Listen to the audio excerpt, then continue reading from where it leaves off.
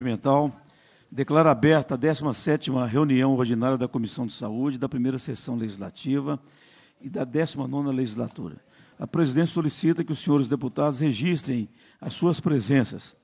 A presidência, nos termos do parágrafo 1 do artigo 132 do Regimento Interno, dispensa a leitura da ata da reunião anterior, considera aprovada e solicita a sua subscrição.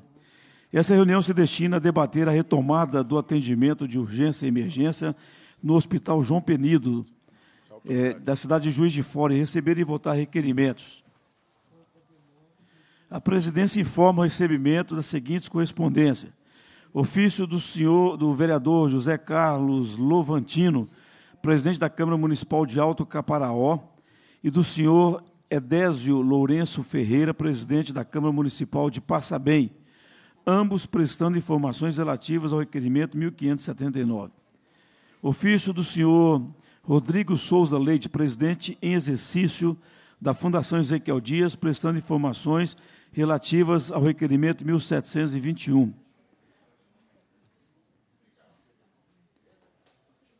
Ofício do senhor Luiz Marcelo Cabral Tavares, chefe de gabinete da Secretaria de Estado da Saúde, prestando informações relativas ao requerimento 1726 informando que não há previsão do novo edital da Secretaria, tendo em vista o atual contexto orçamentário do Estado e a recente nomeação de 607 servidores. Passamos à terceira fase da ordem do dia, que compreende o recebimento, a discussão e a votação de propostas da comissão.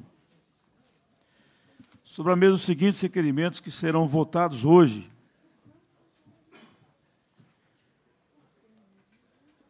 Do deputado Douglas Melo, deputado que subscreve requer de Vossa Excelência, nos termos do artigo 100 do Regimento Interno, seja realizada a visita à Secretaria de Estado da Saúde no, é, para, em conjunto com representantes do Ministério Público do Estado de Minas Gerais e do Tribunal de Justiça, buscar soluções para a falta de medicamentos no Estado e para o excesso de demandas judiciais na área da saúde. Em votação, requerimento, deputados Douglas, os deputados que aprovam permaneçam como se encontra. Aprovado.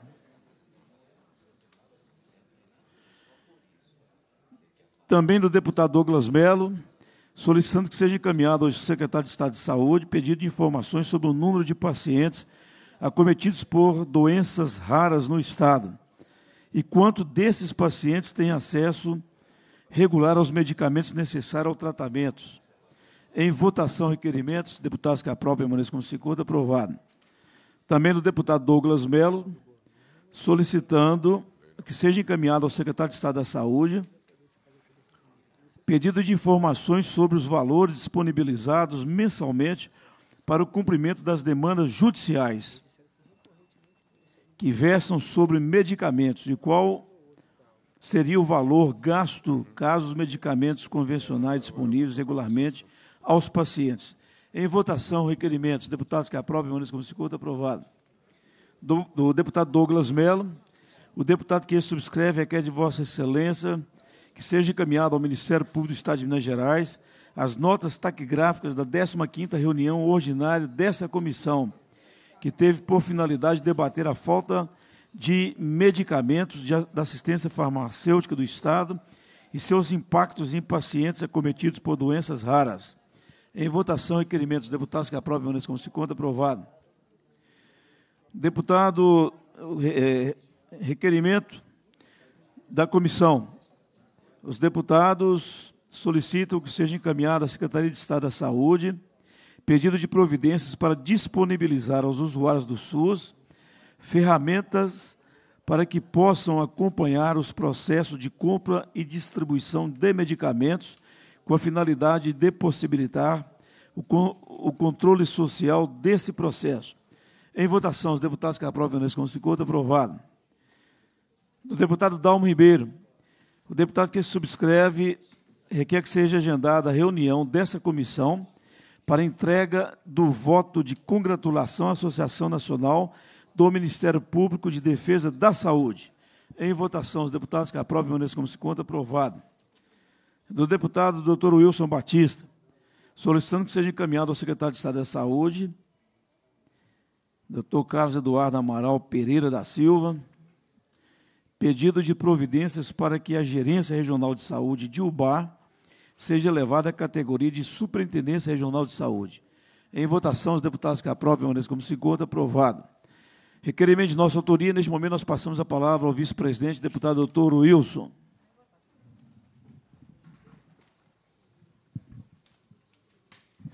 Requerimento do deputado Carlos Pimenta, requer em termos regimentais que seja realizada audiência pública para debater as condições de atendimento do Serviço de Atendimento Móvel de Urgência, o SAMU, no Estado. Para tanto, requer que sejam convidados responsáveis pela gestão desse serviço em todas as regiões de saúde. Em votação, requerimento, os deputados que aprovam permaneçam como se encontram. Aprovado. Devolvo a palavra ao deputado Carlos Pimenta. Muito obrigado. Esse requerimento, aproveitando aí a presença dos vereadores, a vereadora de Juiz de Fora, do nosso deputado Betão, grande companheiro, grande amigo, informar que no dia 25, agora de, do mês de setembro, nós faremos um amplo debate sobre é, todas as unidades do SAMU nas grandes macro-regiões, para que eles possam estar aqui presentes, expor seus problemas. E, na verdade, essa reunião se destina a, a compor uma forte, um forte apoio ao grupo do SAMU, é, a todas as unidades, a todos os consórcios intermunicipais, porque estão passando por situações muito complicadas. Há uma dívida muito grande do Estado com essas unidades. A União ela tem cumprido integralmente os seus repasses e os municípios estão é, com, com, muita dificuldade. Acredito que Juiz de Fora é a mesma coisa também, porque quando você faz o rateio pelos municípios ao entorno da, da cidade sede, a gente vê que alguns colaboram, outros não colaboram, mas na hora de cobrar do SAMU, todos cobram. E se não houver um repasse, não houver uma garantia financeira, eles vão gradativamente começar a diminuir os seus serviços.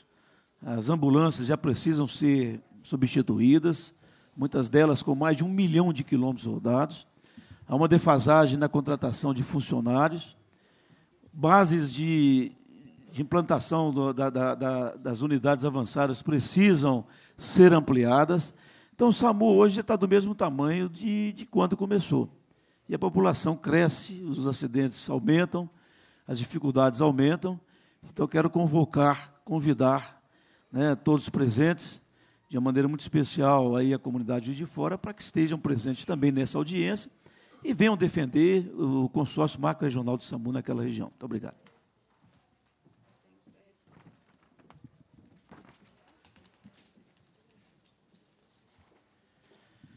Nós temos alguns requerimentos que serão recebidos hoje e serão votados na próxima reunião. Do deputado Cleitinho Azevedo. O deputado que subscreve requer de Vossa Excelência, no termo do artigo 100 do regimento interno, seja realizada audiência pública para debater os problemas enfrentados pelos cidadãos no âmbito do tratamento fora de domicílio, que é o TFD, nas hipóteses de óbito do usuário durante o tratamento. Está recebido o requerimento, será votado na próxima reunião. De nossa autoria, o deputado que subscreve requer de Vossa Excelência, no termo do artigo dos termos regimentais, seja realizada visita destas comissões aos hospitais regionais do Estado que se encontram com obras paralisadas, que se convide representantes técnicos da Secretaria de Estado da Saúde, dos municípios e do Conselho Estadual de Saúde. Essa reunião também é uma reunião muito importante. Nós temos aí 12 hospitais que foram iniciados ainda no governo do governador Antônio Anastasia, ficaram paralisados no governo do Pimentel, e agora o governo ele informa que estará fazendo parcerias públicas privadas para debater a situação desses hospitais, para terminar esses hospitais e, obviamente, serão entregues a organizações sociais para as suas gestões. E a Comissão de Saúde quer antecipar os fatos. Nós queremos aí uma discussão ampla com a comunidade, Betão, e faremos certamente lá na região, para Juiz de Fora também, tem um hospital regional que está paralisado, não sei que estágio que está o hospital de Juiz de Fora, deve estar bem avançado, porque na época o secretário era o Antônio Jorge, deve ter dado um, um upgrade aí naquele hospital. Bom, mas de qualquer maneira está paralisado, É, muitos não foram sequer iniciados, como a cidade de Montes Claros. Outros já, somente um começou a funcionar, que é na cidade de Uberaba, e outros já estão com 90% já concluídos, 95%. E nós queremos ir em cada cidade dessa discutir com os vereadores, com os prefeitos, com as lideranças, para que a gente possa ter uma visão, uma ideia né, da importância, nós já conhecemos que, é, que, são extremamente importantes, mas uma visão em loco do que esses hospitais representam, para que a gente, então, possa aqui receber a equipe técnica da secretaria, em que eles estarão anunciando essas parcerias públicos-privadas e o retorno dessas obras. Serão muito bem-vindas, mas a gente tem que ficar com o um pé na frente e um pé atrás, porque, na minha visão, segurança pública, educação e saúde são deveres inarredáveis dos estados, da União e dos municípios. Outros serviços podem até serem repassados para terceirizados, mas saúde a gente tem essa visão de que eles têm que ficar efetivamente com os gestores, sejam eles municipais, estaduais ou federal. A não ser que seja uma boa parceria e se o Estado se declarar absolutamente incompetente para terminar esses hospitais e gerenciar esses hospitais. Então, esse requerimento será votado na próxima reunião. Deputado Ares Santiago. Qual que é o nome da lista aqui? Solicitando que seja encaminhado ao secretário de Estado de Saúde pedido de informações sobre o número de mamografias realizadas no Estado pelo SUS no período de 2010 a 2019. Também vai ser votado na próxima reunião. O deputado Ares Santiago seja encaminhado ao secretário de Estado de Saúde pedido de informações sobre a situação atual do convênio 3541-2007 firmado entre o Ministério da Saúde e a Secretaria do que é a Secretaria de Estado da Saúde. Eu, eu pediria à assessoria para que pudesse clarear mais esse requerimento. Porque só tem um número dele, 34, 35, 41, são milhares de, de convênios. Então, eu gostaria de que mais informação contida nesse requerimento. Se elas vierem, se elas chegarem, nós estaremos votando esse requerimento, senão vai ser devolvido ao autor. Deputado professor Cleiton, solicitando que seja encaminhado à Secretaria de Estado de Saúde e à Secretaria de Estado de Planejamento e Gestão, pedido de providências para que somente iniciem o processo de contratação das organizações sociais para a gestão das unidades da rede FEMIG, após discussão e aprovação pelo Conselho Estadual Conselho Estadual de Saúde. Também vai ser votado na próxima reunião. Presidente, eu tenho um requerimento aqui para ser apresentado nessa reunião e ser votado na próxima. Requerimento do deputado doutor Wilson, que seja encaminhado à Secretaria de Estado de Saúde, pedido de providência para elaborar um plano de ação para agilizar os processos do SUS no Estado sobre a realização de exames necessários para o diagnóstico do câncer, conforme estabelece a Lei 22.433 de 2016, que dispõe sobre o prazo para a realização de exames complementares necessários para confirmação da hipótese diagnóstica de neoplasia maligna. Presidente, votado, deixa não, eu só esclarecer a necessidade de, desse requerimento, para vocês verem nós já aprovamos uma lei aqui na Assembleia, uma lei de minha autoria, em 2016, tratando do diagnóstico inicial do câncer. Porque a gente sabe que a grande maioria das pessoas hoje descobre a doença numa fase avançada. Isso não só é prejudicial, principalmente para o paciente, porque o câncer numa fase avançada ele é uma doença incurável, e os custos ficam muito mais altos para o Estado. E essa lei já foi aprovada e o Estado, até hoje, na inércia dele, não providenciou nada para poder agilizar o diagnóstico do câncer. E agora, recentemente, semana passada, a gente vê em todos os jornais do Brasil aí um estudo feito para o Tribunal de Contas da União, mostrando que o diagnóstico tardio de câncer é gargalo para os pacientes do SUS. Isso é um jornal. Demora em diagnosticar câncer pelo SUS, reduz chances de cura. Grande maioria dos pacientes com câncer do SUS em Minas Gerais já descobre a doença em fase avançada. E o próprio Tribunal de Contas da União divulgou na semana passada um pedido de solicitação ao Ministério da Saúde para que ele tome algumas providências para que isso não seja a realidade hoje dos pacientes oncológicos no Brasil. A média de tempo que o paciente espera para chegar ao diagnóstico do câncer no Brasil é 300 dias. Vocês imaginam um paciente começar com um sintoma hoje de câncer. Isso é a realidade, eu mostro inúmeros exemplos aqui. Se o paciente começar hoje com sintomas claros de uma doença maligna, ele não consegue esse diagnóstico em menos de 30 dias, em menos de 300 dias. Agora, você imagina o paciente conviver com uma doença 300 dias. No mínimo, essa doença vai agravar, vai agravar, a ponto dela não ser mais curada. Aí, depois de 300 dias, esse paciente vai chegar num pronto-socorro. Ou com uma obstrução intestinal, se for um tumor de intestino, já sem condições de remover o tumor. Se for um tumor de vias aéreas, esse paciente vai entrar numa insuficiência respiratória, vai chegar num hospital lá em insuficiência respiratória, podendo, às vezes, só fazer uma traqueostomia, não tem mais jeito de remover a doença. E, é, e isso é o que nós convivemos aí no dia a dia hoje. Quem atende câncer, eu sou oncologista e vejo isso por inúmeras e inúmeras vezes. Toda vez que eu atendo um paciente com doença avançada, eu sempre pergunto para ele: o que aconteceu por você não ter sido é, resolvido essa sua doença há tempos atrás? É a dificuldade que eles encontram. Doutor, eu fui no médico há seis meses atrás. Ele me pediu uma colonoscopia, eu levei na Secretaria de Saúde. Até hoje não me falaram quanto que eu vou fazer. Eu duvido que alguém, se esses pedidos estão sendo agendados. Não estão. Entrega na Secretaria de Saúde, parece que aquilo não valeu de nada. O paciente volta para casa na vã esperança de que um dia ele vai ser chamado para ir fazer a colonoscopia. Nunca vai ser chamado. Então, todos os pacientes hoje que chegam com essas doenças avançadas, foi culpa, foi um despreparo do atendimento público em atender esse paciente oportunamente. E isso não só é grave, é claro que é muito mais grave para o paciente, porque hoje ele vai conviver com uma doença incurável, vai ter uma sobrevida às custas do seu próprio sofrimento. E o Estado vai gastar com ele muito mais. Hoje, um câncer de mama no estágio inicial você cura a doença, se a doença estiver limitada somente à mama, você cura essa doença com apenas uma cirurgia que não passa de 5 mil reais. Se essa doença alcançar a axila, que em meses, em questões de 3, 4 meses, essa doença alcança a axila, já é uma metástase, esse paciente não vai ser mais curado e o Estado não vai gastar com ele menos de 200 mil reais.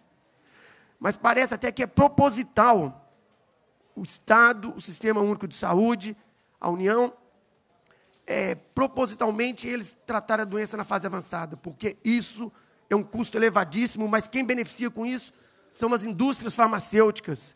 Os pacientes ficam fazendo quimioterapia paliativa sem nenhum benefício.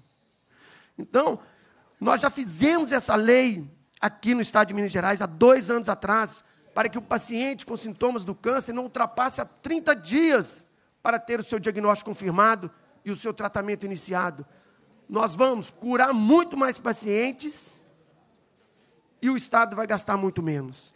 E nós propusemos para o Estado criar, habilitar nos hospitais regionais um centro específico para diagnóstico oncológico, com uma colonoscopia, com uma biópsia para um tumor de mama, com uma endoscopia digestiva alta para o paciente fazer uma biópsia de um, de um tumor gástrico.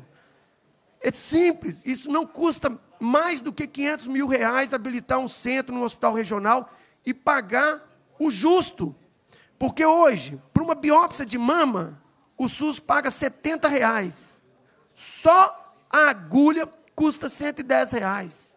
Só a agulha para fazer biópsia. E ainda tem ultrassom, tem um trabalho médico e tem a, o, o ambiente hospitalar. Tem a taxa hospitalar. Para uma biópsia, para uma colonoscopia, o SUS não paga 30 reais.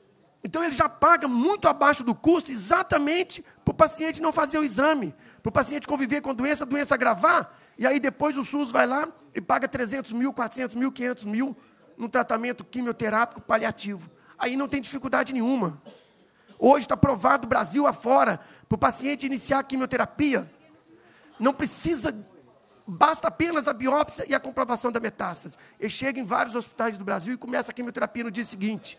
Já tem estudo do Tribunal de Contas da União mostrando que tem muito mais pacientes fazendo quimioterapia do que realmente deveria estar fazendo. Então, é realmente uma indústria, do, um comércio em cima das doenças. é o Estado, é as indústrias farmacêuticas, é alguém se beneficiando da doença dos pacientes. Porque tratar a doença inicial só beneficia o paciente, não beneficia mais ninguém. Mas essa indústria farmacêutica hoje, eles querem tratar o paciente até no dia do atestado de óbito. E tem relatos aí em hospitais que o paciente, depois de morto, ainda continuou pagando quimioterapia. Então, é um absurdo o que acontece hoje na oncologia, e o que a gente vê o, o Estado ainda querendo fazer é abrir mais centros de quimioterapia paliativa, e nenhum do diagnóstico. Ou seja, o Estado não quer saber se a pessoa sabe dirigir ou não, se ela tem uma carteira, se eu preparei para ela ter uma carteira de motorista. Mas eu dou uma Ferrari para ela porque as indústrias ganham, o vendedor da Ferrari ganha, o paciente capota com ela na primeira esquina, perdeu-se a Ferrari, perdeu o paciente, mas muita gente ganhou em cima disso. Agora, ensinar o paciente, dar uma carteira para ele, ensinar ele a dirigir e manter ele vivo, o Estado não tem esse interesse. Então, Carlos Pimenta, é um absurdo que, que está acontecendo hoje na oncologia, em Minas Gerais e no Brasil. Ninguém toma nenhuma providência para poder o paciente ter sua doença descoberta no início e ficar curada, com muito menos custo para o Estado e com um benefício incomparável para os pacientes. Muito obrigado, doutor Wilson. Seu requerimento está sendo recebido. Veio um depoimento muito importante de um médico é, que trabalha em hospital e, e é talvez uma das maiores referências em cirurgias oncológicas de Minas Gerais. E ele passa por dificuldade, tudo que ele disse é absolutamente correto absolutamente correto. O paciente tem um câncer na fase inicial, o Estado enrola, não fornece condições para que esse diagnóstico seja comprovado e o tratamento seja imediatamente instituído, porque quando ele é descoberto na fase inicial, o tratamento é mais simples, menos oneroso e a chance do paciente sarar é muito, é muito maior. E esse paciente vai passando um mês, dependendo do câncer, um mês faz diferença câncer de mama, um mês faz diferença. Se você pega uma mulher com câncer, um nódulo pequenininho, e muitas vezes, depois de um mês, esse nódulo já triplicou de volume e já deu metástase. Então é isso que está acontecendo, é a falta de sensibilidade. Tem médico que quer trabalhar, trabalha pelo SUS e quer trabalhar, e tem médico que às vezes enrola mesmo, e isso não pode acontecer. Então o requerimento está sendo recebido, doutor Wilson, bem como o outro requerimento de Vossa Excelência, que solicita também providências para fiscalizar o cumprimento da Lei 22.433, que dispõe sobre o prazo para realização de exames complementares necessários para confirmação de hipótese diagnóstica de neoplasia maligna. Então, nós vamos votá-lo na próxima reunião. Muito bem. Essa fase agora já terminou, nós estendemos um pouquinho, esperando aí o, a presença das senhoras e dos senhores. Nós queremos agradecer muito pessoas iguais vocês que saíram de Juiz de Fora, né, passando por essa estrada terrível. É uma estrada que há pouco tempo atrás, Betão, nós abordamos aqui o tema de que a, a, a Via 040, que cobra um pedágio dessa estrada, depois de alguns anos, explorando a população, cobrando um pedágio caro, e quando chegou já na, no momento em que ela precisava executar as obras, as grandes intervenções, né, você vai ali perto de Congonhas, é um terror você passar ali. Nas pontezinhas estreitas, caminhão vindo né, lá de cima, despencado, de trás, você fica numa situação difícil. E essa via 040, quando chegava no momento dela começar a ter as grandes intervenções, gastar o dinheiro que ela recebeu durante tantos anos, ela pediu uma, uma relicitação da obra. Você imagina? Olha, eu já vi, já vi tudo nesse país. Agora, relicitação de uma licitação pública. Por quê? Porque não quer tirar o din-din do bolso. Não quer fazer o que é devido. E se o governo federal aceitar esse precedente, vai virar moda. Né? A gente está vendo de tudo aqui. Ó o cara pedir refinanciamento, por causa agora relicitação de uma licitação de uma privatização de uma rodovia tão importante como a 040, que liga Brasília até Juiz de Fora. Porque ele parece que de Juiz de Fora para lá, eles estão muito bem, né? O dinheiro é mais alto ainda, os pedágios mais altos ainda, já estão duplicados. Agora, para Belo Horizonte, grandes três precisam ser duplicados. Então, eu queria dar boa-vinda a vocês que vieram, cumprimentar aí esse grande amigo que nós temos aqui na Assembleia, o nosso deputado Betão, bravo, guerreiro, né, combativo, não deixa aí, não leva desaforo para casa, isso é muito importante. Vocês têm um grande deputado representando de fora, que é o nosso amigo Betão, e vão dar uma salva de palmas para o Betão aqui também, isso é muito importante. É isso aí. Nós vamos fazer a composição da mesa aqui. A audiência, ela, espero que ela transcorra na melhor maneira possível. O tema é muito importante. É um hospital fundamental para Juiz de Fora e principalmente para as cidades ao entorno de Juiz de Fora. Betão me mostrava ali o mapa, né? A localização dele, uma localização estratégica. E as pessoas, quando chegam lá, está fechada a urgência e emergência, tem que, às vezes, atravessar a cidade toda, dentro de uma ambulância, dentro de um táxi, dentro de, de um carro, no lombo, não é no lombo de cavalo mais, que o Juiz de Fora já não, já não tem isso mais. Mas, muitas vezes, correndo risco de morrer, dependendo da gravidade né, da, do caso de urgência e emergência.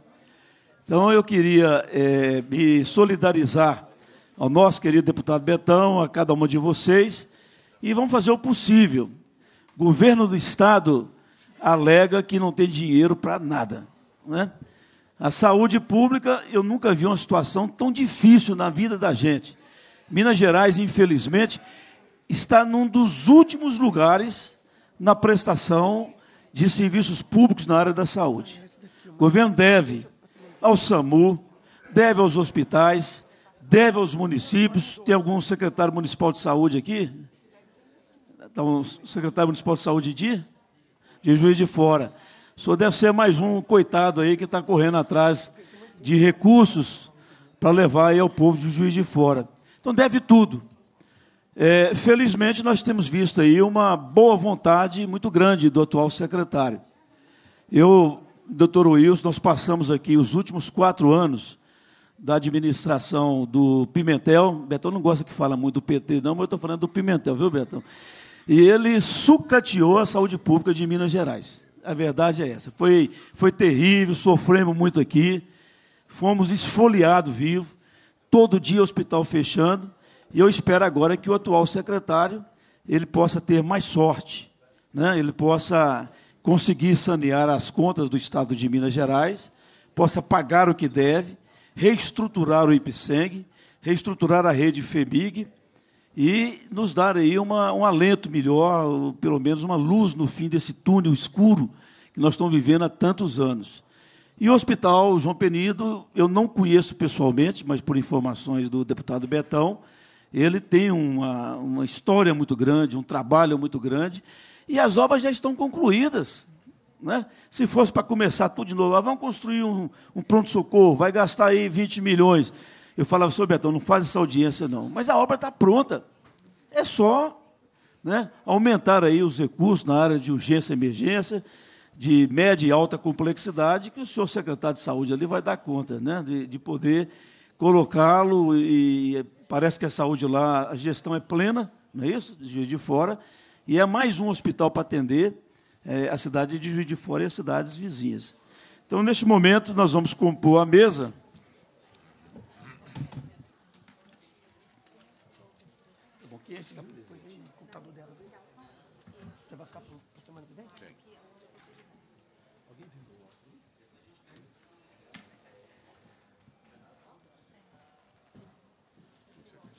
Muito bem, então nós vamos convidar para ter assento à mesa a senhora Ana das Graças Cortês, é vereadora da Câmara Municipal de Juiz de Fora e é a primeira vice-presidente da Câmara Municipal.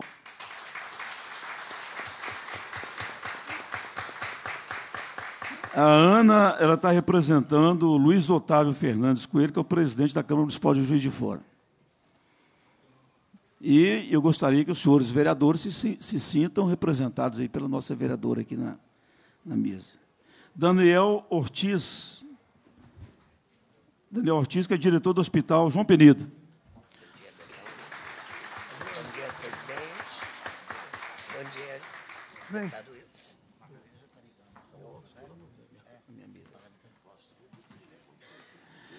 Dan, é, Rodrigo Coelho de Almeida, secretário municipal adjunto de saúde em Juiz de Fora.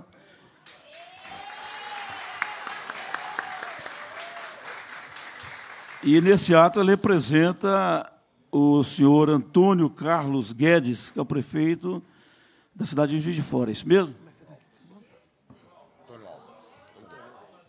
Antônio Carlos Guedes Alves. É porque é grande demais, eu estou economizando um pouco aqui. É? Tá bom. Muito bem. Eu convido também a tomar assento à mesa o senhor Gilson Lopes Soares, é o superintendente regional de saúde de Juiz de Fora.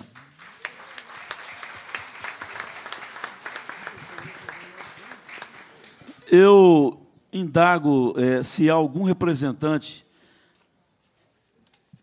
excluindo aí o Gilson, que obviamente representa também o, Estado, mas se há algum representante da Secretaria de Estado da Saúde. Porque o senhor, o senhor secretário foi convidado, eu gostaria de saber se, se tem algum representante da Secretaria de Saúde aqui. Muito bem. Se Maomé não vai à montanha, a montanha vai a Maomé. O senhor secretário de Saúde vai receber tudo que for discutido aqui na casa aqui e as notas taquigráficas da reunião.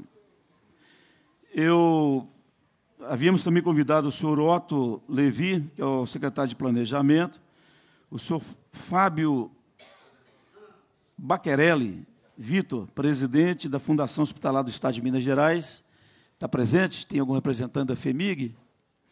Não, né? O João Pereira da FEMIG. O Emerson Damião Duque, prefeito da Prefeitura Municipal de Chácara, está presente? Palmas para o seu prefeito. Ele é o nele, não. Mas ele, ele merece as palmas também, viu? Claro. O Emerson Damião, é, Paulo César Santos Neves, prefeito de Guarani.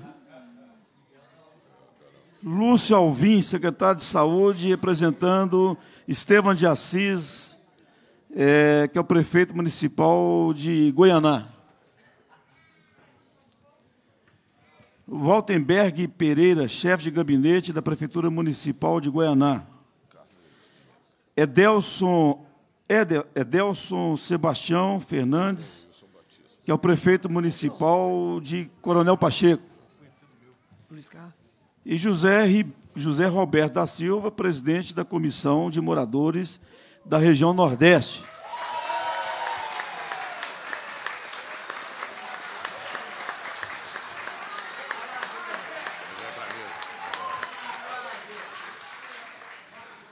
Já, já pode candidatar a vereador na próxima aí, né?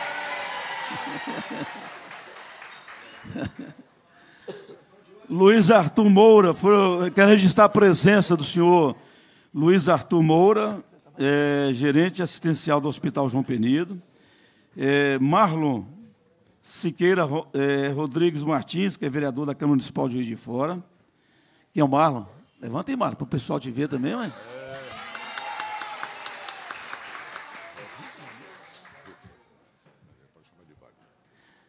É, Hitler, Wagner, muito bem. Aí o nosso vereador. Carlos Alberto de Melo, vereador. Sargento Melo. Tá. Luiz Cláudio Lopes Alvim, vereador. Cadê ele? Ah, de Goianá, né? É, vereador de Goianá. Derli Alves Ribeiro, vereador também de Goianá. Tudo bem, Derli? Paulo Lopes, Paulo Lopes de Toledo, também vereador de Goianá. Muito bem.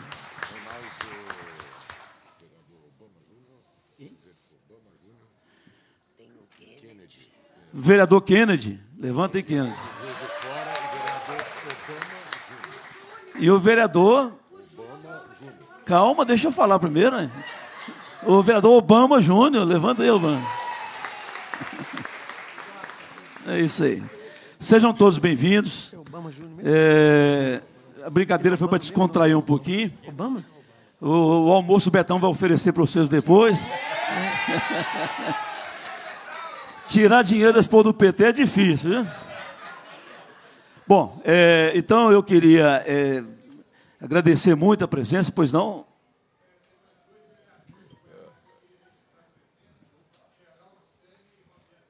Geraldo Selle, Roberto, vereador de Goianá. Muito bem. Sejam bem-vindos, muito obrigado pela presença. A nossa reunião começa agora, o assunto é sério. Chega de brincadeira, vamos aí à nossa discussão, ao nosso debate.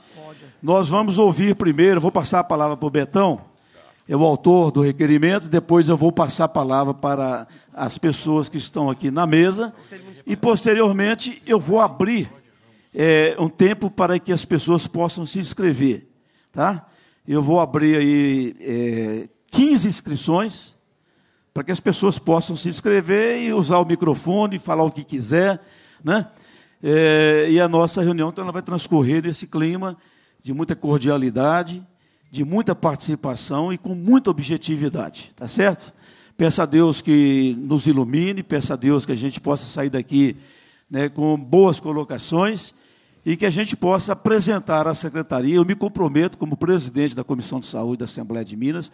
Eu sou o deputado Carlos Pimenta, eu eh, sou médico também, sou da cidade de Montes Claros, e eu me comprometo a fazer o possível para que o pleito de Juiz de Fora, de Goianá e de outras cidades, eles possam encontrar respaldo junto ao governo do Estado. Então, neste momento, nós passamos a palavra ao vereador Betão, que é o proponente dessa audiência.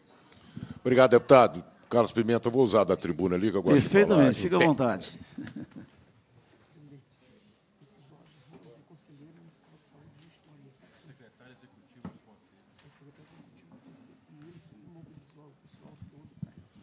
Bom, bom, alô.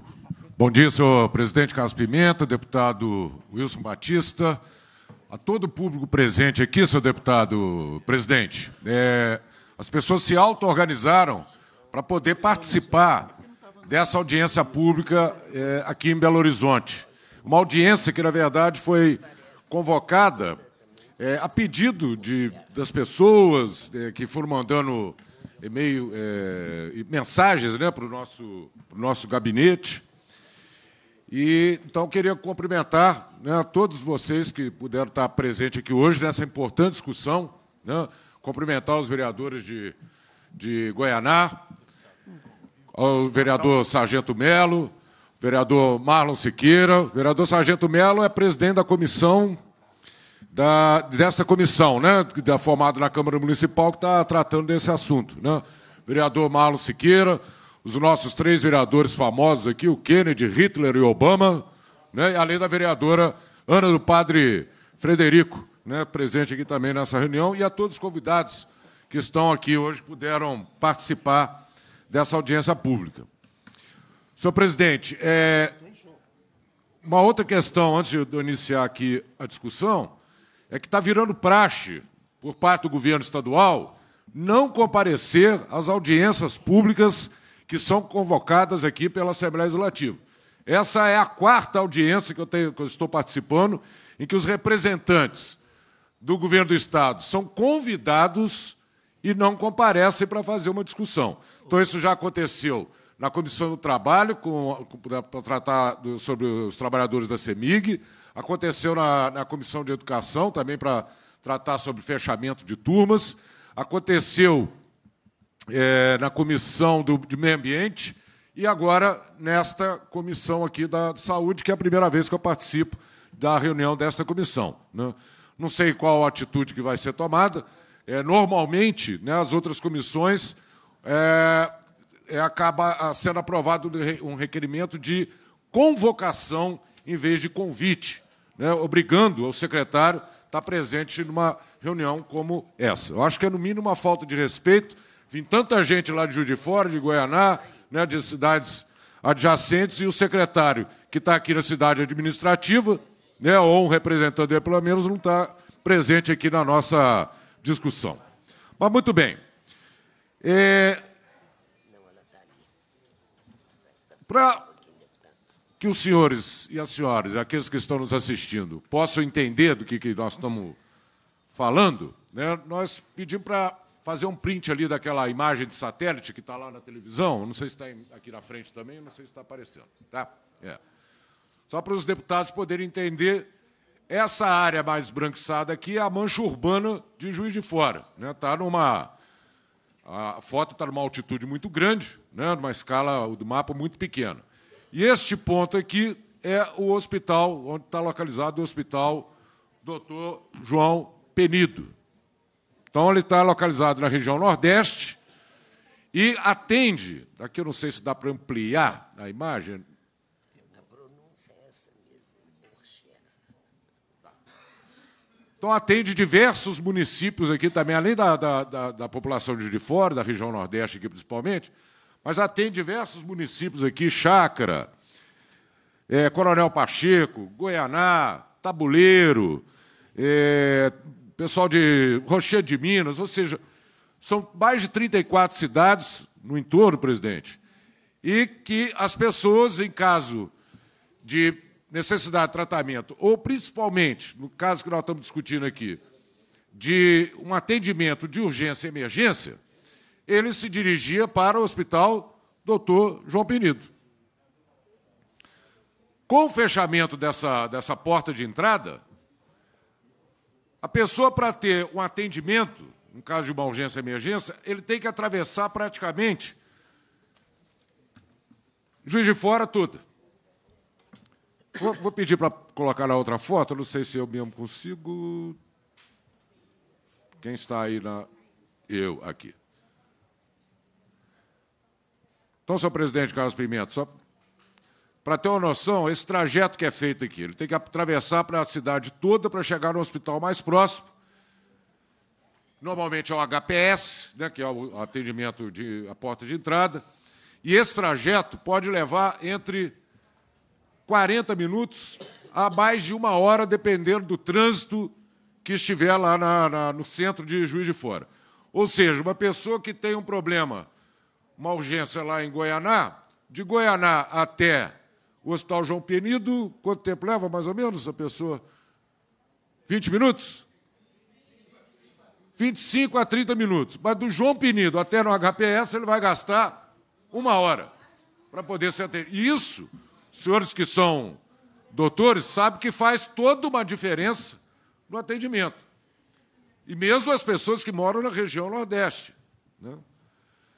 Então, o fechamento dessa ala deputado Carlos Pimenta, ele se deu ainda no governo Anastasia, né, ele foi fechado em 10 de abril de 2014, pelos dados que a gente tem aqui, é, alegando que eram necessárias reformas no CTI para adequação, de acordo com as exigências feitas pela vigilância sanitária. E ficou suspenso durante esse. Está suspenso, né? durante todo esse período. Então, atinge aproximadamente 70 mil pessoas o fechamento dessa. E aí, o fato, inclusive, de não ter uma UPA lá naquela região, né, obriga as pessoas a se deslocarem para o centro da cidade.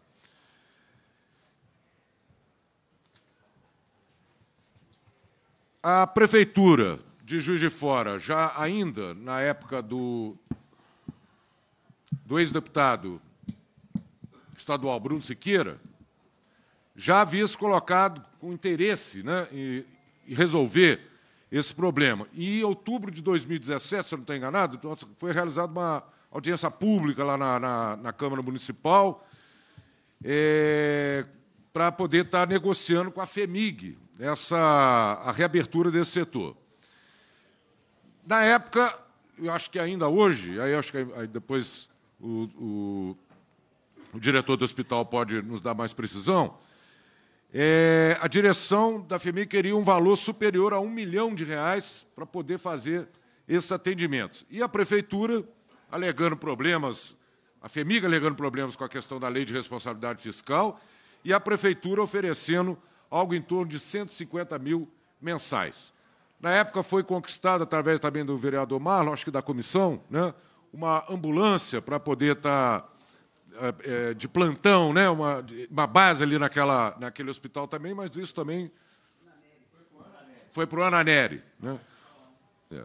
Ou seja, então, a população ela continua desassistida em toda aquela região, né, que pega lá o aeroporto internacional Itamar Franco, né, onde está localizado ali Guaianá, Rio Novo, e a região nordeste de fora, totalmente desassistida, cinco anos sem funcionamento, o hospital regional da Zona da Mata, que o senhor se refere, que também foi iniciado na época do governo de Antônio Anastasia, ele se encontra parado, né? ele está com a estrutura física pronta, mas falta ainda colocar é, todo o equipamento dentro do hospital, que, tal, que seria o hospital mais próximo daquela região, se estivesse em funcionamento, e é, essa, e é esse o interesse de estar tá fazendo essa discussão, e por isso nós convocamos essa audiência pública aqui para a Assembleia Legislativa. Sugiro, senhor presidente, inclusive, que caso essa comissão vá fazer é, uma visita ao hospital regional lá em Juiz de Fora, que possa comparecer à Câmara Municipal, quem sabe, para estar tá, levando essa discussão aqui também do Hospital Doutor João Pinido para a Câmara Municipal, né, que pode ser, inclusive, transmitido pela nossa TV Câmara lá, que tem sinal ligado aqui com a TV Assembleia de Minas Gerais. Então, senhor presidente, sem muitas, muita delonga, né, para deixar o pessoal falar aqui, também o nosso público que veio acompanhar essa audiência pública, eu encerro por aqui e vamos ao debate. Muito obrigado, senhor presidente. Obrigado companheiro deputado Betão. Essa sugestão aí de, no, no, momento em que nós formos fazer a visita técnica ao Hospital Regional de Juiz de Fora, com certeza nós estaremos também fazendo uma visita é, é, em conjunto aí com a Câmara Municipal ao, ao Hospital João Penido. Eu acho que são dois assuntos extremamente importantes e são localizados na mesma cidade, não há por que não visitar o Hospital João Penido. Muito bem, eu vou passar a palavra aos nossos convidados que aqui estão. Estabelecer primeiro um prazo aí de, de cinco minutos, pode ser? Se, se for preciso prorrogar, a gente prorroga, mas de cinco minutos. Inicialmente, nós convidamos o senhor Daniel Ortiz, é, diretor do Hospital João Penido, para que possa fazer a sua exposição. Assim, antes, eu queria fazer um convite para que o senhor é, Jorge Ramos, que é secretário executivo do Consórcio de Saúde, possa, do Conselho Municipal de Saúde, é, possa tomar assento à mesa, por favor.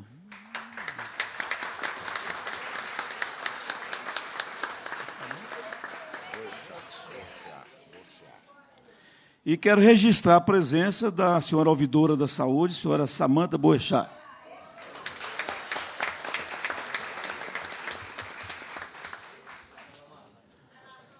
Com a palavra, o senhor Daniel Ortiz Mioto, diretor do Hospital João Penido. Bom dia, deputado presidente. Bom dia aos demais componentes da mesa. Agradeço o convite, deputado Betão. É importante esse momento para que a gente possa expor esta discussão antiga, né? Dessa esse fechamento do ambulatório, a reabertura, enfim. É, cumprimento a todos os presentes, os vereadores aqui de Juiz de Fora, na pessoa da, da representante do presidente da, da Câmara, vereadora Ana, grande figura de Juiz de Fora.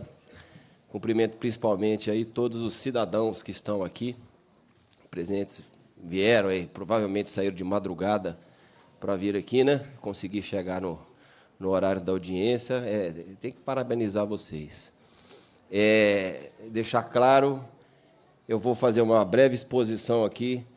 Eu posso chamar do meu hospital, porque eu considero o meu hospital. Assim como é da vereadora Ana, como é do deputado, como é de cada cidadão. O hospital é público. Ele é nosso. A gente tem que definir o que vai ser feito. Eu estou apenas como gestor. Desde 2017, em janeiro, deputado, eu tomo é, eu faço a gestão do hospital, estou nomeado para isso, e com muita responsabilidade e dedicação é que eu venho é, executando essa, essa nobre função. Fico feliz assim por ser um hospital que eu considero também meu, eu tomo conta dele como se assim o fosse, com o carinho e a dedicação. Quem trabalha lá pode acompanhar isso. É, a gente toma conta até papel pregado na parede lá. Eu, eu pego no pé da turma, não deixo sujeira, não deixo fazer é, é nada errado, cobro presença dos servidores, dou condições ao servidor. Uma das primeiras coisas que eu fiz quando cheguei lá foi fazer uma reforma bem, bem assim básica no refeitório onde os, onde os servidores faziam a, fazem né, hoje a alimentação em função de uma obra que está paralisada há mais tempo né, do que essa discussão, em função de uma ampliação lá do refeitório. O pessoal foi para uma lavanderia que estava desativada. Leni, bom dia, né? Representante do sindicato, ela pode é, é, é, confirmar o que eu estou falando. Acho que a primeira coisa que eu falei, falei, poxa, o pessoal almoça, janta aqui numa condição ruim. Falei, vamos pelo menos fazer uma pintura, dar uma melhorada nas mesas, tal. Eu acho que a condição para os servidores é muito importante, porque reflete, com certeza, no, no, no atendimento aos, aos cidadãos. Enfim, o hospital é ligado à rede FEMIG, a quem eu represento aqui hoje, deputado. Represento, sim, o presidente da FEMIG. E o Estado está aqui representado pelo Gilson, superintendente regional de Juiz de Fora, que aqui representa o, a Secretaria de Estado de Saúde.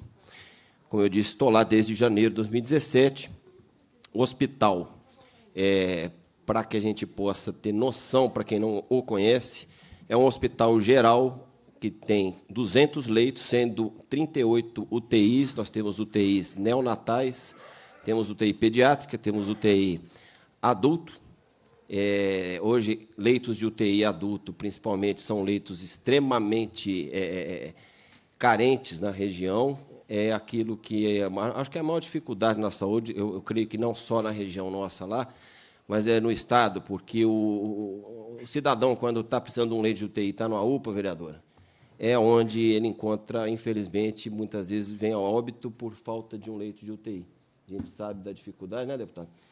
E a gente está batalhando para poder ampliar de 10 para 20 leitos. Concluímos uma obra, que depois eu vou explicar direito, foi ampliação para isso. Hoje nós estamos nessa, nesse processo para poder fazer esse atendimento com 20 leitos no total.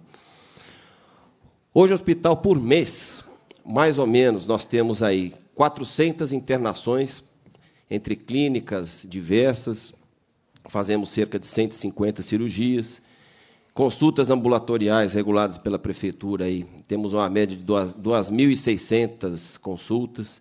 A nossa maternidade ela tem porta 24 horas e é referência de alto risco na região. Hoje nós temos uma estrutura bem avançada aí para a, a, para as grávidas que estão em, em, alto risco, são referenciadas todas para o hospital, em função principalmente das UTIs e do corpo médico que nós possuímos, a estrutura toda em funcionamento.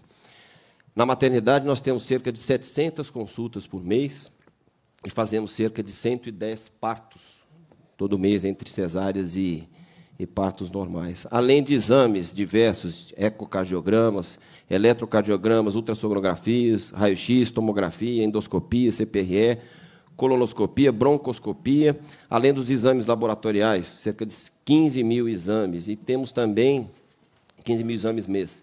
É, um centro de reabilitação, onde são referenciados aqueles pacientes que precisam de uma readaptação para uso de cadeira de roda, prótese, enfim. Ou seja, o hospital está em pleno funcionamento, o detalhe maior aí, que é o pleito dessa, dessa parte da população, é a questão do atendimento de urgência e emergência, que realmente ficou carente é, desde o fechamento em 2014. O SUS na região ela tem a gestão plena, onde a prefeitura municipal é a gestora, certo?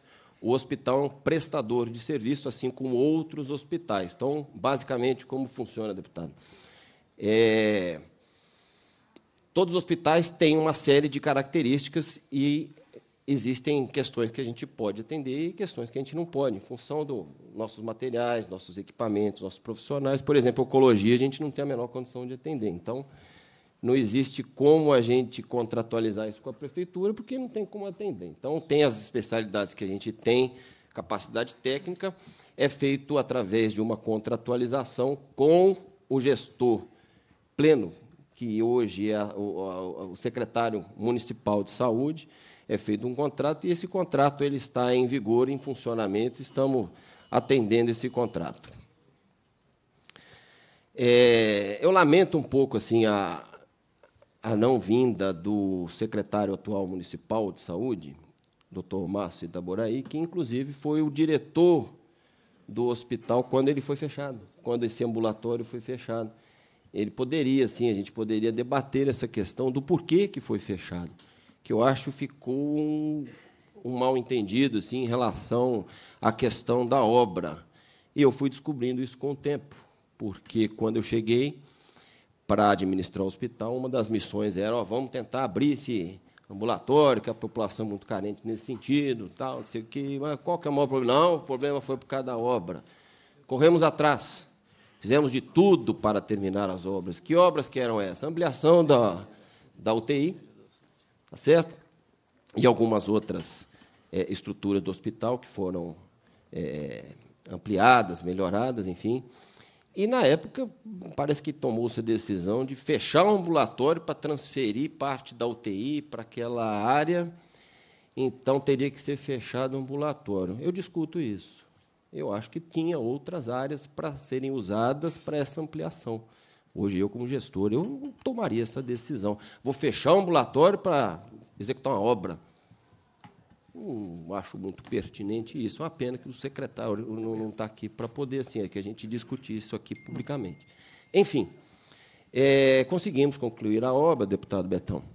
A obra está pronta, temos espaço para, além dos 10 leitos que estão em funcionamento, temos espaço para mais 10 e não conseguimos, até agora, viabilizar o funcionamento em função da falta de pessoal. O Estado não consegue é, é, viabilizar esse pessoal.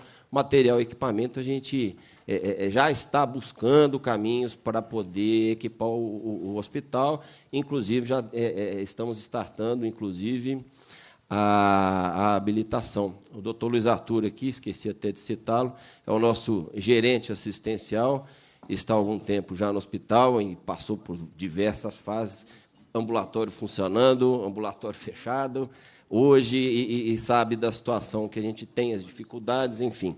Se for necessário, ele vai poder contribuir, por isso que ele veio comigo para essa reunião. Enfim, essa discussão é, é interessante.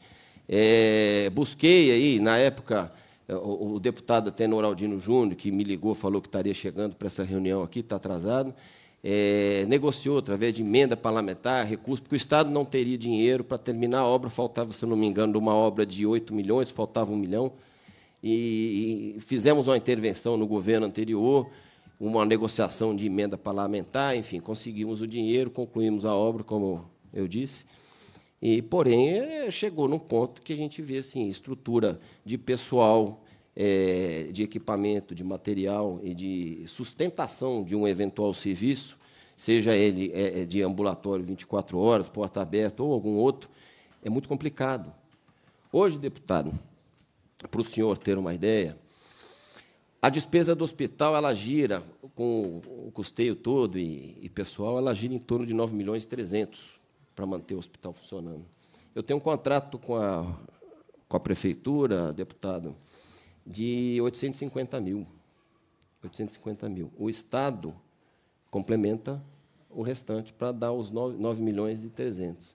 Então, a participação do Estado assim é praticamente de 95% do funcionamento do hospital. Então, assim, eu recentemente ouvi uma uma pessoa falando assim: ah, o Estado tinha que contribuir mais. É, desculpa, eu acho que a pessoa é que tinha que se informar mais porque não é a realidade. A realidade é, é outra, é essa que eu estou passando, e isso eu provo por A mais B.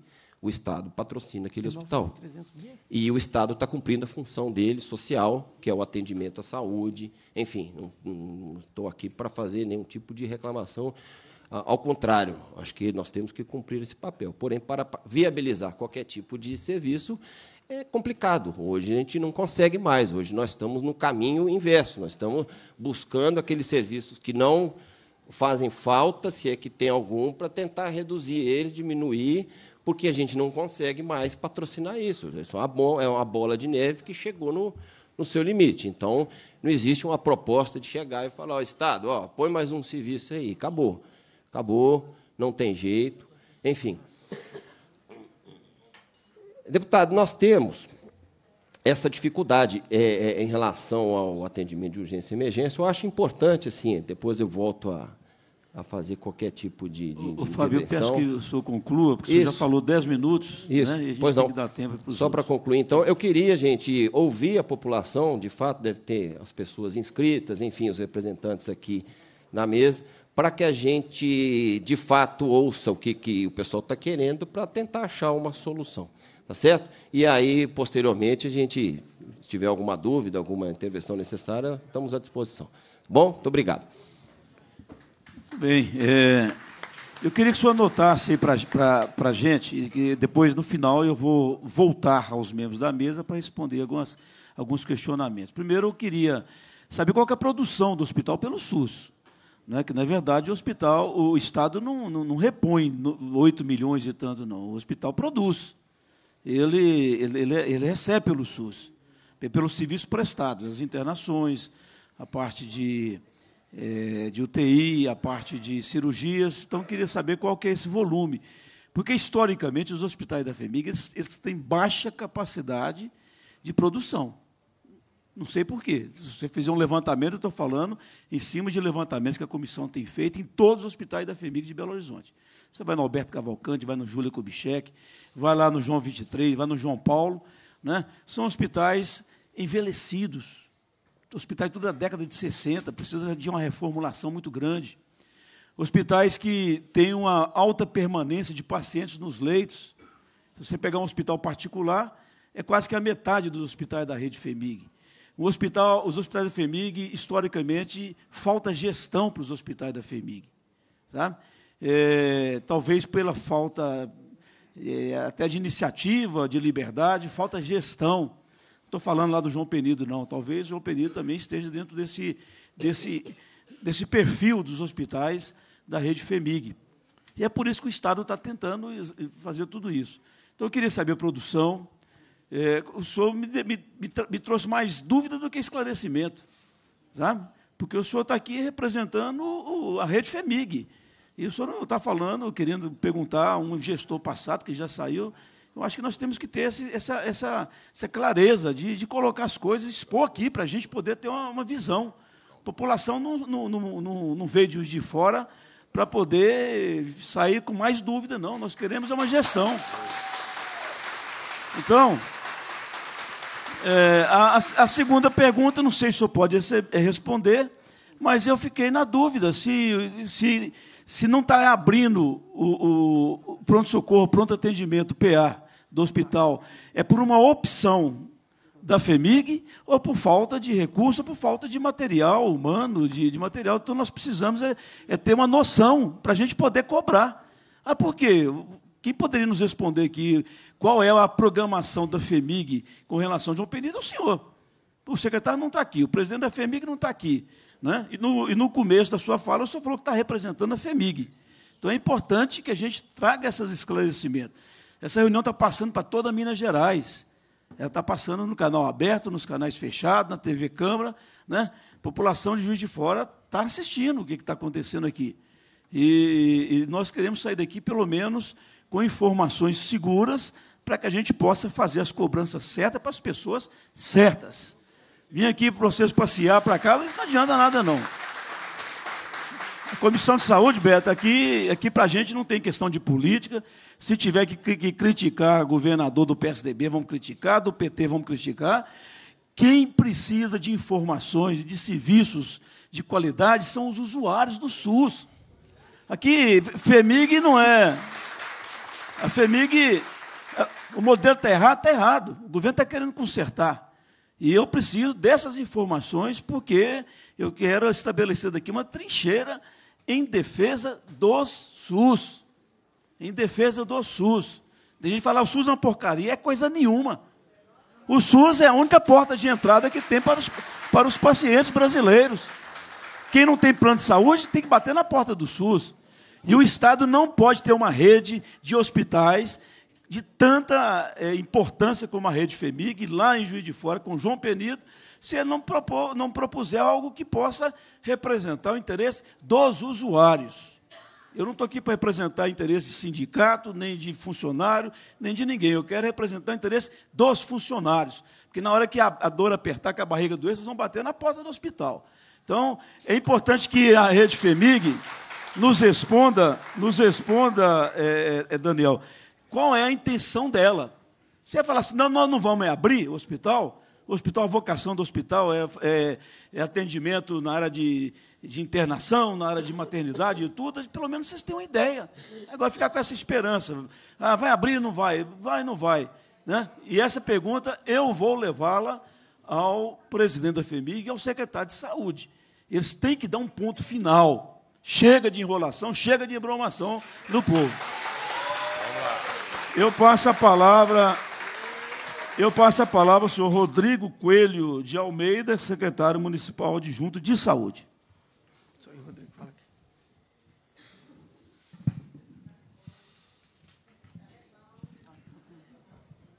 Bom dia a todas, bom dia a todos. É, cumprimento aqui o presidente, deputado Carlos Pimenta, cumprimento o deputado Wilson, nosso conterrâneo de Juiz de Fora, irmão do Luiz Carlos, né? trabalhou inclusive na, na Prefeitura de Juiz de Fora. Cumprimento aqui os vereadores Ana, do Padre Federico, Wagner, vereador Marlon, Sargento Melo, Obama, vereador Kennedy. Cumprimento aqui também, né, do controle social, todos os nossos conselheiros que estão aqui de saúde,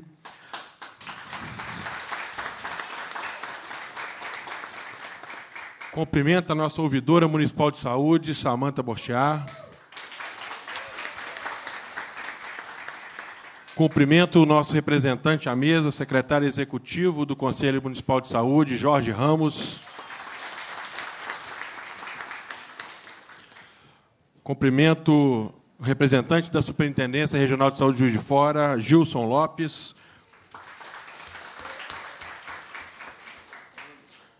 Cumprimento o nosso grande amigo, conselheiro, esse grande lutador, Zé Roberto, que está aqui representando o Juiz de Fora.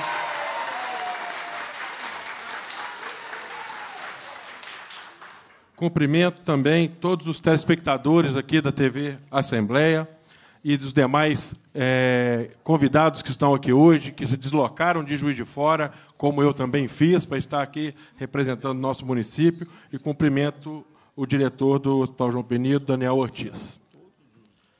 Muito bem. É, vem aqui hoje, né, a pedido do nosso prefeito Antônio Almas e do Dr. Márcio Taboraí, secretário de Saúde, representar a Prefeitura de Juiz de Fora, com o objetivo de somar esforços da Secretaria de Saúde, pois entendemos ser de grande valia, de grande importância, essa discussão para a abertura da porta de urgência e emergência do Hospital João Penido. É, eu venho aqui, inclusive, né, é, colocar para o doutor Daniel Ortiz como diretor do João Penido, diz que não se recorda, mas eu, eu gostaria de deixar claro aqui para ele que existe sim um fato, pelo motivo do que aquela porta foi fechada à época, que foi a não inclusão, né, como gestor, né, Vossa Excelência deveria né, saber disso, que, que não foi incluída na rede de urgência e emergência do município a porta do João Penido. Não é mesmo? Então, acho que hoje esse momento é um momento de que nós temos que unir forças aqui né, para tentar uma solução em conjunto é, com a FEMIG, com a Secretaria de Estado de Saúde, uma vez que o João Penido é um hospital de grande importância regional, né, o nome dele já diz um hospital regional, ele atende de forma regional de, é, os municípios aqui de, do entorno de Juiz de Fora. Juiz de Fora, como polo regional de atendimento, é, tem cinco portas hoje credenciadas né, pela rede de urgência e emergência. Então, a vinda de mais uma porta, com certeza, desafogará a, as demais portas hoje, que devido a essa, essa grande aglomeração de municípios do entorno, que hoje registrados são 94 municípios né, referenciados para Juiz de Fora. Lembrando que Juiz de Fora tem uma, uma questão geográfica muito importante, é, deputado Betão.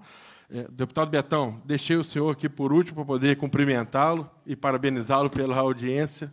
E acabou que no final aqui eu me perdi na minha lista, mas cumprimento nesse momento, né, a, parabenizo pela, pela audiência né, e a importância dessa audiência. Mas retomando aqui da importância geográfica do município de Juiz de Fora, nós temos uma proximidade muito grande, uma facilidade muito grande é, através da BR-040 e nós recepcionamos pacientes do estado do Rio de Janeiro. Pacientes esses que não se encontram pactuados né, na nossa rede de assistência. Então, é uma demanda é, crescente. O paciente de urgência e emergência, nós não podemos é, dizer para ele na porta do hospital: olha, você não é daqui da região, você não é da, do município pactuado, volte para sua região. Não pode. Nós temos que atendê-lo dessa mesma forma. E existe um grande número de pacientes oriundos de municípios do estado do Rio de Janeiro, inclusive do Espírito Santo. O município de Juiz de Fora realizou recentemente, né, num período recente, né, a sua, é, o seu filtro dos cartões do SUS do município de Juiz de Fora. Em um determinado momento, nosso, nosso município, que tem pouco mais de 650 mil habitantes, registrava em seus sistemas mais de 2 milhões de cartões do SUS, como município de Juiz de Fora. Depois dessa higienização desse, desse sistema, é, nós conseguimos fazer e verificar e melhorar essa questão das pactuações, é o objetivo da Secretaria de Saúde hoje. Então, nós estamos aqui hoje como convidados né, da Assembleia Legislativa, do deputado Betão, e estamos dispostos a poder estar contribuindo para é, a reabertura, sim, da porta do Hospital João Penido. Lembrando apenas que é um equipamento estadual. A Prefeitura de Juiz de Fora já tem na sua conta um déficit do governo do Estado de Minas Gerais imenso. O não repasse de recursos para as UPAs, que vem dificultando as, as nossas aberturas e melhorias dos nossos serviços em virtude desse não repasse por parte do governo do Estado, e a Prefeitura vem arcando com esses valores do município. Então, hoje, se realmente nós devemos pensar uma forma onde o município receba os recursos que ele tem a receber do governo do Estado, mas o, o Estado de Minas Gerais ele é que tem a obrigação de apontar a solução dentro de um equipamento que é estadual, conforme o presidente colocou aqui. Então, não vou me alongar para poder deixar esse debate prosseguir. Juiz de Fora, enquanto, enquanto prefeitura, é parceira nessa situação, que objetiva a abertura, apoiando da forma que tem que se apoiar. Num futuro, num, num passado próximo, numa tentativa de negociação que aconteceu no auditório da Vigilância em Saúde do município, a prefeitura alocou recursos para tentar essa abertura. Hoje, nós, qualquer outra proposta, nós temos que realizar uma avaliação junto ao município devido a esse grande déficit do governo do Estado com o município, mas nós não vamos nos furtar de discutir e de estar presente junto com a população em qualquer discussão que seja é, a reabertura do Hospital João, do João Pinedo. Muito obrigado. Eu convido a, a senhora Ana das Graças, nossa vereadora, representando a Câmara Municipal de Juiz de Fora, e todos os vereadores aqui estão representados na nossa querida vereadora. Pois não, Ana? Cinco minutos. Bom dia, excelentíssimo senhor presidente, doutor Carlos Pimenta, excelentíssimo senhor vice-presidente, doutor Wilson, nosso amigo Betão. Dizer, Betão, que você nos faz muita falta. Eu sempre te disse isso. Eu torcia para o Betão ganhar, mas pedia para ele ficar conosco. Estava sendo egoísta. O Betão é um político lutador, bravo, como disse o doutor Carlos, reivindica, batalha, é realmente uma pessoa de luta. Então, Betão, nós queremos te parabenizar e te agradecer. Com todos os nossos esforços, os moradores de Juiz de Fora saíram hoje às 5 horas da manhã. Graças a Deus, a estrada estava bem livre, nós ainda chegamos a tempo dar um bom dia aos meus amigos e amigas que aqui estão e agradecer por vocês estarem aqui. Porque é de mãos dadas é unidos que nós vamos vencer esta causa. Deputado, eh, o Hospital João Penido foi fechado aproximadamente no primeiro semestre de 2014, se não me engano. Eu morava a menos de 500 metros do hospital, no bairro Grama, e nós fizemos várias manifestações, protestos. A população chegou, inclusive, a colocar fogo em via pública para impedir que as pessoas passassem. E a gente lutou muito naquela época, tentando reabrir. É uma pena que não tenha aqui a visão do hospital. O Hospital João Penido, em vista aos demais hospitais, é uma obra nobre. É um hospital de referência. Parabéns, Daniel. Você tem cuidado muito da parte física. Nós vamos brigar agora é pela parte de atendimento, de humanização para esse atendimento de portas abertas. Nós, na verdade, nós somos enganados. Nós fomos ludibriados. Eu morava ali dentro da comunidade, como eu disse, a menos de 500 metros do hospital, e a administração da época disse que seria apenas uma pequena reforma. Então, quer dizer, nós fomos né, enganados, enganados, e a pequena reforma já tem mais de cinco anos que o hospital está fechado. Trabalhei no bairro Grama, onde está inserido o Hospital João Benito. Ali foi o hospital de referência. Quem mora em Grama sabe que eu estou falando de tratamento à tuberculose. Era o Hospital João Benito e o Vieira Max e o Ananeri. Então, como nós podemos permitir que um hospital, com aquele espaço físico, com toda a paramentália para se atender às pessoas que necessitam, pode se manter de portas fechadas. A Beth Jucá, hoje na Secretaria do Estado, à época tivemos uma reunião com Daniel, não chegamos a um acordo, mas o que nós precisamos, Daniel, você foi muito feliz quando disse: cuido daquele hospital como se ele fosse meu. Ele é seu, ele é meu, ele é nosso. E é dele que nós precisamos. Nós vamos te pedir que empenhe com o maior carinho possível. Vamos retomar a abertura das portas daquele hospital. E nós esperamos que você nos dê a mão nesta empreitada. Porque ali, quando uma pessoa adoece, o vereador Betão foi muito claro, no bairro Grama, atende-se Coronel Pacheco, Goianá, Rio Pomba, Rio Novo. Para você, num horário de pico, chegar do bairro Grama ao centro da cidade, costuma se levar uma hora realmente. Então, o que, é que nós precisamos? O Hospital João Penido precisa reabrir as suas portas em caráter de urgência. E nós não vamos cruzar os braços. Nós vamos ser guerreiros nesta batalha. Cada um de nós vamos ser soldados para enfrentar esta batalha junto ao governo do Estado, porque saúde é obrigação da União, do Estado e do município. Vamos fazer com que o Estado, independente de ideologia partidária, cumpra o seu dever repassando os recursos que ele deve para a saúde do nosso município.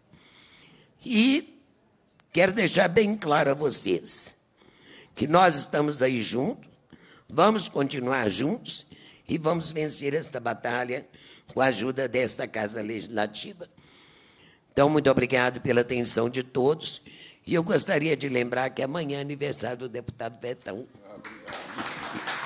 Obrigado, Ana. Obrigada pelo carinho. Que Deus abençoe a todos. Tenha um bom dia. Deputado Carlos, deputado Wilson, aos meus amigos aqui da mesa, ao Jorge, ao Rodrigo. Eu não estou conseguindo ver Gil. todos. O Gil, o Daniel.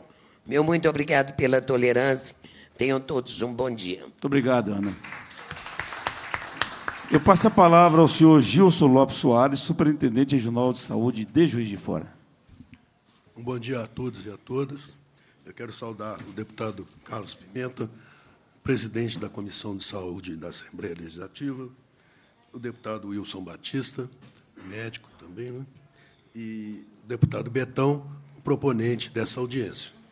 Há também o Rodrigo Almeida, representante do secretário municipal de saúde, a vereadora Ana Rossignoli, demais vereadores de Juiz de Fora e outros municípios aqui presentes, aos conselheiros municipais de saúde, a quem eu muito respeito, porque faço parte desse conselho há quase 10 anos, né? e acompanho todos, é, todas as reuniões, quase estava, estava lá presente. Houve um, um, certo tempo que eu me afastei, mas estou voltando também a fazer parte do conselho, né, Jorge? Então, quero cumprimentar todos os conselheiros e a todos aqui presentes. Eu queria dizer ao deputado Betão que o Estado não está ausente dessa reunião. Eu, como superintendente regional de saúde, represento a Secretaria de Estado, de Estado da Saúde em Juiz de Fora em 32, 37 municípios da região. Né? E, e, nós temos acompanhado é, muito de perto esses problemas. O secretário de Saúde é de Juiz de Fora, doutor Carlos Eduardo, tem uma preocupação muito grande com, com o Hospital João Pini, do qual ele faz parte do corpo clínico. Ele era médico de lá. E, é, e recomendou que a gente comparecesse a essa audiência. É, o Hospital Dr. João Pinido ele presta um grande serviço à população de Juiz de Fora, já presta. Ele tem uma taxa de ocupação de mais de 70% através de cirurgias eletivas, maternidade de alto risco, UTI neonatal, UTI de adulto, né? e uma, uma infinidade de, de atendimentos que eles prestam à população de Juiz de Fora. O Estado não está ausente nisso, ele, porque a rede FEMIG pertence ao Estado.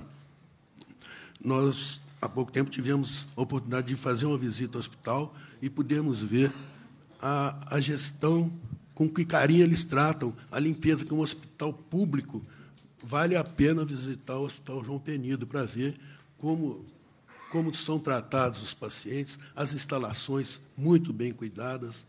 Sabe? Então, é, o hospital é, está presente, na, na, através, o Estado está presente através do hospital. Não. O Daniel Ortiz disse aí a respeito do gasto que, que o hospital tem, de, de quase 9 milhões, né? e a contratualização é de 850 mil. Então, o Estado está bancando muita coisa aí. É... Enquanto o deputado também fez menção ao hospital regional, que as obras estão paralisadas há quase quatro anos, né? está lá se deteriorando e tal. Há uma grande preocupação do governo do Estado em resolver a situação do Hospital Regional de Juiz de Fora não, não só o Juiz de Fora, que são acho que 12 hospitais estão nessa mesma situação. O Hospital de Fora está com mais de 50% das obras civis, a obra física já é, pronta. Mas o Estado está numa situação financeira que todos sabem é, é muito difícil. Ele não tem condição de terminar essas obras do hospital em curto prazo. Então, está propondo parcerias.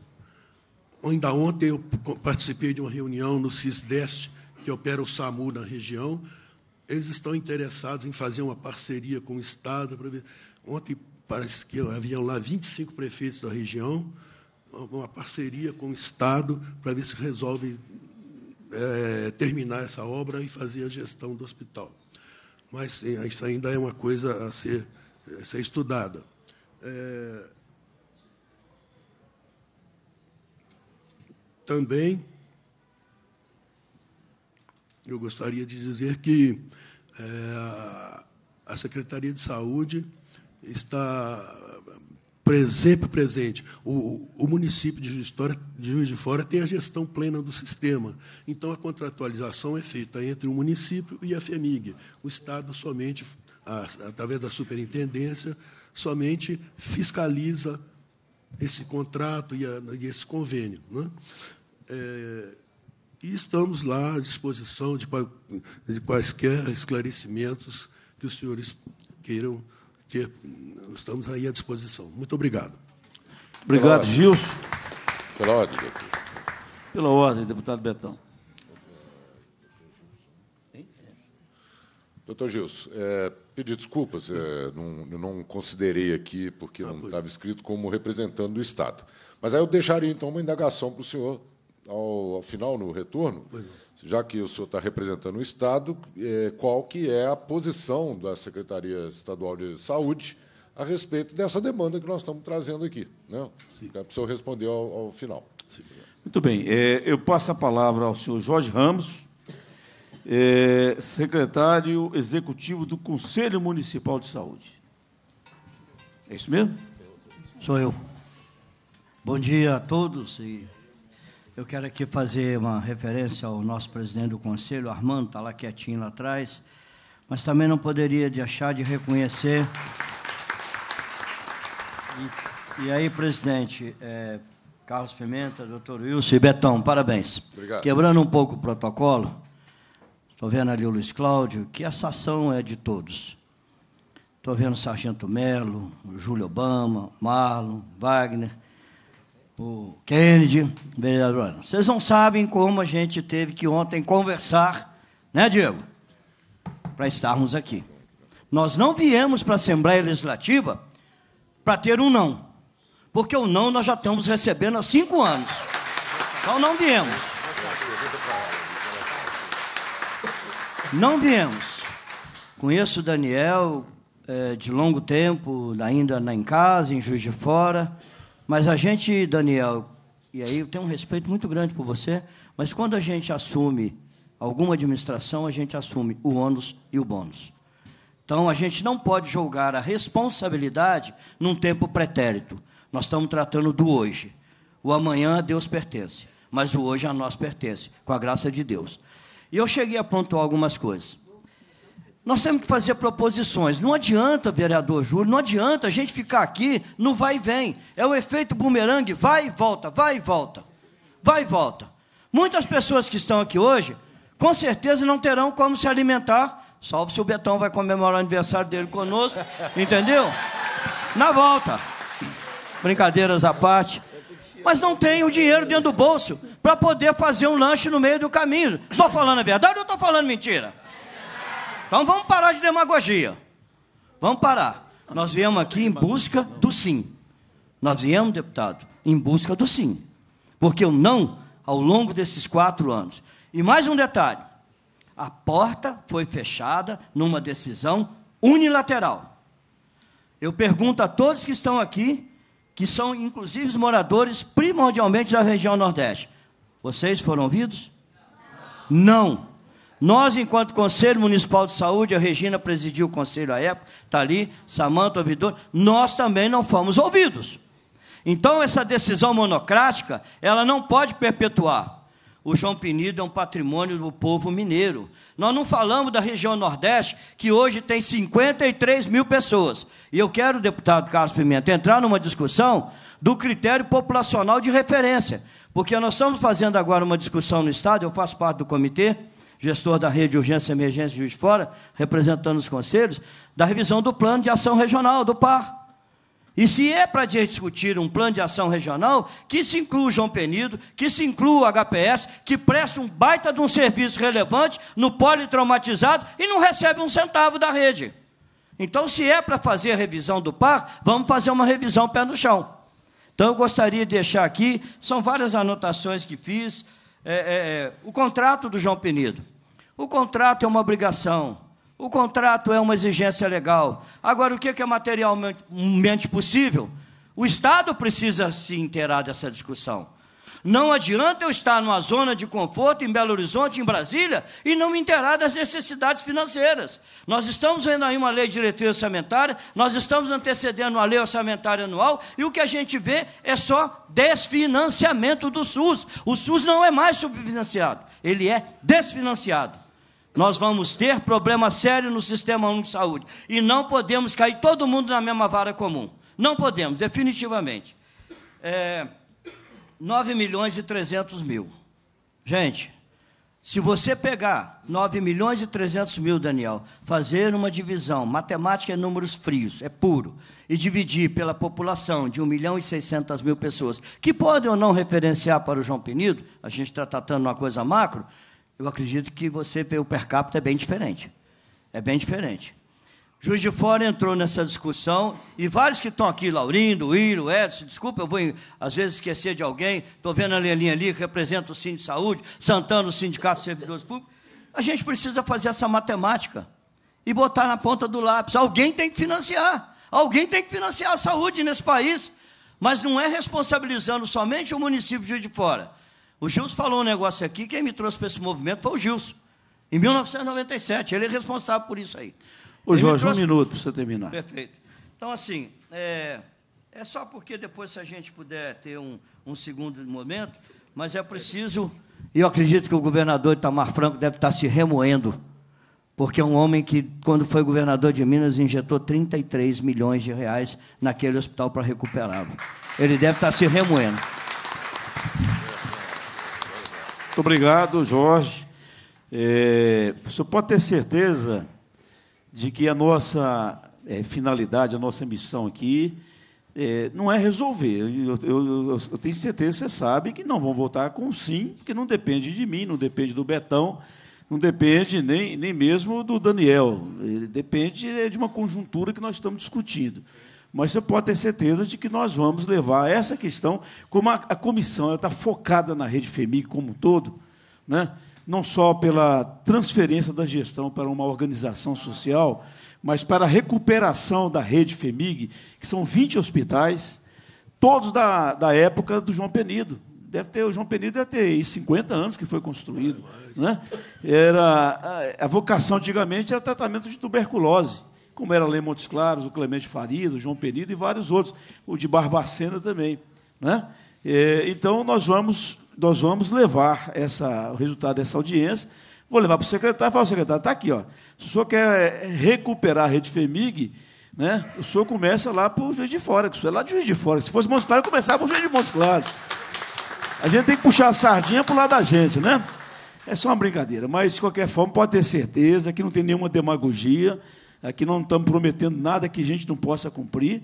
O que nós estamos prometendo é fazer uma boa discussão, temos aqui ó, os inscritos que vão falar, vão estar gravados, está passando para o Estado todo, e a comissão vai ser né, encarregada, parceira do deputado Betão, para a gente poder, aí sim, dar uma resposta para vocês e reivindicar é, essa, é, não só a instalação da porta de entrada do PA do João Penido, mas também uma revitalização do hospital, mais recursos, as coisas todas, tá certo? Bom, eu passo a palavra, então, por último aqui da mesa, ao senhor José Roberto da Silva, presidente da Comissão de Moradores da região Nordeste.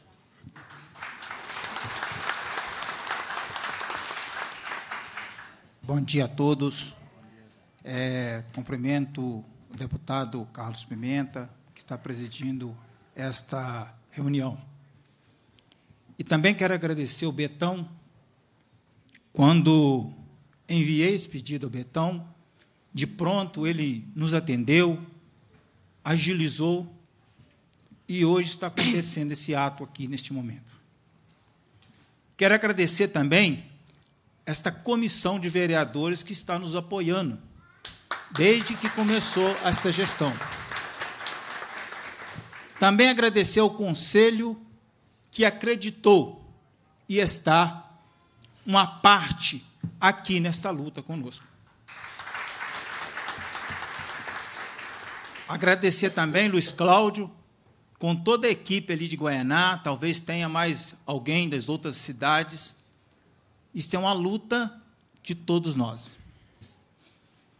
Esta luta pela reabertura da porta do Hospital João Penido, deputado, ela começou desde o primeiro momento que fechou as portas, há cinco anos e cinco meses.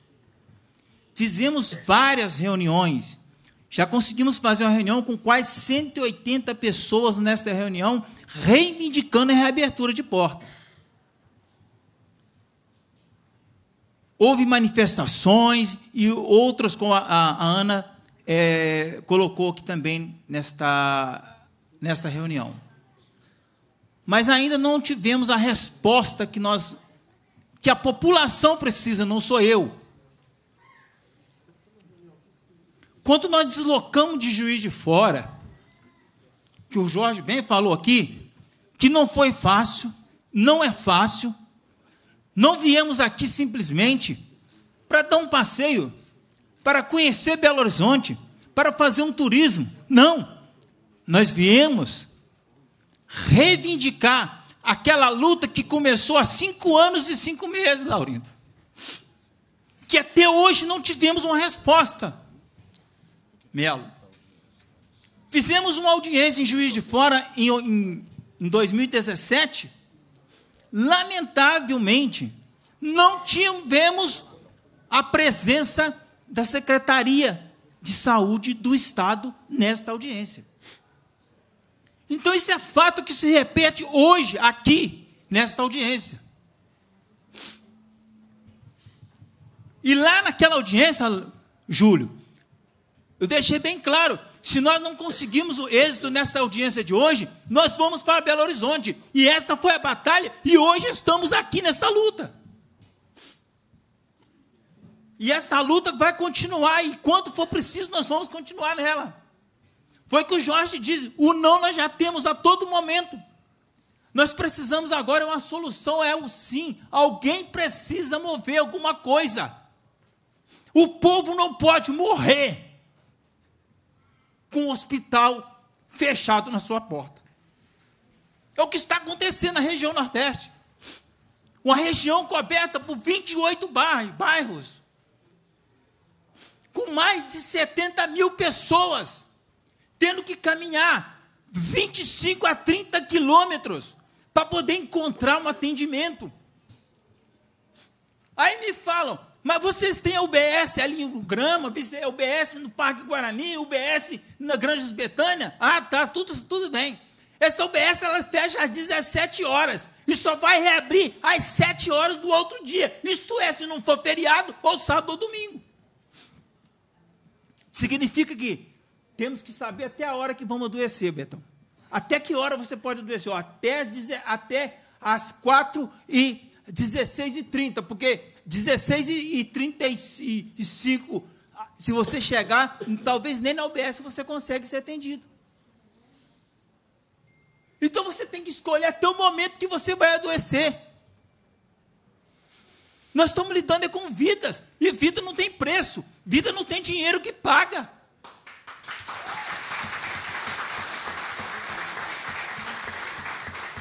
Até quando nós vamos ficar aí falando Está ali naquela faixa escrito ali, ó. Chega de conversa. Chega de promessas. E vamos logo àquilo que interessa, é a abertura da porta do Hospital João Penido. Se o Estado não tem uma proposta, esse conselho tem uma proposta a fazer para esta missão: abrir a porta do Hospital João Penido. É para isso que nós viemos aqui. Daniel, você é uma pessoa que nós se damos muito bem. Desde o primeiro dia nós, tivemos um, nós temos um bom contato, graças a Deus. Tivemos há poucos, é, no início do ano, tivemos uma visita lá no hospital, Daniel mostrando toda a repartição do hospital. Belíssimo, muito bem cuidado. Mas como você disse, eu quero voltar a fazer menção que a Ana chegou a citar aqui. Daniel, você cuida do hospital como fosse seu. Parabéns. Mas eu peço a você, como gestor do hospital. Não que você torça, possa tomar uma decisão sozinho, mas que possa unir com quem pode dar, tomar decisão. Ajude a cuidar da população da região Nordeste como se fosse a sua família. Abraça essa causa com esse povo, Daniel. Você sabe do que estamos falando. Eu mesmo já presenciei, falei na alta audiência, estou terminando. Já falei na outra audiência passada que eu presenciei pessoas sendo massageadas no, no, asfalto, porque não tinha atendimento, indo de encontro a, a, a, SAMU, e o SAMU demorando, e quando encontra a pessoa sendo massageada, por quê? Talvez poderia está mais fácil ele aproximar do hospital. Eu moro do, de, longe do hospital de carro, três minutos, e às vezes tem que andar uma hora para poder buscar um atendimento. Isso é lamentável. Não é só eu, não. É toda a região Nordeste. Região Nordeste, juiz de fora, está aqui hoje para buscar uma resposta para a sociedade. Muito bem, senhor José. Bom, é, encerrada essa fase aqui, eu quero agradecer muito aí aos participantes que vieram, que deram os seus depoimentos, todos eles muito importantes. Parabéns de maneira muito especial ao senhor José Roberto, que estava falando aí a voz do povo, né? É um morador que sofre, que sente na pele aí as dificuldades, e ele tem toda a razão e todo o direito de falar, como ele falou, emocionado, e pedir uma resposta. Tomara que essa resposta venha o mais rápido possível para atender a expectativa de cada um de vocês. Eu, nós vamos agora passar para os debates. Tá? É, nesses debates, nós temos aqui os inscritos. Tem um microfone ali, ó, aquele microfone do, do corredor, ele está ligado. Eu peço que a pessoa, quando chegar lá e falar, eu sou Dona Maria, Maria de Jesus, moro em Juiz de Fora, ou eu sou moradora do bairro, ou eu sou membro dos sindicatos, para se identificar, porque tudo isso aqui está sendo gravado, tá certo? E nós vamos dar um prazo de três minutos. Tá? Você deve estar com fome. então, é, são 18 inscritos, então, três minutos. É, é, sejam bem objetivos. Fala assim, ah, eu quero fazer uma pergunta aqui ao, ao, Daniel. Então, ele vai anotar a pergunta. Quero fazer aqui uma, uma, uma, uma pergunta aqui ao representante do conselho. Ele vai anotar a pergunta. E depois nós vamos correr novamente a fala aqui na mesa, tá certo? Combinado? Combinado não é caro, então, tá, então vamos lá. É, primeiro, vamos passar a palavra ao Sargento Melo, é o vereador de Juiz de Fora. Sargento, três minutos. Boa noite, senhor presidente. Não Vossa Excelência, cumprimento os demais vereadores, principalmente o, o amigo Betão, pelo apoio que tem dado à nossa cidade aos demais pares. Para ser rápido, senão vou perder um tempo muito grande cumprimentando as pessoas. Nós começamos essa comissão, é, doutor João Penido, após a audiência pública, em conversa com, com o Zé, né, o Zé Roberto. Iniciamos esse trabalho na cidade de Fora, onde iniciamos a, a comissão é, Hospital Doutor João Penido, presidida por mim, os integrantes Marlon Siqueira, que foi junto com o Júlio Obama, o que fez o pedido da audiência pública para começarmos novamente esse debate. Já vinha sendo feito pelo Jorge, várias pessoas dessa comunidade, antes da gente entrar lá na vereança. Então, nós tentamos re recomeçar essa conversa. É, a gente tentou, no início, junto à prefeitura, é, o acerto dos valores a serem estabelecidos junto ao hospital, doutor João Pinito, foi a última conversa nossa. E, a, na época, a secretária a Elizabeth Jucá, na época, ficou de avaliar junto ao hospital, apresentou a proposta, o hospital não aceitou os valores pré-estabelecidos. Nisso se parou porque nós estávamos aguardando o subsecretário de, Segura, de, de Estado, o secretário de Estado, o Custódio Matos, para que fizesse diretamente uma reunião com o secretário de Saúde atual, que inclusive é, foi, né, ou não sei se é ainda, que não deve ser, médico do, do Hospital Dr. João Pinedo. O que nós queremos, eu vou ser bem objetivo, é que verifique essa situação junto a esses é, integrantes que agora já foram do, doutor, do Hospital Dr. João Pinedo, o secretário de Saúde, que foi um dos que fecharam a porta para a obra, na época ele era o gestor, se não estou enganado, não é isso, Daniel? Era, ele fazia parte da gestão do, do, hospital ou era a prefeitura mesmo que fechou? Não é isso? Então, ele fechou e o, e o doutor já sabe a situação da comunidade. Então, o secretário atual de Estado, ele sabe a situação. Então, a gente vai ficar falando, todo mundo pedindo, mas todo mundo aqui já tem conhecimento do que precisa ser feito. É aberto, verificar valores e acertar. Mas eu quero trazer aqui uma denúncia, depois eu vou entregar a Vossa Excelência, a respeito de uma emenda parlamentar que foi destinada. Eu fui tendo Daniel, Daniel não, não tinha culpa alguma, isso foi por parte da FEMIG aqui em Belo Horizonte. Nós indicamos 346 mil reais para a compra de equipamentos. Um desses equipamentos seria é, sobre ultrassonografia, ultrassom, diagnóstico, três oxímetros de pulso, é, no valor de 346 mil reais. por esquecimento, eu não sei quem é, isso tem que ser apurado. Essa pessoa tem que ser responsabilizada pela essa irresponsabilidade. Se perdeu o prazo, só conseguiram comprar 124 mil reais, só conseguiram gastar com ventiladores pulmonares pressométrico, né? que foram comprados 124 mil reais. Foram perdidos, devolvidos aos cofres públicos 222 mil reais por irresponsabilidade de alguém, por perda de prazo. Então eu vou encaminhar para Vossa Excelência, senhor presidente, esses ofícios e a resposta da Secretaria, da Secretaria de Estado de Saúde, a respeito, pedindo um prazo maior. Dois anos foi insuficiente para eles comprarem os equipamentos necessários. Quer dizer, eu peço que a FEMIG seja responsabilizado, verifique o seu profissional que não soube trabalhar. Pode encaminhar o. o então, eu vou terminar. A, então, a, peço ao senhor que encaminhe e vou fazer um encaminhamento diretamente ao, ao, ao vereador Betão. Muito obrigado. Betão. Muito obrigado, Melo. Muito obrigado.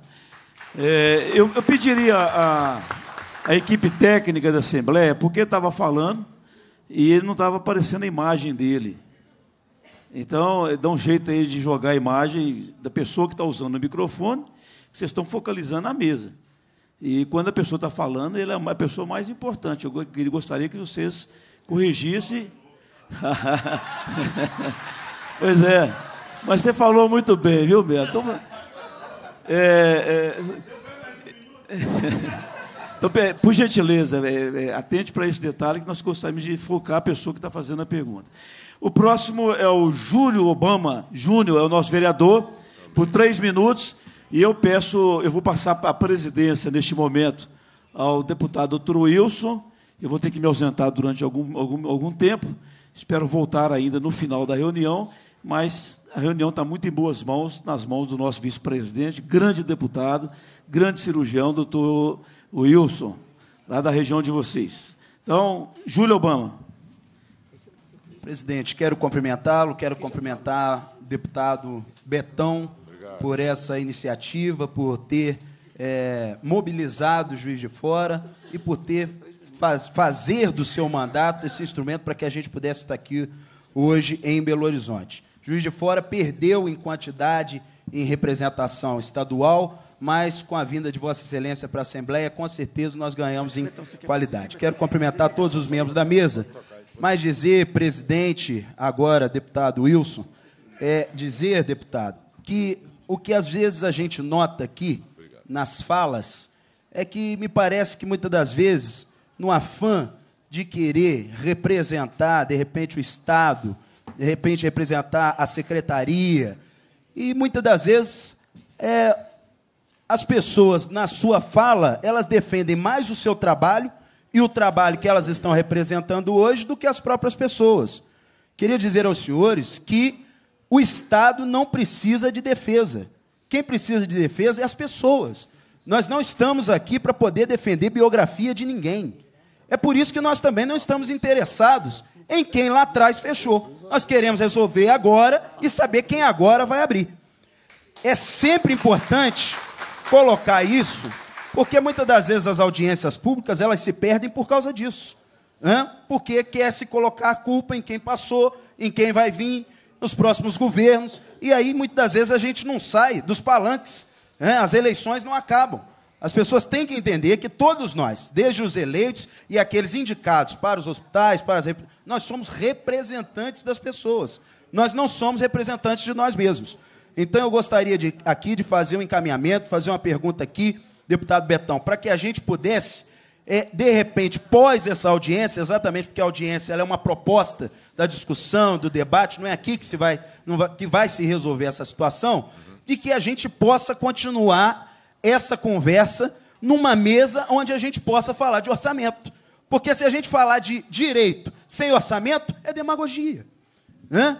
Nós não podemos ficar falando aqui que as pessoas têm direito a alguma coisa se não tem dinheiro para poder fazer. Agora, a gente precisa da honestidade dos nossos governantes. É a FEMIG virar e dizer: nós vamos abrir ou nós não queremos abrir. A vocação do hospital não é mais para isso. Como a vereadora bem colocou, que nós somos enganados, porque até hoje, até agora, ali na fala do, do nosso diretor, eu estava pensando que o hospital fechou exatamente por causa da obra. E a gente está vendo que não é por causa disso, porque a obra acabou e o hospital não, não reabriu o atendimento de porta. Então, o que nós queremos aqui é continuar essa conversa na mesa de quem pode resolver. O secretário de Estado da Saúde, ele, porque eu acredito, o nosso superintendente que eu estou conhecendo aqui hoje, estou tendo prazer, satisfação de conhecer hoje, é, eu duvido muito que ele possa responder aqui pelo secretário, por mais que ele esteja aqui representando. O nosso diretor, que nós respeitamos tanto, eu duvido que ele possa responder aqui alguma coisa do ponto de vista de orçamento.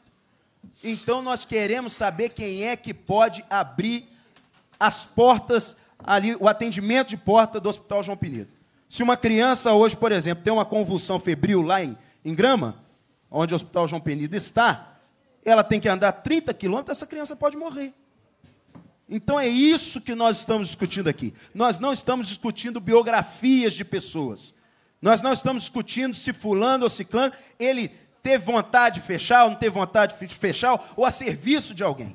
A minha fala aqui, deputado Betão, é uma fala no sentido, já estou terminando, presidente, é uma fala no sentido de que, para mim, a corrupção de prioridade ela é tão grave quanto aquela corrupção que nós vemos pela televisão. Ela é tão grave quanto essa corrupção que a maioria das pessoas conhece, dos desvios de dinheiro. Porque muitas das vezes as pessoas não entendem um assunto tão importante como prioritário. As pessoas estão sofrendo. Esses dias nós fizemos uma audiência pública para poder tratar dessa via, deputado Betão que é a Avenida Juiz de Fora, Avenida Paracatu, porque não tem áreas de ultrapassagem. Se de repente uma ambulância precisar de passar ali, o trânsito ali fica muito pesado. Nós tivemos que fazer um requerimento, paz o senhor presidente. Nós tivemos que fazer um requerimento essa semana na prefeitura para que a prefeitura não faça mais reformas nas unidades básicas de saúde em dia de semana.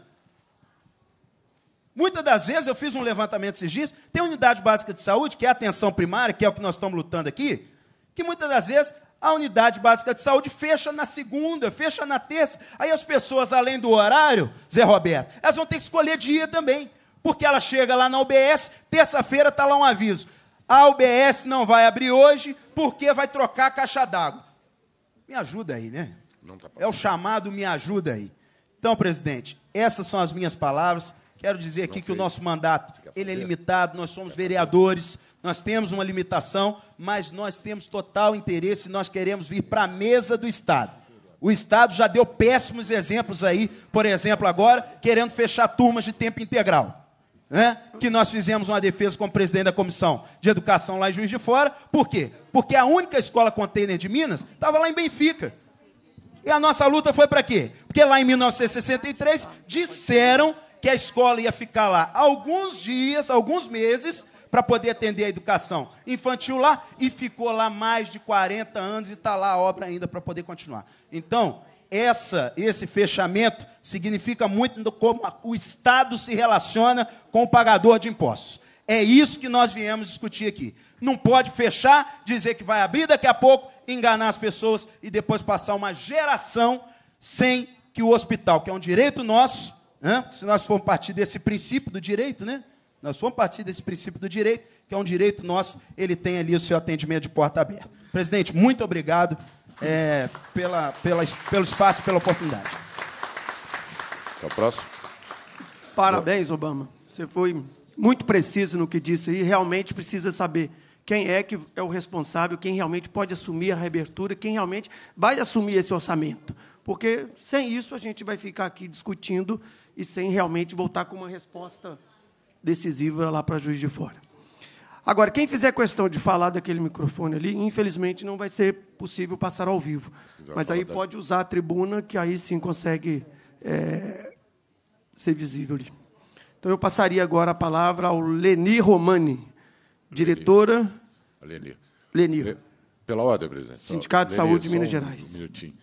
Com a palavra Betão pela ordem pela ordem. Gente, só vou pedir uma licença rapidamente, porque está ocorrendo um, um, outro, uma outra audiência ali do SESC, né, sobre a, o fechamento do SESC Pousada né, e de outros SESC também. É, então, vou dar um pulinho lá, vou perder a fala da Leni, viu, Leni? Mas depois eu vou assistir, porque fica gravado e, em, em transmissão contínua na TV Assembleia. Tá? Então, vou pedir uma licença e retorno já já. Obrigado. Oi. É importante, o Betão está dizendo isso aí, a gente só ouve aqui na Assembleia, a gente Eu acho que mais da metade das audiências públicas aqui na Assembleia hoje é para discutir fechamento. Ou fechamento de hospital, fechamento do SESC agora, fechamento de UPA, fechamento de unidade básica de saúde. Então, é isso que o Brasil tem feito nos últimos anos. Eu digo que não só nos últimos anos, mas ah, eu acho que historicamente vem fazendo isso há muito tempo. É construindo, às vezes, mais do que era necessário. E depois acaba tendo que começar o caminho inverso. Vem fechando, fechando, fechando, fechando. E, infelizmente, aquele dinheiro que é o essencial para o dia a dia, para o custeio de um atendimento de um paciente lá na UPA, para o custeio de um paciente lá no pronto-socorro de João Penido, os pacientes não têm. Eu estou aqui agora com uma paciente lá de Juiz de Fora, da UPA, 24 horas, da UPA, a paciente Maria Terezinha Lauro, 71 anos, está internada lá numa UPA há mais de três dias, precisando de um leito de UTI em Juiz de Fora. Já foi feito o mandato judicial, o juiz já determinou para que em poucas horas seja é, feita essa transferência e nem com mandato judicial ainda a transferência foi feita. Então a gente está aqui todos os dias discutindo a falta de assistência para os pacientes. E é isso que eu acho que o SUS deveria fazer na sua essência: levar o atendimento ao paciente que realmente necessita. A gente discute muito financiamento, muita abertura, muito fechamento, mas infelizmente o SUS, apesar de ser um dos melhores planos, hoje o paciente está desassistido. Isso é convicção minha que trabalho no SUS o dia todo. O paciente hoje é um, sabe, ele tem que recorrer a gabinete de vereadores, recorrer a deputados, recorrer a amigos, fazer financiamento, recorrer à justiça para ele ter uma porta no SUS. Então, isso hoje está sendo uma atitude criminosa. Muitos que não têm aí amigos vereadores, nem têm essa predisposição de correr, nem, nem vai à justiça, morrem sem assistência. Isso é o que está ocorrendo hoje. Vamos agora aqui passar a palavra a. Com a palavra. É, eu sou Leni Romani, sou diretora do Sim de Saúde, aqui do Estado de Minas, sou conselheira de saúde e também trabalho tá, há mais de 12 anos no João Penido, ou seja, eu faço, eu faço a parte de assistência de enfermagem no João Penido. Tá?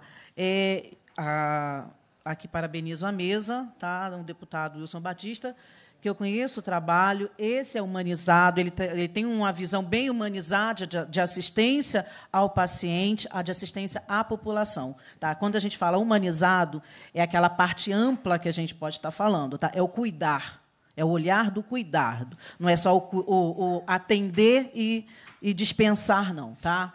O Betão, também, eu vou fazer uma referência aqui, que eu acho o trabalho dele muito bacana, eu acho o trabalho de luta dele muito importante, e Juiz de Fora só tem a ganhar. Tá?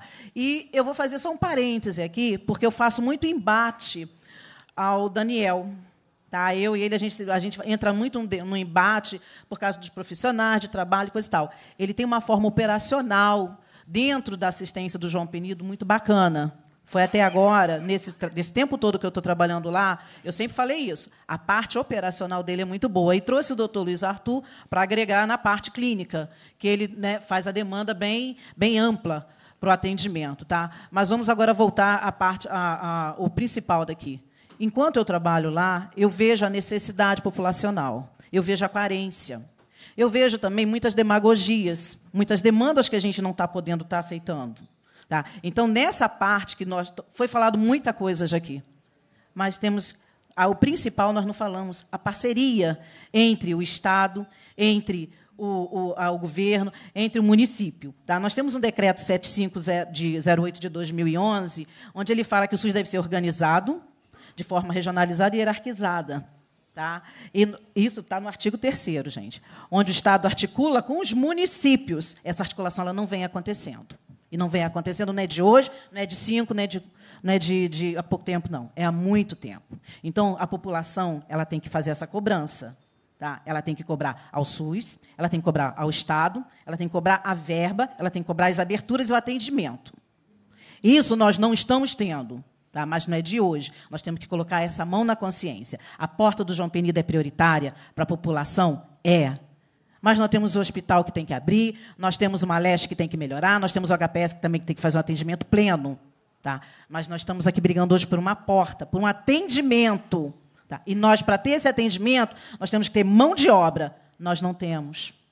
Estamos em precariedade de mão de obra. Estamos em desassistência de material. Tá? Quem tem que fornecer, nós temos que cobrar. Nós temos aqui os, os, deputados, os vereadores que podem estar do nosso lado fazendo a nossa defesa. Nós temos também que nos juntar a eles e pedir essa força. É isso que nós temos também que sair daqui com essa consciência, com uma decisão que o que vai ser feito a partir do momento que nós sairmos daqui. Qual é a resposta? É só cobrar o Estado? É só cobrar ao, ao gestor? Não, nós temos que ter essa, esse compromisso que nós vamos estar juntos lá abrindo, tentando abrir essa porta, tá? tentando levar profissionais, porque se você não tiver profissionais capacitados, profissionais mentalmente é, sadios, nós não vamos ter um atendimento de qualidade. E isso nós, é prioridade no SUS. Tá? Ter um atendimento de qualidade, deputado. Então, isso eu gostaria muito que ficasse bem marcado aqui, que você, é, que Vossa Excelência estivesse lá para estar tá avaliando, junto com a população, tá? essa forma de abertura e a viabilidade. Levar oficialmente é viável? Não é. Tá? Muito obrigada. Obrigado, Dani, pelas suas palavras. Passo a palavra agora a Maura Aparecida da Costa, Grupo de Apoio e Tratamento da Dor Crônica.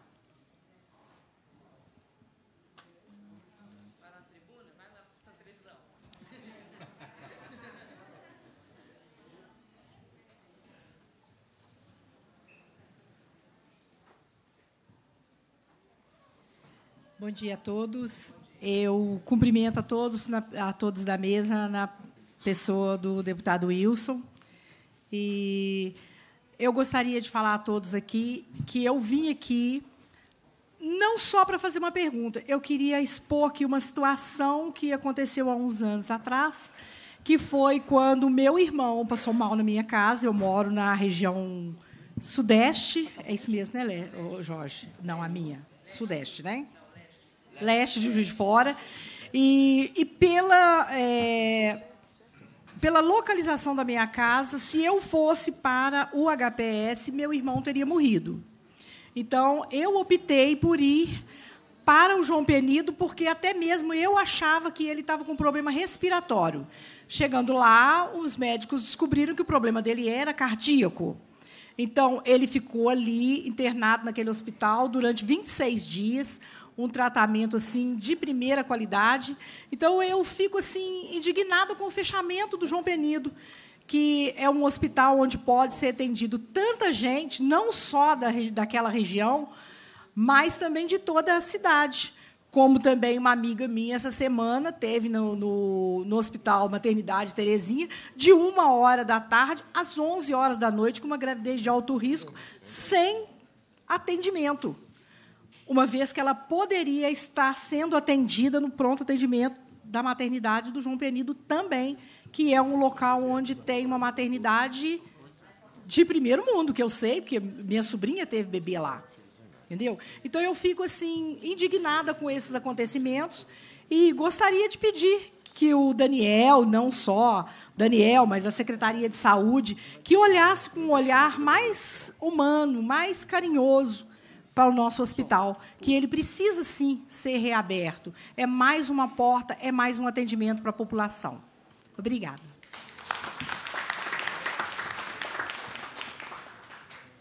Obrigado, Maura, aí, pelo testemunho. Agora eu vou passar a palavra à deputada delegada Sheila, porque ela tem um compromisso, então ela pediu para falar nesse momento agora.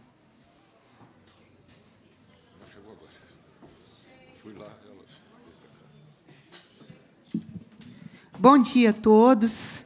É, eu gostaria muito de, de, de, ter estado presente aqui nessa audiência pública desde o início, mas eu estava presidindo lá no andar de baixo uma outra audiência pública, né, que foi marcada, agendada coincidentemente no mesmo dia, o mesmo horário, onde nós estamos discutindo a questão do fechamento das unidades do SESC em Juiz de Fora e na Zona da Mata. Então, assim, mais uma perda significativa para a região da Zona da Mata. e nós temos que estarmos atentos a essas questões. A audiência pública já está encerrando lá, evoluiu muito bem.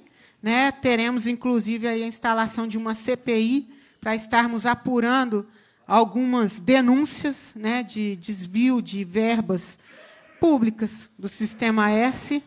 Então, é, ficamos muito satisfeitos, só para dar uma satisfação mesmo, parabenizar o deputado Wilson pela iniciativa importantíssima, cumprimentar aqui a todos os meus colegas de Juiz de Fora, que estou vendo aqui, são muitos, não dá para nominar, o vereador Marlon Esqueiro, vereador Wagner, né, a vereadora Ana, minha parceira de Câmara Municipal lá em Juiz de Fora, parabenizar a todos vocês por essa luta, é, dizer o, deputado Wilson que eu estou que, que eu estou aí de portas abertas, de braços abertos para estar ajudando também, colaborando, né, com a reabertura aí da porta de entrada do hospital, que é de extrema importância.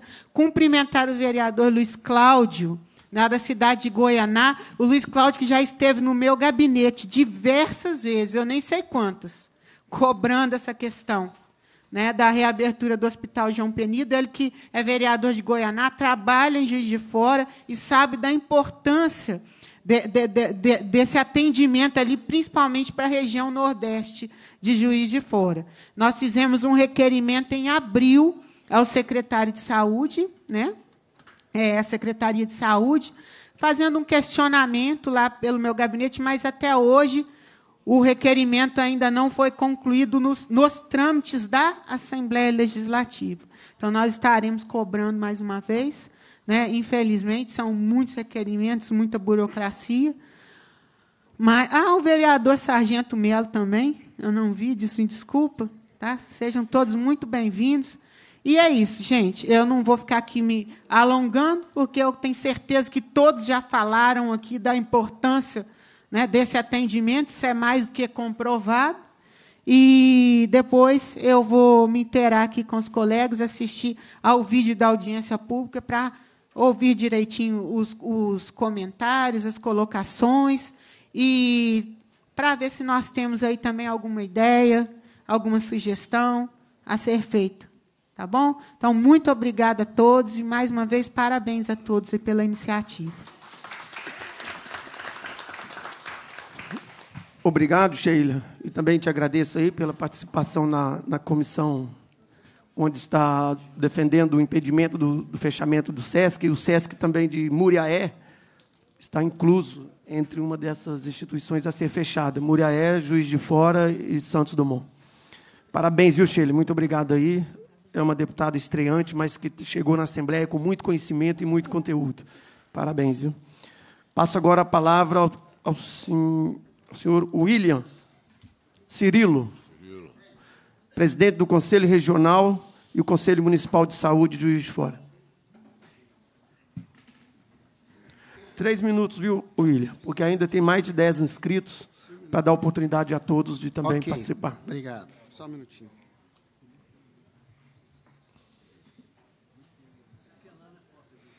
Através aí do deputado Wilson, cumprimento toda a mesa meus amigos da Prefeitura de Municipal de Juiz de Fora, vereador Wagner Melo, Marlon, vereador, vereadores presentes de outra região, moradores da região Nordeste, conselheiros municipal, comunidade Juiz de Fora. Novamente, nós estamos aqui, gente, debatendo sobre o Hospital João Penido.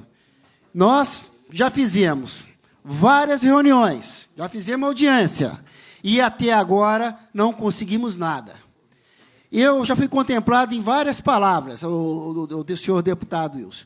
Então, nós já levamos é, é, a, a, a, toda a liderança da região Nordeste, já conversamos com a Secretaria Municipal de Saúde, já conversamos com o nosso amigo diretor do, do, do Denilson, do, do Hospital João Benido, e vou te falar a verdade eu senti na pele. Eles realmente não querem abrir a porta. Nós tentamos de todos os jeitos. Nós oferecemos 50 mil só para usar comunidade básica de saúde, só isso. Não quiseram. Ele mesmo falou: não dá. Fizemos uma nova proposta, 100 mil, não dá. 150 mil não dá. Ele pediu um milhão. Se ele pediu um milhão, como vamos abrir a porta? Eles não querem abrir a porta. A FEMIG é omissa. Não tiveram ninguém falando de, das, eh, pela FEMIG em 99% das nossas reuniões. E quem sofre? Quem está aí sem dinheiro para comer seu prato daqui, quando for para Juiz de Fora? Somos nós, moradores região, da região Nordeste, pessoal humilde, que o pessoal que tem dinheiro não está aqui, não. Estão usando o sistema de saúde, estão usando a judicialização, estão usando tudo. E nós estamos aqui, lutando pela região Nordeste. Nós estamos lutando pelo povo brasileiro. Eu estive na Conferência Nacional de Saúde. Os absurdos que foram ditos pela região Norte. Para tirar um raio-x, tem que dar 1.300 quilômetros. Mordida por uma cobra, morre no meio do caminho. Não podemos deixar juiz de fora do jeito que está. Nós tivemos, como Jorge disse, nós, o sim ou não. Então, para nós recorrer a outras instâncias. Que o não já foi dado. Nós estamos aqui, não estamos fazendo papel de bobo. Ele sabe. Nós já tentamos de todas as formas, juiz de fora. Nas câmeras, junto com a prefeitura, e agora estamos aqui no, na Câmara Legislativa de Belo Horizonte. Espero que daqui saia alguma proposta, que de papo furado nós já estamos de saco cheio. Obrigado. É, tudo bravo. Parabéns, Laurindo. Não, parabéns, senhor William. E também pela precisão, porque conseguiu terminar nos três minutos. Com a palavra agora, Laurindo Rodrigues, conselheiro tutelar de Juiz de Fora.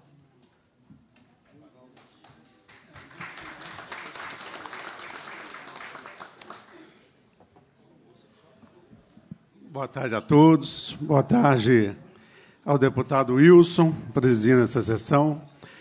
Agradecer especialmente ao deputado Betão, que de Juiz de Fora atendeu a comissão de moradores e está nos dando essa oportunidade de trazer o problema lá de Juiz de Fora para aqui, Assembleia, que com certeza vai ser levado ao governador de Minas, Romeu Zema, que não pode continuar, gente. Um hospital com uma estrutura belíssima, boa, como o Daniel já disse, né? isso é verdade.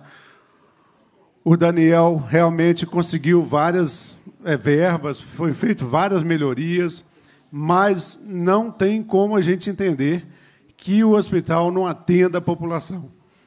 É, senhor presidente, eu estou nessa luta com os moradores desde 2014, como morador da região lá.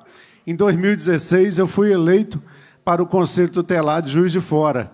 E, a partir do Conselho Tutelar, nós, eh, eu consegui, junto aos conselheiros, junto ao nosso colegiado, eh, nós temos cobrado diretamente a direção do hospital a volta do serviço, porque lá nesse hospital, presidente, havia um atendimento de pediatra, além de outros médicos que atendia lá no hospital, tinha pediatra 24 horas.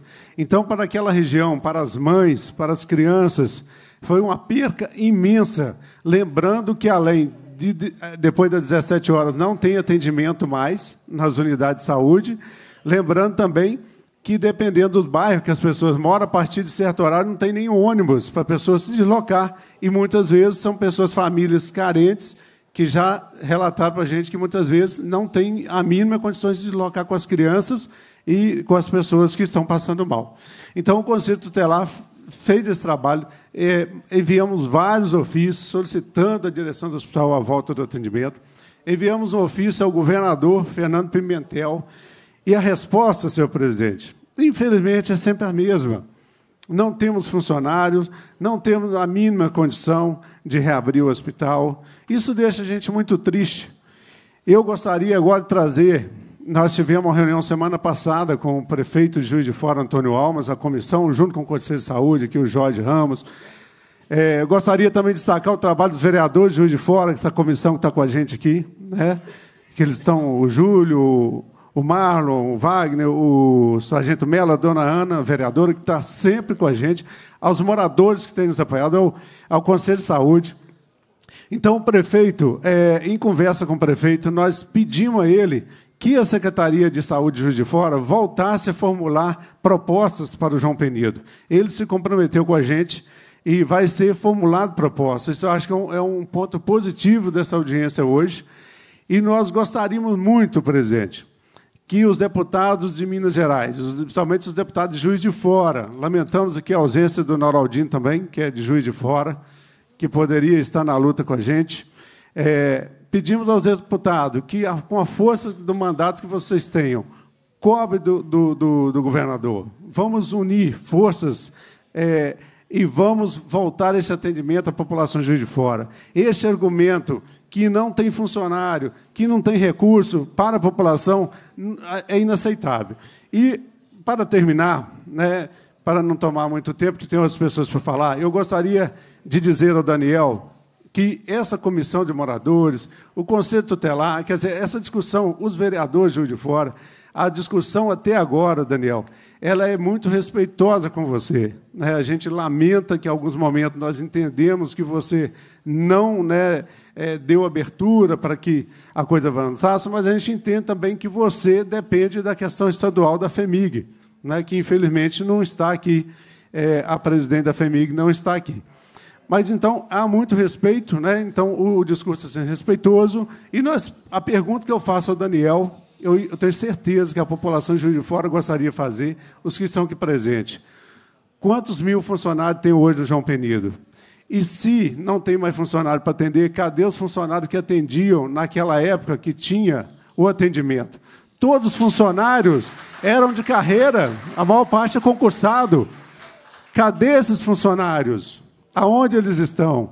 Por que, que agora, depois de cinco anos dessa covardia que fez com a população, não tem mais os médicos para atender a população da região Nordeste e de toda Juiz de Fora? E a Maura fez aqui um comentário, né, do, levou a pessoa lá a fazer o tratamento no Hospital João Penido. Gente, depois de eu estou nessa luta, que eu ouço, gente, o Hospital João Penido salvou muitas vidas. Era um hospital que a pessoa chegava, era atendida. É, o problema da pessoa era resolvido ali. Quantas cirurgias, quantos exames foram feitos ali naquele atendimento de porta que hoje, infelizmente, é negado. Então, eu peço aos deputados de Minas Gerais, nós estamos lá, o Conselho Tutelar de Juiz de Fora e toda a população junto que está nós aqui, Conselheiro de Saúde, a todos nós estamos à disposição dos deputados para que esse assunto não morra, que vamos lutar até conseguir essa volta de serviço. Parabéns, Laurino. Eu chamo agora Marlon Siqueira, vereador da Câmara Municipal de Juiz de Fora.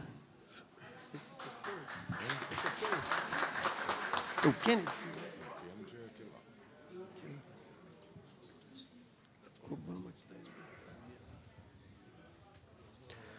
Três minutos, Marlon. Bom dia a todas, bom dia a todos. Gostaria de cumprimentar o deputado Carlos Wilson, presidente da Comissão de Saúde da Assembleia do Estado de Minas Gerais. Cumprimentar de um modo muito especial nosso amigo ex-vereador e deputado agora Betão, muito orgulho da Câmara Municipal de Juiz de Fora pelo cargo que o senhor assumiu aqui na Assembleia e tem exercido com maestria. Cumprimentar todos a mesa que já foram aqui denominados. Cumprimentar o Daniel. É, e abrir um parênteses, Daniel. É, o senhor foi reconduzido ao cargo, o senhor estava na gestão anterior do então governador Fernando Pimentel. E aí também com, com o governador Romeu Zema, o senhor também continua à frente do Hospital João Penido, na direção. A gente sabe que o senhor tem total capacidade técnica para ocupar o cargo que o senhor ocupa. O senhor é uma pessoa de diálogo e a gente sabe que o senhor também tem lutado para essa abertura. Mas a gente quer fazer um adendo nessa situação no que tange a vontade política de se abrir. E aí, quando eu digo vontade política, eu vou contextualizar uma situação. Quando nós fizemos uma audiência pública, eu, vereador Júlio Obama, vereador Sargento Melo, e aí, só lembrando, Sargento Melo, citando seu nome aqui, uma correção com relação ao que o senhor havia falado antes, uma emenda de 222 milhões, é, no caso, 22, 220 mil 222 mil reais, uma, uma emenda que, per, que, perdeu do subtenente Gonzaga, uma emenda que o senhor conseguiu para o hospital, enfim, então, só para corrigir o que o senhor me pediu. Mas nós fizemos uma audiência pública e foi tratado, é, conversar, obviamente, a questão da reabertura. E ali, o alinhamento pós a reunião é que a prefeitura, nós iríamos fazer o um encontro Prefeitura Municipal de Fora, com os técnicos e também com o pessoal da, da, do, do Hospital João Penido, com a parte técnica, para que a gente pudesse alinhar valores para essa reabertura. A Prefeitura Municipal de Fora, bem disse o William aqui, ofereceu 50, 100, chegou no 150 com muito pé no chão. Quando eu digo pé no chão, que era para abertura, salvo melhor juízo, para três situações: clínica médica, é, obstetrícia, é, obstetrícia e também cardiologia, salvo melhor juízo, foram esse o alinhamento da então secretária Beth Jucá, hoje secretária de Estado. Ela fez essa é, proposta para a Rede FEMIG, para a gestão do Hospital João Penido, e aí a gente quis uma contraproposta. Aí o, o nosso amigo Jorge Ramos, a gente comentou aqui com relação à redes. Juiz de Fora, hoje, para ter uma quarta UPA, ela não pode pela população da cidade de fora e também ao entorno, nós temos três UPAs. Não cabe, tecnicamente, porque a saúde é tripartite, é governo do Estado, governo federal e município. Não temos recursos para abrir uma quarta UPA tecnicamente não há como, não há um alinhamento técnico legal para que termos uma quarta UPA. Então, a contraproposta vinda do Hospital João Penido ela é incabível, porque um milhão de reais é o valor de uma UPA, nós não temos condição de pagar o valor de uma UPA. Era o que a Prefeitura, com o pé no chão, falou essas três situações. É, é, pediatria, é, clínica médica e cardiologia. Enfim, foi feita essa proposta e essa proposta também não foi aceita. Pedimos uma contraproposta técnica também e isso não foi apresentado. E aí faço um outro adendo com relação à vontade política. Nós pedimos a instalação de uma ambulância no Hospital João Penido. Ali, como diz o Zé Roberto comentou, se uma pessoa às 18 horas até né, 17 e 1 até às 6h59 do outro dia, se ela tiver urgência emergência, ela, o único socorro que ela vai ter é uma ambulância. E essa ambulância saía lá do São Dimas, lá onde é o terminal rodoviário, onde ficam as ambulâncias da garagem do Cisdeste, para se deslocar. Eu fiz aqui uma pergunta no Google, são é em torno de 35 minutos, 15 quilômetros esse deslocamento. Então a gente pediu para que uma ambulância ficasse no Hospital João Penido para ter essa agilidade no urgência e emergência. Várias pessoas, várias pessoas nos demonstraram depoimentos de pessoas que infartaram, atropelados, que tiveram esse atendimento longo para até chegar lá, em virtude do trânsito e da distância. Então, que tal colocarmos, pelo menos por hora, para resolver um problema enfim, paliativamente falando, colocando essa ambulância dentro do Hospital João Penido, né, o CISDES colocou à disposição. Eu estive lá, através desse trabalho da comissão, a rede CISDES ela fez todo uma, um trabalho falando que ali sim estava apto para ter. Eles precisavam de uma garagem, de um banheiro e de uma cozinha, nada mais. Nos foi negado também ter essa ambulância lá dentro do Hospital João Penido. A gente pediu uma garagem. E aí eu fui no Hospital Ananelli, para os senhores saberem, esse hospital é da rede particular do município de Juiz de Fora, eles cederam essa garagem. O que, que aconteceu? Houve vontade política de ceder essa garagem. Então, o que a gente faz um apelo aqui para todos vocês. E aí também fez o, o, o doutor Gilson comentou aqui com relação ao superintendente regional de saúde. É, o, o secretário de Estado ele é de Juiz de Fora, doutor Carlos Eduardo. Ele é médico, formou com meu irmão lá em Juiz de Fora, na Universidade Federal de Juiz de Fora. Ele é da nossa cidade, é dos quadros da rede FEMIG, é do João Penido. Então, sim, nós temos todas as credenciais para a reabertura desse hospital. Caso haja vontade política, obviamente questões técnicas, sim, mas a gente precisa de boa vontade. Vamos ser criativos, ter alternativas, aonde a gente pode. Se o 150 não dá, o que, que poderia ser? A prefeitura até então, na época, a secretária Bede Jucá falou, não dá até para a gente chegar um pouco mais, mas a distância está muito grande, porque um milhão é UPA, UPA a gente não tem condição. Eu não tenho como pegar a verba do governo federal nem do governo do Estado para ajudar nessa questão tripartite que eu havia comentado. Né? O, o orçamento são dessas três esferas de poder. Então a gente pede, por favor, vontade política, uma vontade para que possamos sim alinhar e a reabertura imediata do Hospital João Penido. Muito obrigado, um bom dia a todos.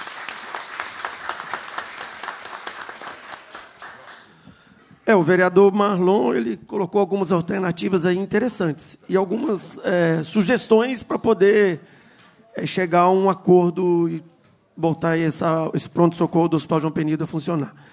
Eu vou dar só um exemplo aqui para fazer uma comparação. O Hospital São Paulo, em Muriaé, que talvez tenha as mesmas dimensões do Hospital João Penido, que é um hospital que tem hoje oito alta complexidade, cirurgias, trauma, ortopedia, é, hemodiálise, cardiologia, é, UTI neonatal, maternidade, tem todas essas, essas altas complexidades. E o, a prefeitura passa para o Hospital São Paulo, para ele manter o pronto-socorro aberto, 340 mil por mês.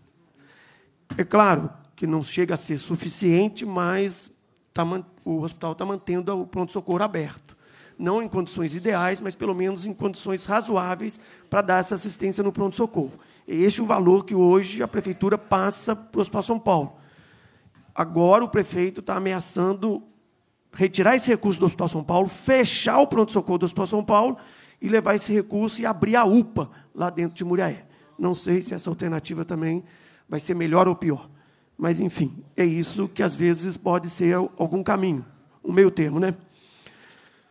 Bom, com a palavra agora, José Maria de Carvalho, que é presidente do CONCEP Nordeste, em Juiz de Fora. José Maria. Três minutos.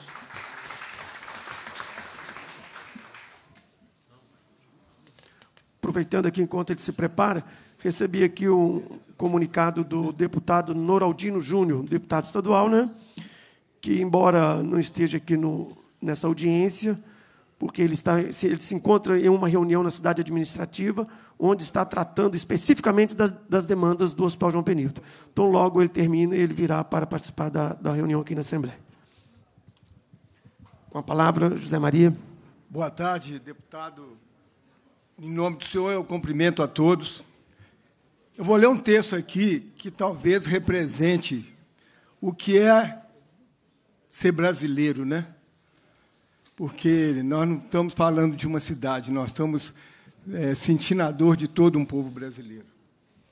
Eu represento o CONCEP, mas na realidade eu vi aqui que tem várias instituições de saúde, e na realidade aqui eu sou povo. Será difícil de compreender o que é estar hoje aqui.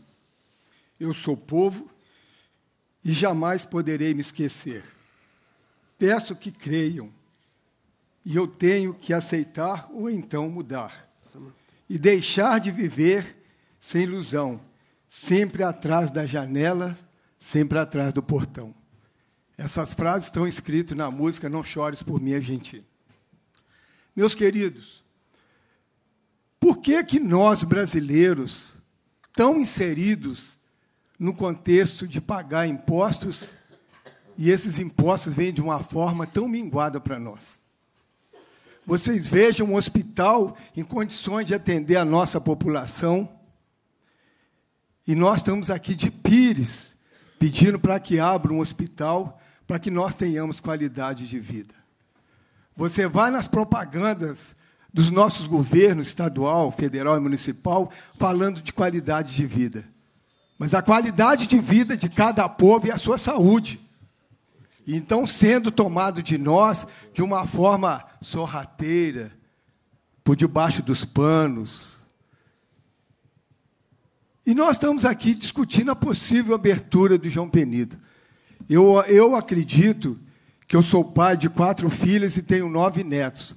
E quando uma filha minha ou um filho me pede pão, eu não quero nem saber, o pão vai para a boca dela. Então, hoje aqui, esses deputados que nos representam têm que mostrar o seu valor e fazer com que o, o Hospital João Penido esteja, seja aberto. Essa não é a luta de um deputado, não é uma luta de um povo de um povo que paga impostos e exige essa contrapartida dos nossos governos.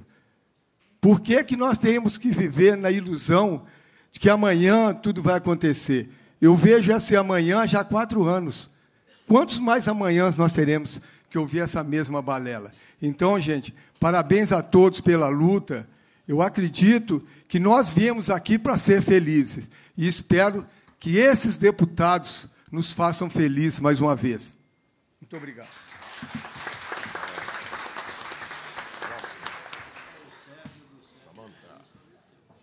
É, o José Maria realmente trouxe uma mensagem aí com muita propriedade e ele fala uma coisa extremamente interessante. Realmente, os impostos, ninguém deveria ficar de pires na mão para poder ter um atendimento na saúde, ainda mais na saúde. É uma questão que a pessoa está indo ali para cuidar da sua vida, para manter a sua vida, para não ver sua, uma doença agravar. Então, o, o SUS, eu sou um pouquinho diferente de dos gestores, dos secretários, de alguém definir uma conduta, quem funciona, quem não funciona, quanto, quanto recebe de recurso, quanto não recebe de recurso. E aí, alguns abrem portas e têm, às vezes, uma demanda menor, outros têm uma demanda maior e têm que fechar as portas, e os pacientes ficam refém desse sistema único de saúde que não, nunca foi único. Ele não é único, a gente sabe disso. Por que, que ele é único? Se um paciente está, por exemplo, numa região lá em São João del Rei, ele tem que ir lá na Secretaria de Saúde saber onde é que ele pode tratar. E, às vezes, essa referência não tem portas abertas para aquele paciente. Aí o paciente está num sistema único, mas não, está num sistema medíocre lá e está vendo a sua doença se agravando. Então, eu acho, o Hospital João Penido está lá com, as, com, as, com a estrutura física construída, tem condições de funcionar, o Estado, o município, tem que permitir a ele a funcionar. E ver a produtividade dele naquele mês, naquele semestre, num ano, e faz um valor médio e passa para ele aquele valor, porque ele está cuidando dos doentes. Se esses doentes são, estão sendo tratados ali, mais do que justo o hospital receber. Porque esse paciente, se não vai ser tratado ali, ele vai ter que com maiores dificuldades, buscar um outro atendimento em outro lugar, e o SUS vai acabar pagando, talvez mais caro ainda, porque não tem essa porta aberta, vai pagar num hospital particular, vai pagar um leito de UTI num hospital particular, que é um valor absurdo. É isso que o, que o Sistema Único de Saúde deveria ter: um valor médio, um custo de cada hospital, um custo de cada unidade de saúde para manter o funcionamento e pagar aquilo que é justo não distribuir aleatoriamente, como hoje é feito no Estado. Quem chega lá no Ministério da Saúde, às vezes recebe uma fortuna, põe uma fortuna dentro de um hospital, e aí faz obras gigantescas, e os pacientes estão na fila em outros hospitais. Estão lá nos corredores, sofrendo, sem um leito para internar, sem uma transferência para uma UTI. Quantos pacientes hoje devem estar aí no estado de Minas Gerais clamando por uma vaga e um leito numa UTI. Familiares desesperados. O médico já falou comigo aqui que se não tirar ele daqui hoje, se não transferir ele de imediato, pode ser que amanhã ele não, não consiga mais, ele não vai estar vivo amanhã. Está faltando aqui um respirador, está faltando um intensivista, está faltando um leito adequado para ele, está agravando.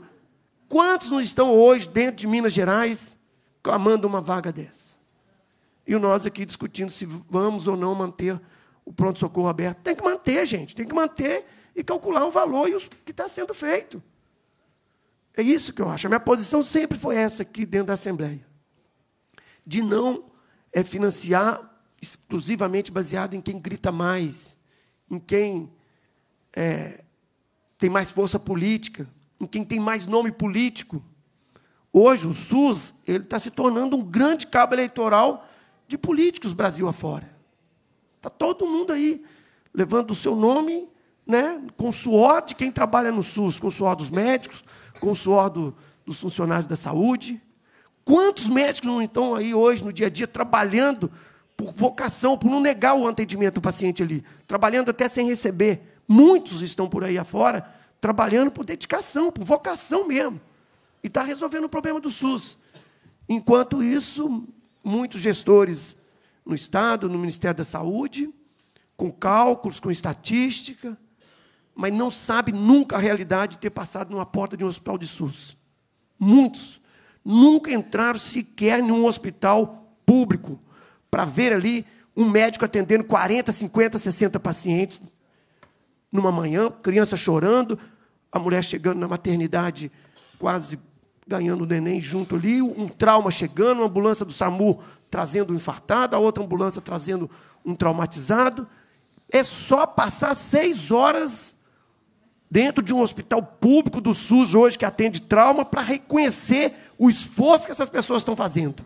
E ainda assim, às vezes, a gente vê até políticos viajando para o exterior, gastando fortuna para conhecer como é que funciona o, SUS aqui no Brasil. Basta entrar dentro de um hospital do SUS você vai ver como é que funciona o Hospital do SUS e o que, que precisa, o gargalo que tem hoje, as dificuldades que as pessoas passam hoje. É você enfrentar um atendimento de urgência sem um equipamento necessário ali, falta um desfibrilador, falta um, um, um, um laringoscópio para você entubar um paciente. É isso, é esse enfrentamento que a gente está hoje dentro, nas portas dos hospitais públicos. Com a palavra agora, Samanta Maria, ouvidora municipal de saúde, Juiz de Fora. Boa, não, vou falar aqui. Boa tarde. Eu gosto de ficar no meio do povo, Zé, igual você. É, boa tarde a todos e a todas. Eu queria, em nome do presidente da sessão, deputado Wilson Batista, cumprimentar os demais membros da mesa, parabenizar o nosso amigo, deputado Betão, Obrigado. pela iniciativa e apoiar essa população sofrida de Juiz de Fora. Creio que não é diferente em outros lugares, mas nós estamos aqui focados em reabrir a porta de urgência do Hospital João Penido. Daniel é uma pessoa muito transparente, nós não temos dúvidas. Pena que nós não vemos isso por parte do staff da FEMIG, que vem cada dia mais né, piorando a gestão dos hospitais. Lá Juiz Fora, por exemplo, me preocupa muito, porque nós temos que, além de lutar, e nós vamos lutar, como o Laurindo falou, como o Obama falou, outros aqui falaram, nós vamos lutar até o fim, nós não vamos desistir, nós não somos pessoas de desistir fácil, né? Né, Jorge? Já pegamos João Penido em bons momentos, né? Que fazia muitas cirurgias, que atendia muitas demandas nossas. Hoje não é realidade. Hoje nós estamos com aparelho de broncoscopia quebrado, endoscopia quebrado, os pacientes indo para lá, ficando, é, tendo vaga, porque é um hospital contratualizado na rede, então, obviamente, quando ele vai para lá, porque a vaga ela é uma vaga cativa daquele paciente. O paciente fica lá esperando um mês vaga para outro hospital, o deputado. É, é triste, né? Um, um, paciente ficar dentro de um hospital, referência naquela situação, esperando vaga para outro hospital. E essas famílias vão na ouvidoria procurar de forma desesperada, entram na justiça, porque está quebrado a broncoscopia, a endoscopia, porque o médico especialista está de férias, não tem outro lugar, naquele dia não tem plantão pediátrico. Isso tudo chega todos os dias na ouvidoria. Isso é muito lamentável. Então, nós queremos que reabra a porta, mas queremos também que as condições de atendimento das pessoas sejam dignas. E daqueles que lá trabalham, Leni, como você falou, também sejam dignas, porque senão nós vamos estar fazendo um grande engodo aqui, que não é o nosso objetivo porque essa é a realidade que todos os dias eu presencio na ouvidoria, que a vereadora, minha amiga, também presencia, porque a gente está sempre trocando aí, informações aí de pacientes que vão em redes sociais, todos os dias, nos marcar lá para intervir em casos como esse que eu acabei de falar, que está acontecendo neste momento, tá, gente? Eu estou com o paciente neste momento lá esperando endoscopia e broncoscopia internado, não tem para fazer. Isso é muito sério. Então, nós temos que ter muita consciência de que é muito mais do que reabrir somente a porta. A rede FEMIG está sucateada, o Estado precisa sim, porque o Daniel disse, né, eu fiquei até surpresa dos números que ele me trouxe, porque não são esses números que a Secretaria tem passado. Cirurgia, muito pouco, perdendo cada dia mais profissionais. Né, nós tivemos tempos áureos lá no hospital, do hospital fazer muitas cirurgias, principalmente aquelas que nós temos gargalos na rede. Cirurgia é, geral, vascular e por aí vai, ginecológica, coisa que hoje em dia nós não estamos conseguindo mais. E com, é, com relação a reabrir, todo mundo já falou, não vou ser repetitiva, né, Jorge? Viemos buscar o sim e não aceitamos outra resposta que não seja o sim. Queremos apoio, o apoio político, o apoio institucional dessa casa é muito importante, sim. Né? Essas pessoas aqui maravilhosas, lideradas pelo nosso grande amigo Zé Roberto, não saíram Juiz Fora para passear, saímos de lá para realmente ter um apoio forte e maciço de vocês que nos representam em todo o Estado. Muito obrigada, bom trabalho a todos.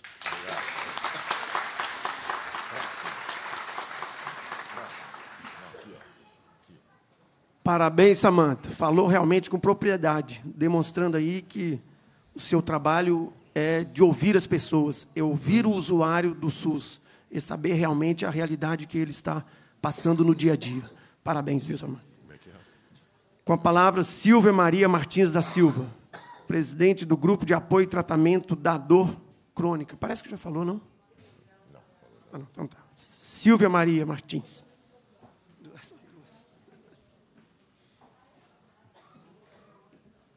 Boa tarde a todos, né? Eu vim aqui representar, né, o grupo de apoio e tratamento da dor crônica. Muito, muitas das pessoas aqui já conhecem o nosso trabalho. Falando aqui na, na questão do João Penido, é, realmente o Daniel já conhece a nossa situação, que 37%, segundo a Organização Mundial da Saúde, sofrem de dor crônica. Então, Juiz de Fora, a gente calcula que já deve ser mais de 100, 150 mil pacientes é, de dor crônica. E o que me deixa preocupado, deputado, é que quando eu sou porta, é, paciente portadora de dor crônica, eu sou técnica de enfermagem, eu tive um acidente durante o meu preparo, de, é, preparando medicação, que eu trabalhava em CTI. Eu tive o meu dedo polegar cortado, então eu fui para a sétima cirurgia, de 2009 até 2014. Então, durante quatro anos, ninguém soube entender a dor crônica. Então, eu passava de vários médicos que não sabiam o que, que eu tinha. Então, o que me sobrou, eu detesto essa, essa fala, o que sobra, porque nós não somos sobras. Né? Eu acho que nós somos para ter qualidade de vida. O que me sobrou foi um neuroestimulador medular. Então, eu, com a, ideia, com a idade que eu tenho, eu me sinto nova e, ao mesmo tempo, incapaz de ser portadora de um aparelho e ter que funcionar para ficar livre da morfina e do tramal.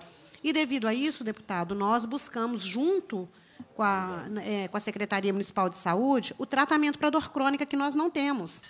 Aí chega a ser assim um pouco, é, é, não sei o que o que, que acontece, que quando eu propus à secretaria que nós tivéssemos o ambulatório da dor crônica, ela queria que nós trouxéssemos o paciente para BH para tratar. Quer dizer, mas como que eu, então eu, como que eu vou trazer o paciente para BH para tratar o paciente com dor crônica? O gasto que, que vamos ter com a ambulância e trazer esse paciente, retornar esse paciente e o paciente que, que é implantado, deputado, como que ele vai ser operado aqui e quem que vai socorrer ele em Juiz de Fora se caso ele precisar? Porque tem a, casa da, a, a coisa da ética profissional. Ninguém vai colocar a mão. Né?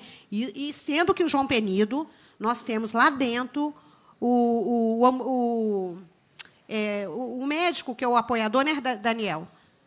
Médico apoiador do, do, do projeto, o doutor Marcelo Quezado, que, juntamente com o Daniel, nos é, trouxe nós aqui em Juiz de Fora, juntamente com o deputado Noraldino, e morreu naquilo. Então, ficou naquilo, os pacientes continuam com dor, é, nós continuamos, é, é, o paciente vai para o HPS e fica esse transtorno. Então, o que, é que eu estou trazendo? Representando o grupo da dor crônica, já temos o João Penido, temos centro de reabilitação que a Lenir talvez vai saber me explicar. O centro de reabilitação ele é do João Penido? Né? Então, é, é, nós temos o centro de reabilitação dentro do João Penido, e por que, que esse, esse, esse, tratamento não pode ser feito lá dentro? Se eu já tenho médico, se eu já tenho psicólogo, o psiquiatra, Daniel, eu tenho psicólogo, psiquiatra, o, a fisioterapeuta, eu tenho tudo lá dentro. E não vai gastar nada. Aí, quando os pacientes pioraram, que nós chegamos a levar para a ouvidoria, que tivemos que judicializar, aí pasmem vocês, né? Preferiram é, é, pagar 80 mil no neuroestimulador medular, mais de 60 mil reais em bomba de morfina, do que o teu serviço? Eu continuo com pacientes sofrendo da dor crônica. Outro detalhe, falando do João Penido aqui. Uma coisa que me entristeceu muito é, no dia 10 de maio, eu vou tentar ser rápida para não para dar tempo da, do pessoal falar. Eu trouxe um familiar meu lá para o HPS. Paciente de 73, 74 anos, com Parkinson. Ele só era para tirar só uma pedra na vesícula, sabe? Era só uma pedra na vesícula. Aí o João Penido teve que recusar, porque o material estava quebrado, não funciona. A Terezinha de Jesus é, é, tinha que recusar e não, e, e não atendia o paciente. Então, eu, eu, eu com o paciente dentro do HPS e sendo recusado. Quando nós conseguimos a internação dele, que ele fez a cirurgia, aí fez a primeira cirurgia, é, complicou o pós-cirúrgico dele. Quando eu fui reclamar, eu ainda fui ligada do hospital para dar alta no paciente. Só que nós observamos que no flanco direito dele começou um hematoma muito grande. Eu recusei a alta do paciente por medo de colocar esse paciente dentro do carro um idoso de, de 74 anos, como é que eu levo esse paciente para casa? Só que no outro dia o paciente estava sendo aberto, porque houve complicações. Esse paciente, para tirar uma pedra de, da, da, vesícula, ele ganhou um tubo, ele ganhou uma traqueostomia, ele ganhou uma bactéria e agora ele não está andando mais. Então, igual a Samanta falou, igual o Leni falou, não só abrir a porta, mas preparar pessoas competentes para trabalhar. E hoje nós estamos pagando um, um preço bem caro por isso. Muito obrigada pela fala. Obrigado, Silvia. Com a palavra, Guido Pereira da Silva. Pereira. Conselheiro Municipal, Regional e Local de Saúde, Juiz de Fora.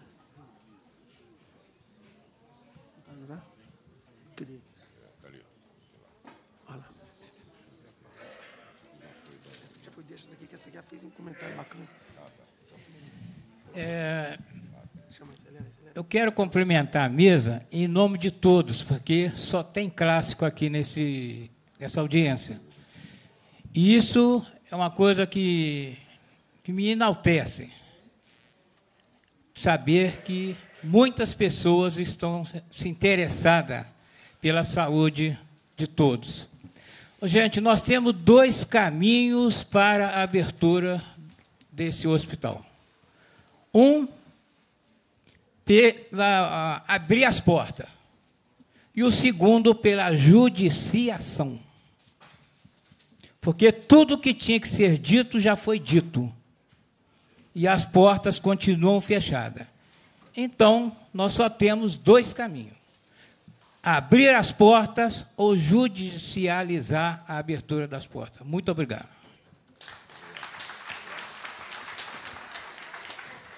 Parabéns, Guido.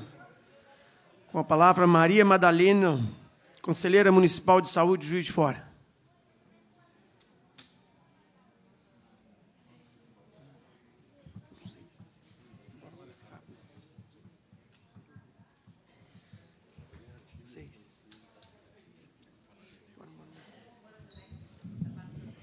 É, cumprimento ao senhor José Roberto por esse momento tão importante para a nossa cidade e cumprimento ah, aos demais representantes da nossa mesa e nossas autoridades políticas aqui, principalmente os nossos é, é, moradores, os nossos, ah, nosso pessoal de Juiz de Fora, porque sem eles não teríamos esse momento tão importante que é a melhoria no atendimento à saúde lá do João Penido. Então, gente, veja bem, o que acontece é o seguinte: as pessoas, às vezes, elas querem a melhoria, mas ela não participa. Não é o caso de, do pessoal que está aqui. E eu fui muito contemplada em várias falas aqui, e eu só peço a Deus que abençoe a cada um de nós aqui, e sou muito criticada por falar em Deus. Mas sem Deus, nós não somos nada, nada, nada. E espero levar daqui e continuar é, trabalhando lá na nossa cidade, porque a gente tem mais de 60 anos de conselho, desde que foi fundado o conselho, são uma das mais antigas, mas com bastante é, carinho, dedicação e com bastante pé no chão, porque muita gente se sente dono da verdade e não é não é por aí. E tem mais também, gente. Nós devemos é falar a verdade e nunca ir porque os boatos maldosos, eles acontecem, mas a verdade mesmo, na realidade, fica encoberta. Então, mais uma vez, que Deus abençoe os senhores aqui e a todos nós. E só um detalhezinho, que às vezes as pessoas, muitas pessoas não conhecem. Quando houve uma cobrança de consulta, venda de consulta em, em, Juiz de Fora e a nível de Minas Gerais, essa conselheira aqui foi até ameaçada de morte, porque lá no meu bairro, bairro industrial, havia uma tabela se você pagasse 30, você era o primeiro atendido. E por aí, e aquele que pagava menos, às vezes tinha chegado primeiro. Então, eu me sinto muito honrada e orgulhosa, porque através dela que foi, você entendeu? É colocado esse lado da não venda de vaga. Então, mais uma vez, que Deus abençoe vocês e me desculpa, tá? Pelo que eu estou muito emocionada de estar falando aqui com tanta gente boa aqui e que Deus abençoe nossos políticos que são muitas das vezes e você, Daniel, não desanime, meu filho. Siga em frente.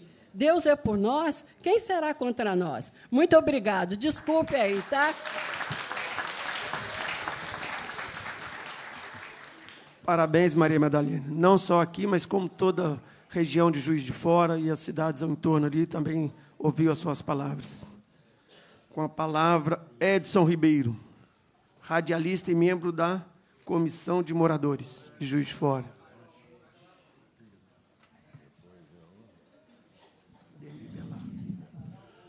Boa tarde, senhor deputado preside a mesa, a todos da mesa. Boa tarde a todos presentes. É realmente cinco anos e cinco meses de uma luta para a reabertura das portas do Hospital Dr. João Penedo.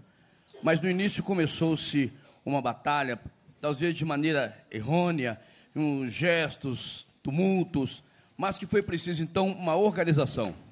E essa organização se deu no momento que começamos a debater, discutir isso através do programa de rádio, onde convidei o vereador Sargento Melo, o casal, onde esteve também Obama, mas dali saiu pelo vereador, é bom ressaltar, eu quero parabenizar o vereador Sargento Melo, que disse, então, vamos formar uma comissão, uma comissão para que pudesse, pudesse, então, dirigir de maneira adequada e correta a chegar às nossas reivindicações. E foi montado, então, convidamos todas as lideranças da região Nordeste, SPMs, é, conselhos, e fizemos essas reuniões, onde então foi eleita essa mesa diretora com o presidente José Roberto, que já lutava muito pela reabertura, do qual nos orgulhamos e através desta luta, através desse trabalho, estamos aqui hoje.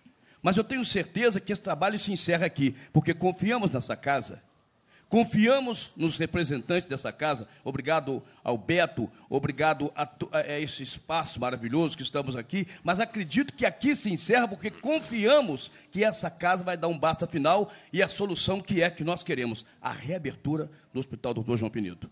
Mas não posso deixar aqui de ressaltar, indignado, mais uma vez, a ausência do secretário municipal de saúde de Juiz de Fora num tema tão importante. Eu acho que ele deveria estar aqui debatendo e ouvindo as reivindicações. Também o presidente da FEMIG, não menosprezando as entidades e as pessoas aqui representantes, mas seria importante, devido ao tema, devido à importância que é a saúde, a presença do secretário municipal de saúde e a presença também do presidente da FEMIG. Mas confiamos, mais uma vez repito, que esta casa vai botar um basta, porque confiamos que a partir daqui sairemos, não importa os, quem, a quem tem os deveres nós queremos é clareza.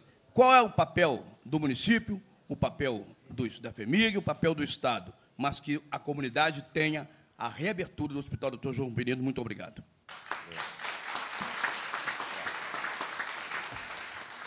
Parabéns, Edson. Com a palavra, Ademir Bernardo, Movimento de Resistência.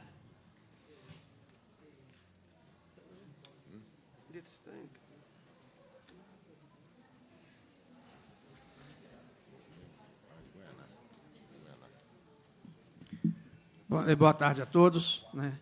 Eh, eu estou aqui em nome de um grupo de resistência a esse desmante que o Estado brasileiro e Minas Gerais está fazendo contra a saúde e contra os mais necessitados das nossas, das nossas Minas Gerais.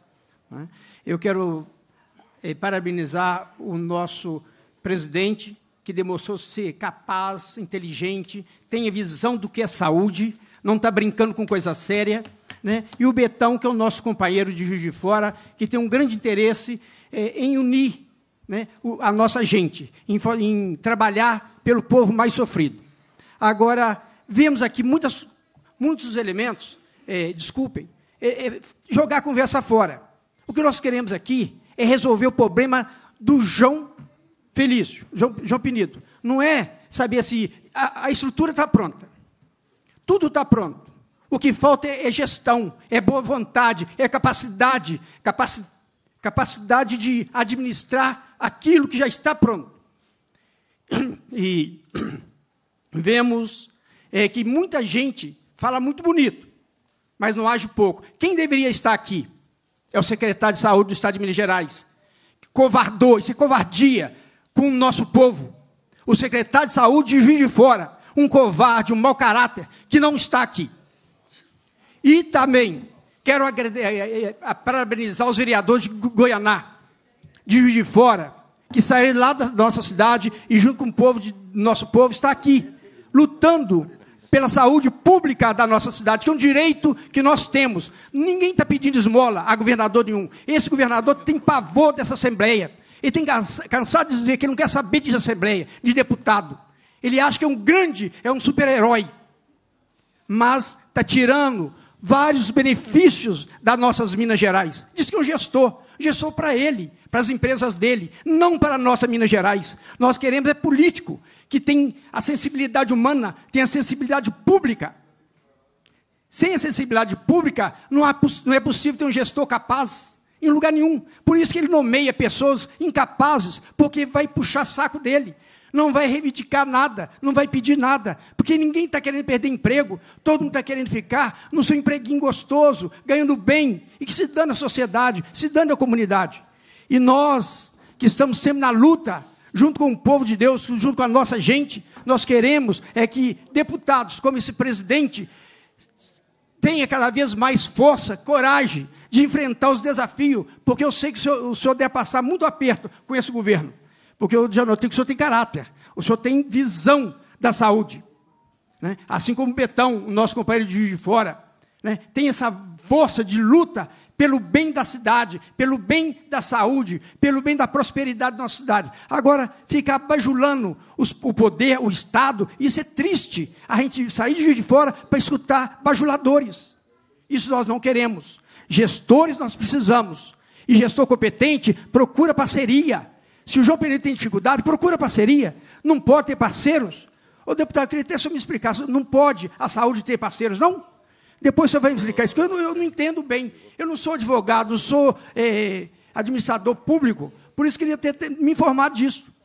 Porque não é possível que a gente não pode ter parceria, as PPPs, né, parcerias públicas e privadas, para ajudar o hospital, se é que esse é o problema. Isso falta o quê? Competência, visão administrativa, respeito com o dinheiro público e com, no, com a nossa gente, com a saúde pública.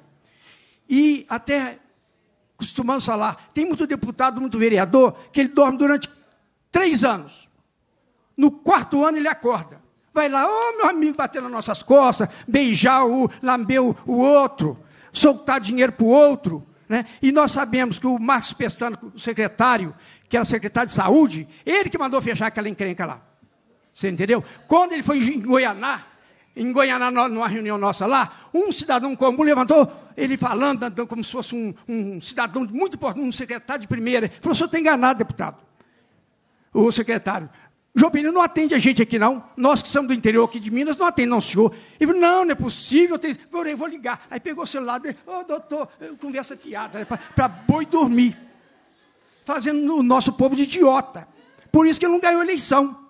E não deve nunca mais ganhar, ter o, o, o, o respeito do eleitor, porque é pessoa desonesta, mau caráter. Entendeu? Então é desse jeito que nós estamos aqui, deputado. Não é para falar mal de, de governador, presidente, nem de ninguém. É para pedir a vocês, que são os representantes legítimos dos trabalhos, dos anseios dos trabalhadores do povo, do povo mineiro, para defender os nossos direitos, defender a saúde, defender o Estado mineiro, que está sendo solapado, né? está sendo é, bagunçado por esse governo, não só por esse, desde lá do Anastasio, Anastasia, é uma azia mesmo que dá na gente de falar um elemento desse, que acabou com, com a economia mineira, destruiu a nossa economia, ele com, com aquele fulano de tal, que não quero nem citar o nome, aquele pilantra que ia ser governador, que ser senador, graças a Deus nem foi, mas infelizmente foi eleito. Aquela porcaria destruiu a economia das nossas Minas Gerais. É isso que eu peço a vocês. Lutem por Minas, lutem pelos mineiros. Minas merece respeito. Muito obrigado. Opa.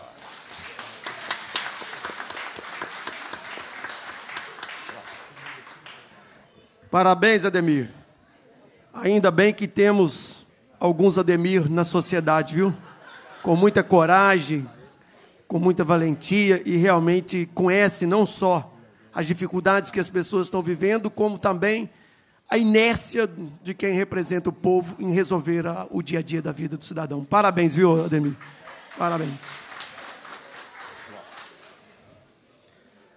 Com a palavra, Kennedy Ribeiro, vereador da Câmara Municipal de Juiz de Fora.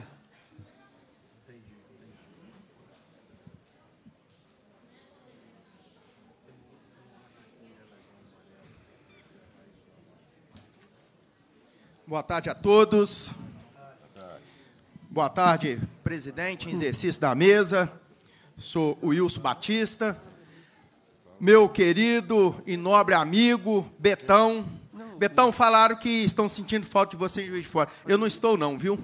Você está fazendo um papel muito importante aqui no Estado, aqui na Assembleia. Senhor está de parabéns. Obrigado. a minha fala aqui, eu quero falar para o nosso governador de Minas, governador Romeu Zema. Governador, lá em Juiz de Fora tem um hospital que chama João Penido. Governador, esse hospital ele tem 1.200 funcionários. Governador, esse hospital está estruturado para atender a população de Juiz de Fora. Governador, eu quero implorar ao senhor, olhe por esse povo da zona nordeste de Juiz de Fora, que precisa dessa porta aberta para atendimento de consulta. Isso não é difícil, governador. Esse povo já está há muito tempo aqui, ali, fazendo reuniões, e nós não conseguimos uma solução para isso. Nós confiamos no Senhor, a cidade de Juiz de Fora confia no Senhor. Nós demos para o Senhor na cidade de Juiz de Fora 67% dos votos. Esse hospital atende uma população de 1 milhão e 600 mil pessoas. Governador, o senhor é um administrador de empresa. Governador, quanto que precisa para poder abrir essa porta de atendimento, governador? O senhor sabe que não é muito? Só, governador, eu não sei quem é dono desse hospital, governador. Eu tenho certeza que o povo não é, governador. Mas o senhor tem condições de fazer, entendeu? Com que isso aconteça. Conversa com o seu secretário de Estado da Saúde. Vê o que, que está acontecendo lá. Por que, que não abre essa porta de atendimento para esse povo carente? Nós precisamos disso, governador. Eu estou aqui em nome da Câmara Municipal de Juiz de Fora, junto com meus amigos vereador, Sargento Melo, Wagner de Oliveira, Júlio Obama e o nosso amigo Marlon Siqueira. Estamos aqui juntos com os conselheiros de saúde, junto com a população de Juiz de Fora que se faz presente aqui, pedir o senhor encarecidamente, olha por nós lá naquela região. Nós precisamos do seu apoio. Nós precisamos da Assembleia Legislativa de Minas, Betão, muito obrigado por estar encabeçando isso aqui para nós. Muito obrigado mesmo. Você nos honra lá em Juiz de Fora. Muito obrigado, Wilson. Nós também queremos agradecer você, que a gente sabe que você é da nossa região da Zona da Mata. E também eu aqui quero falar, Rodrigo, eu me sinto representado por você na Secretaria de Saúde aqui hoje, viu? Eu me sinto representado. Você pode ficar tranquilo.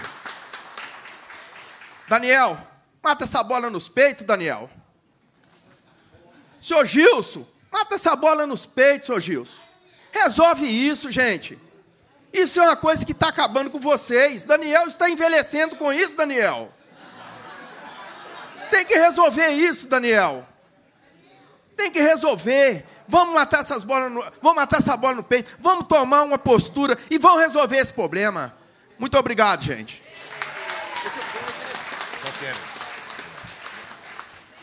Parabéns, Kennedy já tem várias para poder né, matar essa bola no peito aí, viu?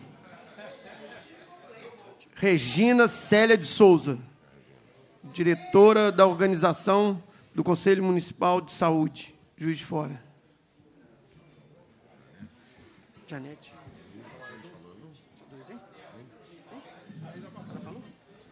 É, já é boa tarde, né? Eu que é, meu nome é Regina, sou segmento do usuário, sou do Conselho Municipal de Saúde. É, já há alguns anos que a gente vem discutindo essa questão da abertura da porta do João Penido. É, quero lembrar aqui do nosso conselheiro, né, Cosme Damião da Cunha, que muito me emociona, que morreu lutando para abrir aquela porta. É, agradecer ao Betão, né, por, é, por nos proporcionar essa audiência, a todos os vereadores aqui presentes, nos dando esse apoio, né, os vereadores nossos de fora, né, muito obrigada. Mas eu gostaria, Daniel, você teve no conselho com a gente, né, conversando a respeito da abertura da porta. É, me lembro da Beth ter conversado comigo e falando do valor que foi pedido. E eu acho que em algum momento está faltando entender que a saúde é tripartite. Né? Ela não é responsabilidade só de juiz de fora. Lembrar ainda que o Hospital João Penido, ele é público e que ele foi construído com nosso dinheiro, dinheiro do povo. E que para o povo ele deve ser investido. E é o que está faltando. Porque, na verdade, todas as vezes que recorre ao João Penido, nós temos alguns problemas. Inclusive, várias denúncias. Nós estivemos aqui numa conferência do qual é, os quatro conselheiros que estavam aqui no final já, e, nós, e passamos por uma vergonha, né, porque eu fiquei com vergonha, quando citaram o juiz de fora. E falou do hospital, né, que juiz de fora estava com essa situação muito, muito ruim mesmo. E nós ficamos, ação judicial, e nós ficamos com vergonha, nós fomos procurar a promotora para perguntar qual hospital, porque cada hora a gente pensava que era um. Será que é esse? Será que é aquele? Não. Aí procuramos, ela falou, é o João Penido. Então, eu gostaria de dizer aqui para vocês, enquanto comissão, que fizesse uma auditoria no hospital, para saber essas denúncias, porque nós não ficamos sabendo. Porque eu não tive coragem, nós não tivemos, de chegar lá na frente e perguntar o que, que era. Porque né, eu, sinceramente, fiquei muito envergonhada naquele momento, porque eu estava ali representando o Conselho Municipal de Saúde de Juiz de Fora, como eu represento. Né? E, então, eu estou aqui repassando essa denúncia, Betão, pedindo a você que procure é, é, descobrir para a gente o que, que é realmente esse, o que está acontecendo, porque é sério, é grave. E aí alguém falou aqui o que, que tem por trás do pano, de repente é isso, tá? E dizer que nós não vamos desistir. Não vamos desistir dessa luta. Essa luta é nossa, essa luta é do conselho, essa luta é do povo. E digo mais: gostaria de saber se por acaso juiz de fora deixasse de referenciar o dinheiro para o hospital, quanto seria a perda para vocês no hospital, tá? Porque juiz de fora é pactuado, é. E se ele tirar de lá, porque nós temos outros hospitais muito bons em Juiz de Fora, que de repente pega esse serviço todo, tá bom? Isso é o que eu teria para colocar e muito obrigada. Né? Regina Célia, parabéns aí, viu? Eu acho que o maior valor da audiência pública é exatamente isso. Eu ouvi os pontos favoráveis, desfavoráveis, né, entender as dificuldades, levantar essas denúncias. Eu acho que tudo isso faz muito sentido. Esse que eu acho que é o sim que a gente pode levar aqui da audiência pública para o nosso amigo lá de Juiz de Fora. E quanto a isso, a gente tem até um projeto extremamente importante aqui na Assembleia, um projeto de minha autoria, que é exatamente vai de encontro a isso. Eu acho que semestralmente, pelo menos a cada seis meses, todas as instituições públicas, filantrópicas, que recebem recursos do município, recebem recursos do governo do Estado, recebem emendas de parlamentares, todas essas instituições, elas têm que ter uma transparência com os usuários. Então, a cada seis meses, colocar ali na frente do hospital um tamanho é, que as, todas as pessoas possam ver e entender, como é feito na, na, nas obras federais, quando se vai construir uma rodovia federal, tem lá investimento aqui nessa reforma dessa rodovia, na ampliação dessa rodovia, investimento de 30 milhões, 1 bilhão, 2 bilhões.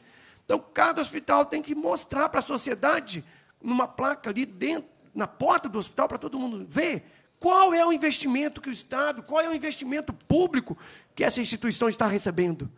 Para que ela não negue atendimentos, que não justifica que tem um equipamento quebrado por falta de dinheiro, por falta de recurso público.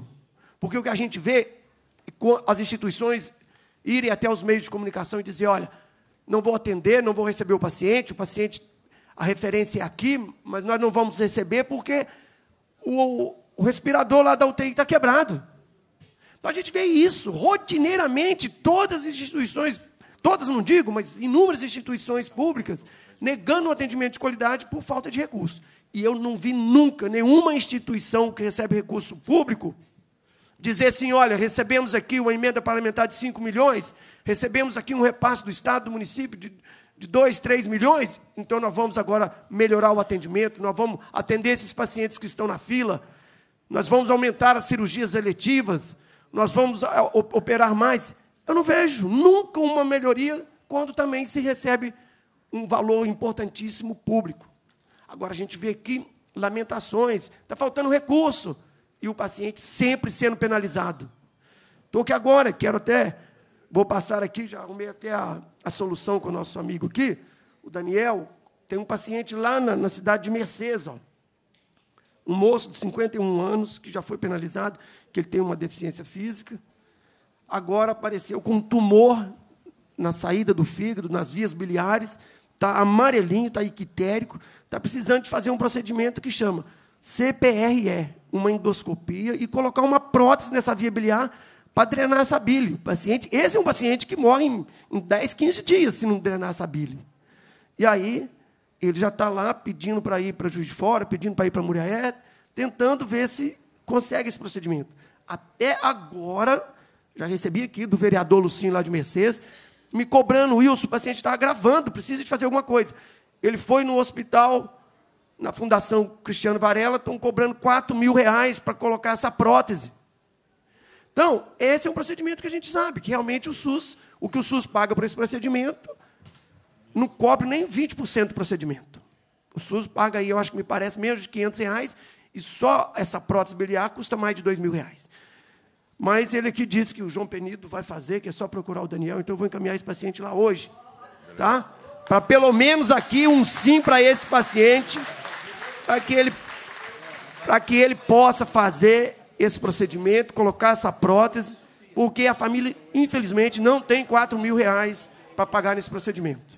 Então, é essa o dia a dia que quem trabalha com o SUS vivencia. Com a palavra, Janete Pereira, advogada e defensora do povo dos mais necessitados. Janete. Já deve ter ido almoçar, né? Parabéns. Meire Moreira, advogada do Instituto de Direito e Pesquisa de Juiz de Fora.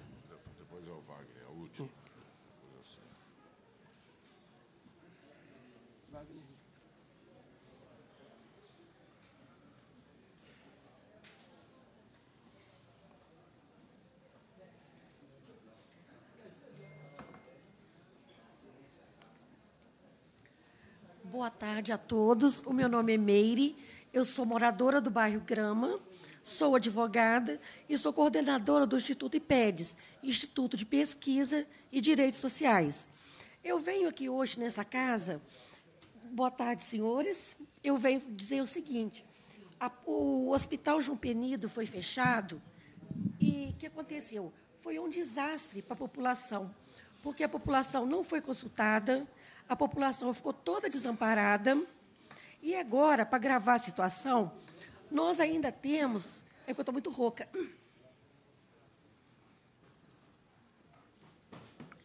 Nós ainda temos que está ocorrendo a superpopulação, que são os condomínios, que são verdadeiras cidades que está sendo instalada no bairro.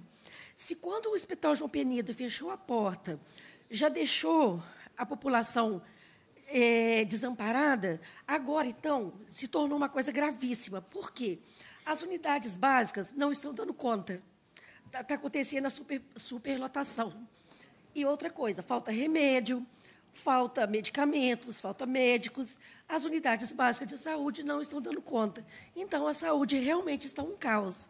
E como um dos princípios do SUS é a regionalização, o, quando a população de, da região Nordeste, ela desce para o HPS, é, ela desce para fazer consulta lá embaixo, pronto atendimento. Além de estar ferindo o, um dos princípios do SUS, que é da regionalização, está, está ferindo também da dignidade da pessoa humana. Porque como que uma pessoa passando mal, muitas vezes sem recurso, porque, inclusive, esses condomínios que estão sendo construídos são de pessoas de baixa renda, então, como que essa pessoa vai descer, atravessar a cidade passando mal? E aí foi feita, levantou a questão aqui na audiência sobre auditar. Eu, no meu entendimento, seria extremamente necessário auditar a saúde de fora num todo. Porque se o que gasta na região, o que gasta na região Nordeste, que vai lá para baixo, não seria mais viável ficar na parte da região Nordeste? O que gasta-se nas outras áreas é o mesmo levantamento.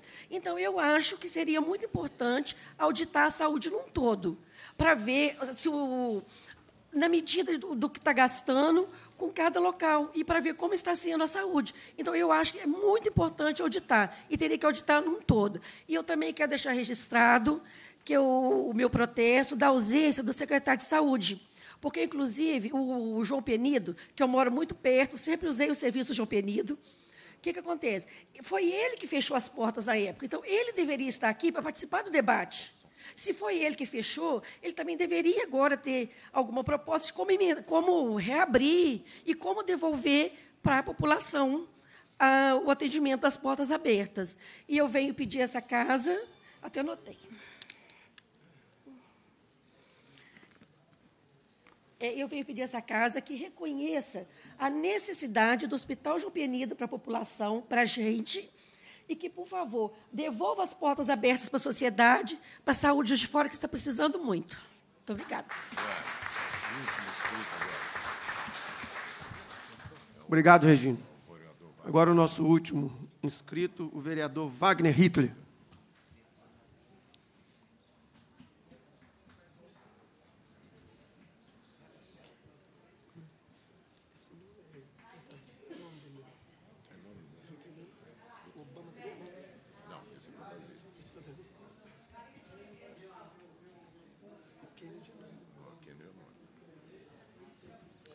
Senhor presidente, em exercício, é, Wilson Batista, deputado Betão, público presente, é para nós uma grande satisfação, atendendo o clamor da região Nordeste, estar com eles nessa Assembleia, lutando, deputado.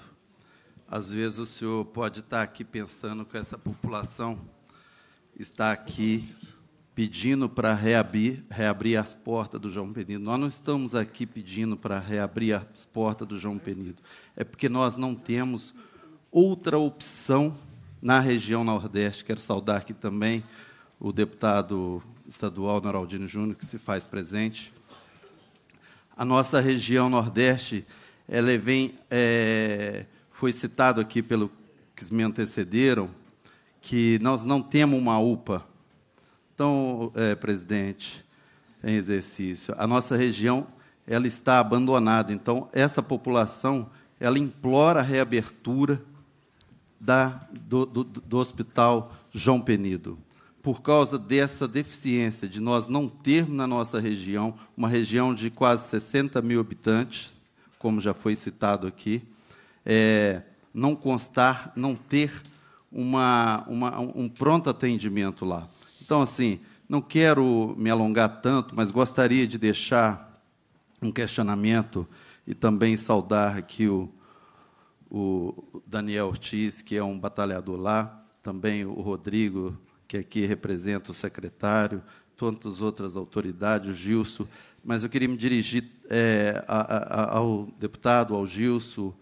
É, o Ministério da Saúde propôs repassar é, repasse maior para as cidades que ampliar o horário de atendimentos na unidade de saúde. O objetivo é desafogar os fluxos nas unidades de pronto atendimento e emergência nos hospitais. Eu até gostaria de deixar essa pergunta para saber se está tendo algum avanço nesse sentido. A gente não quer abrir mão hora nenhuma que as portas do Hospital João Penido seja não seja aberta. Nós precisamos daquilo lá aberto. Todos nós aqui, nós que somos nascidos naquela região, já usamos. Pessoas que de outras regiões também vão até é, o, o, Hospital João Penido. Mas tem essa manifestação do Ministério para que todas é, as UBS, a unidades de é, UBS, pudessem ter um atendimento mais alongado. Gostaria, se pudesse, nessa tarde aqui hoje, vocês é, falar sobre essa situação. Se não tiver, acredito que depois vocês mandam essa colocação para nós.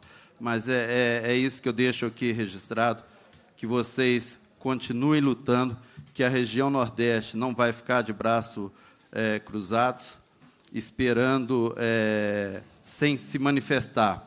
Nós ouvimos aqui que são mais de cinco anos que vem lutando. Zé Roberto vem nessa luta junto com o Jorge e toda a comunidade. É, e não vai parar por aí enquanto a gente não vê essa, esse atendimento ambulatorial no João Penido aberto. Mas nós precisamos também que as UBS possam ter uma atenção é, melhor, porque vai melhorar o fluxo nos hospitais é, de maior movimento. Então, não quero falar hoje do hospital regional, eu acho que esse tema já foi cotado, a gente tem o nosso ponto de vista, mas vai ter o um momento também para a gente discutir isso aí. Então, muito obrigado, parabéns a vocês que abriram mão dos seus afazeres para estar aqui hoje, nessa manhã, defendendo é, o direito de mais de 60 mil habitantes daquela região. E saudar também o doutor Luiz Arthur, que se faz aqui presente, é, um grande batalhador ali também. Saudar os vereadores de Goianá, que estão aqui presentes também, e tantos outros amigos aí que, se a gente for citar, a gente vai levar o tempo todo. Obrigado, um abraço a todos, parabéns a essa casa por estar aí olhando pela nossa Zona da Mata. Parabéns, Wagner Ritter. Essa pergunta que você fez, eu acho que muitas vezes não tem nem condições de responder, porque olha o que ocorre. O município, hoje, é o único que cumpre o mínimo constitucional na saúde, que aplica até mais do que deveria aplicar o município. O Estado e a União sempre aplicam abaixo do mínimo constitucional. Então, eles nunca respeitaram essa lei do mínimo constitucional aplicado na, na, na saúde. E é sempre assim. Agora, ficamos sabendo aqui recentemente que o, a Secretaria Estadual de Saúde é, deixou de utilizar 50 milhões que deveriam ser aplicados em compra de equipamentos e fortalecimento das unidades de saúde em Minas Gerais. Como ela não utilizou esse dinheiro a tempo, esse dinheiro está retornando ao Ministério da Saúde. Então, tem isso também. Eu gostaria aqui agora de passar a palavra ao deputado Noraldino Júnior. Presidente, muito obrigado. Eu já me desculpei aqui pela, pelo atraso. Parabenizar aqui o deputado Betão pela propositura dessa audiência pública. Mas eu tinha uma reunião com o secretário, com o novo secretário de governo, e uma das demandas é, tratava-se desse tema aqui também. É, mas eu quero parabenizar, é, principalmente, a todas essas pessoas que lutaram, saíram de Juiz de Fora, estão aqui lutando por uma causa justa. Né? É lamentável nós não termos aqui, e num tema tão importante para a cidade de Juiz de Fora, nós não, nós não temos aqui presente o secretário de saúde da cidade de Juiz de Fora. Né? Não estou desmerecendo aqui o, o, o, representante, mas nós tínhamos que ter aqui o secretário de saúde de Juiz de Fora, que teria condições aqui de posicionar, de dar um posicionamento concreto sobre a visão da cidade de Juiz de Fora em relação ao Hospital João Penido. Deputado Betão, são três anos de luta incansável para poder ter essa demanda atendida. Aqui vários vereadores aqui presentes, vereadores que eu tenho consideração, mas faltou muita boa vontade, e vou falar vontade da prefeitura em resolver esse problema, vereador Kennedy. Hoje nós temos aqui em Juiz de Fora, aqui em Belo Horizonte, uma secretária de Desenvolvimento Social que era secretária de Saúde. E quem fechou o Hospital João Penido foi a Prefeitura Municipal de Juiz de Fora, junto com a antiga direção lá, dando desculpa de que precisava de desocupar aquele espaço lá para poder fazer a reforma dos leitos de UTI. E que precisava de aumentar os leitos de UTI. Está aqui o, o doutor Luiz Arthur, o Luiz Arthur. Eu fiquei dois anos para concluir as obras é, de reforma do Hospital João Penido. Tinham 10 leitos. Hoje, tem 20 leitos lá de, de, de unidade de UTI. Mas os 20 leitos estão funcionando, vereador, deputado Betão? Não. Tem 20 novos leitos prontos para serem utilizados, mas não está sendo utilizados porque não tem estrutura e não tem custeio para a contratação de mão de obra.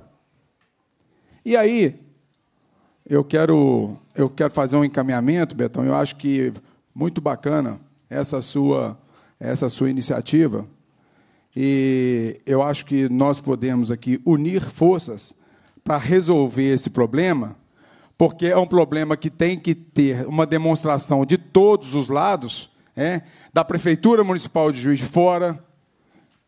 Volto a dizer, e não tem problema, foi a prefeitura responsável pelo fechamento da unidade do atendimento de urgência e emergência no Hospital João Penido. Alguém duvida disso?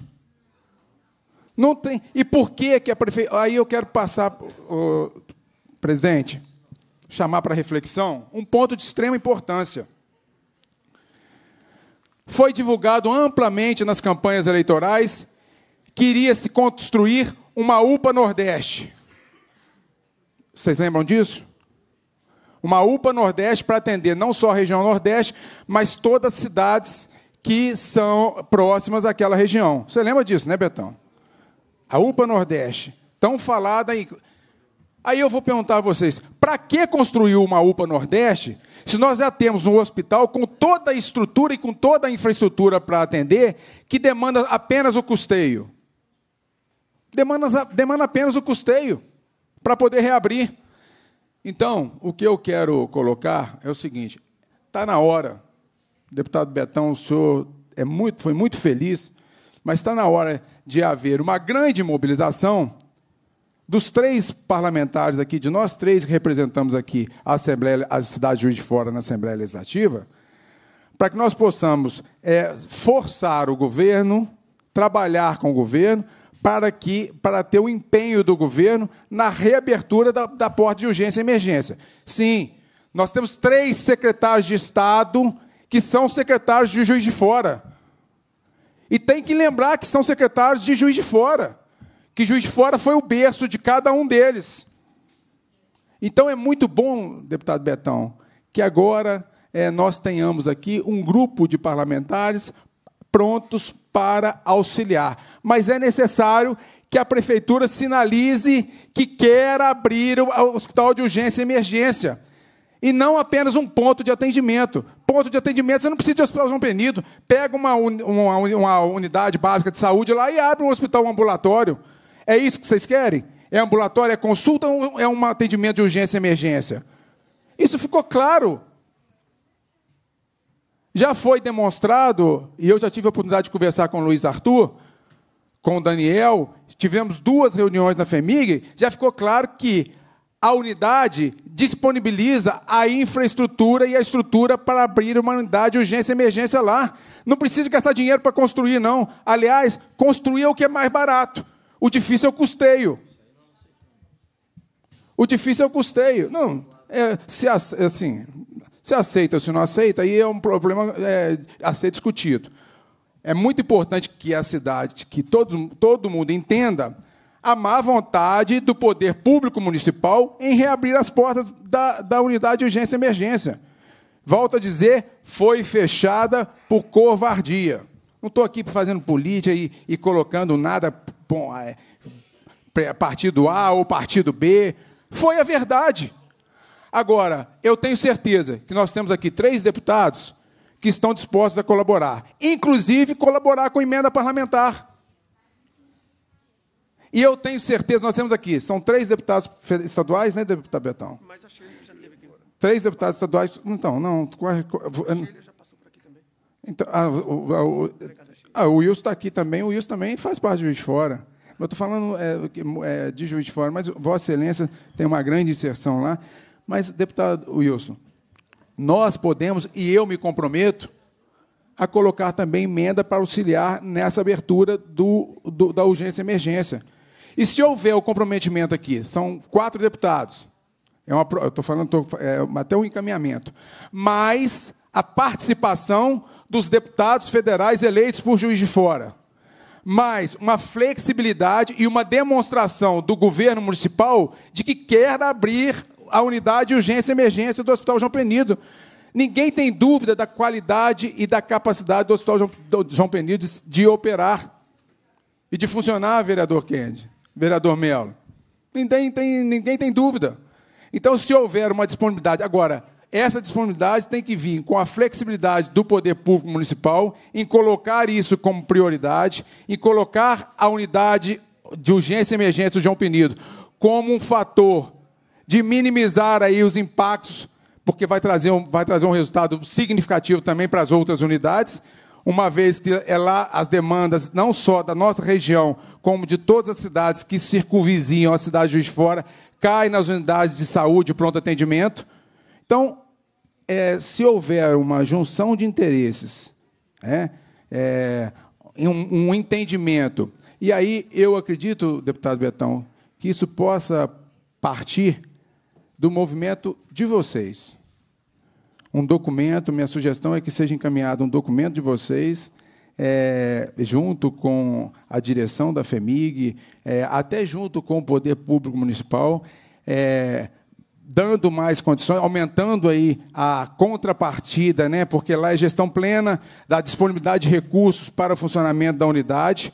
Eu me comprometo, tenho certeza que o Betão também se compromete, como tenho certeza que os outros deputados aqui se comprometem. E também os deputados federais. As emendas dos deputados federais são emendas vultuosas. É, não compara com as emendas dos deputados é, estaduais, não. Mas se houver uma, uma, essa, esse empenho conjunto e uma sinergia para atender a demanda, que é uma demanda legítima, eu tenho certeza, presidente, que a gente pode aí, e pode ser capitaneada por Vossa Excelência, o hospital é, é, um hospital reconhecido por toda a cidade, respeitado por toda a cidade, todo mundo quer ir para o Hospital João Penido. Então, eu acho que é uma demanda que pode ser é, atendida se houver uma sinergia de esforços para que é, para a abertura desse hospital. Eu parabenizo o deputado Betão pela, pela sua iniciativa, é, para que a gente possa é, colocar em prática, aí, tirar de discurso essa a viabilidade da abertura. Está aqui a, a Silvia, que faz, tem uma luta incansável, está aqui a Meire, enfim, diversas pessoas aqui que são é, lutadoras para que essa, essa realidade possa ser, essa, esse sonho possa ser transformado em realidade. Muito obrigado a vocês pela participação. Luiz Arthur, parabéns pelo trabalho que é realizado lá, pelo que você faz lá. E deixo aqui essa manifestação. Muito obrigado. Parabéns, deputado Noraldino Júnior. Como o nosso vereador ali pediu, né, passar a bola para o peito está no peito do Noraldino Júnior. Mas eu acho que reabrir o serviço de urgência e emergência ali com promessas de emendas de deputados, eu acho extremamente frágil porque não vai ter uma continuidade, não vai ter aquele custeio regular. Eu acho que uma vez pode dar uma oxigenada em um momento ou outro, mas não garante o funcionamento de uma urgência e emergência por ano, dois anos, três anos, dez anos, no futuro todo. A emenda parlamentar, infelizmente, ela para esse tipo de, de socorro, ela não vai dar conta de resolver. E até mesmo porque eu acho que as emendas parlamentares hoje, eh, foi até uma sugestão um tempo atrás aqui de um promotor de justiça, que ela garantisse ali, por exemplo, uma emenda, por exemplo, de 100 mil reais, eu quero garantir ali 500 mil endoscopias, 300 mil endoscopias, que vai chegar realmente no dia a dia do paciente. Eu acho que está faltando hoje esses recursos públicos chegar no, na assistência ao paciente. Quantas colonoscopias eu vou aumentar? Quantas endoscopias eu vou aumentar de atendimento? Quantos pacientes eu vou operar no dia a dia que estão ali esperando por filas, esperando por meses, por anos? Está aí, sou testemunha hoje, os jornais todos mostrou, os pacientes esperam no mínimo 300 dias no Brasil para ter acesso a um diagnóstico do câncer, no mínimo 300 dias. Então, com todo o recurso que a gente discute aqui, com tudo em emenda, quem é responsável por manter aberto ou não, se foi o, o município que fechou o Hospital João Penido, se foi o município, foi uma decisão do município, qual emenda vai reabrir esse, esse hospital? Impossível. Então, o que nós temos que discutir aqui, Noraldino, é realmente se vai ou não reabrir. Quem vai ser o responsável por esse custeio? Essa demanda que chegar ao Hospital João Penido vai ser atendida e com qualidade. Também não é só atender o paciente e deixar ele horas e pedir socorro em outro hospital, em outro lugar. Também isso também não é resolver o problema do dia a dia dos pacientes. Olha, Noraldino, nós temos aqui duas horas para terminar a reunião. Mais um minuto, tá bom. Não, tem que terminar até as duas horas, porque duas horas aqui vai ser Deputado, vai ter uma peço, outra reunião. Eu peço desculpa, senhor, mas eu, é importante até esclarecer. Eu não estou colocando uma emenda para garantir o custeio eterno dessas unidades, mas eu, o, que eu, o que eu coloquei é a possibilidade do envio de emendas parlamentares ou até de emendas de bancada, seja o que for, para que é, nós possamos enviar isso para o município para que o município possa segurar, pelo menos durante aí, é, um, um, prazo e contribuir com o município para que ele possa segurar durante um prazo. Não é para que as emendas sirvam para o custeio, não. Agora, é preciso, deputado Betão, que o município também aceite as emendas.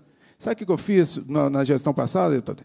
Eu fui nas unidades de urgência e emergência, ofereci recurso para o município, tem documentos aqui, para a reforma das unidades de urgência e emergência. Sabe o que a atual secretária, a ex-secretária lá e a atual secretária da CEDES, ex-secretária de saúde, falou? Não, nós não precisamos de recurso aqui, não.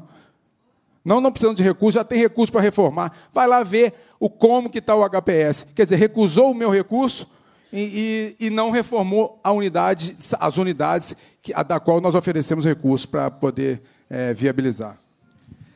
Com a palavra, o, o Betão, para suas considerações finais.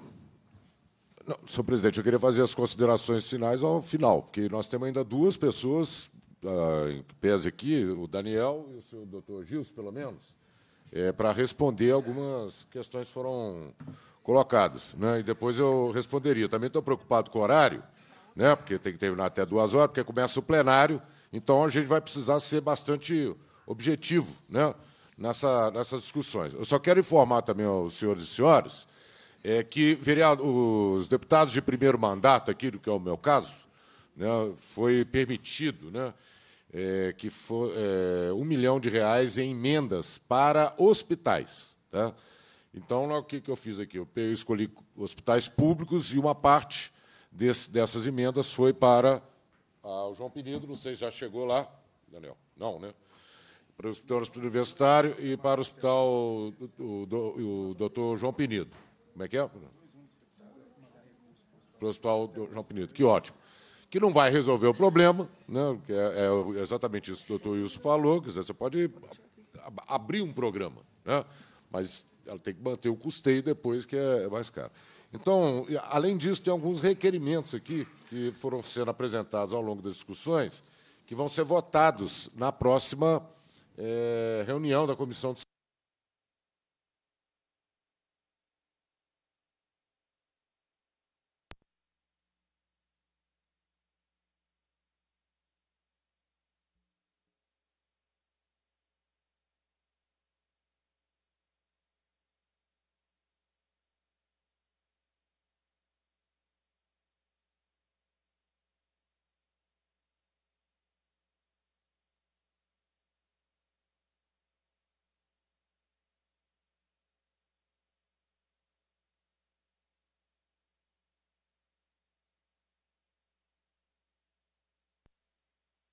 uma reunião da Comissão de, de Minas e Energias que vai ocupar aqui esse espaço. Então, você Exato. tem até as duas horas para passar todos os seus requerimentos aqui. Certo, mas a gente precisa... Vou passar para você agora de uma vez, doutor. Era você quer ler o conteúdo os, de cada um desses... Daniel, Não, o Betão. E, você e pode ler o conteúdo de cada um desses requerimentos. Fica à vontade. Sim, mas vamos passar a palavra primeiro para ele, pode ser? Para os dois? Daniel.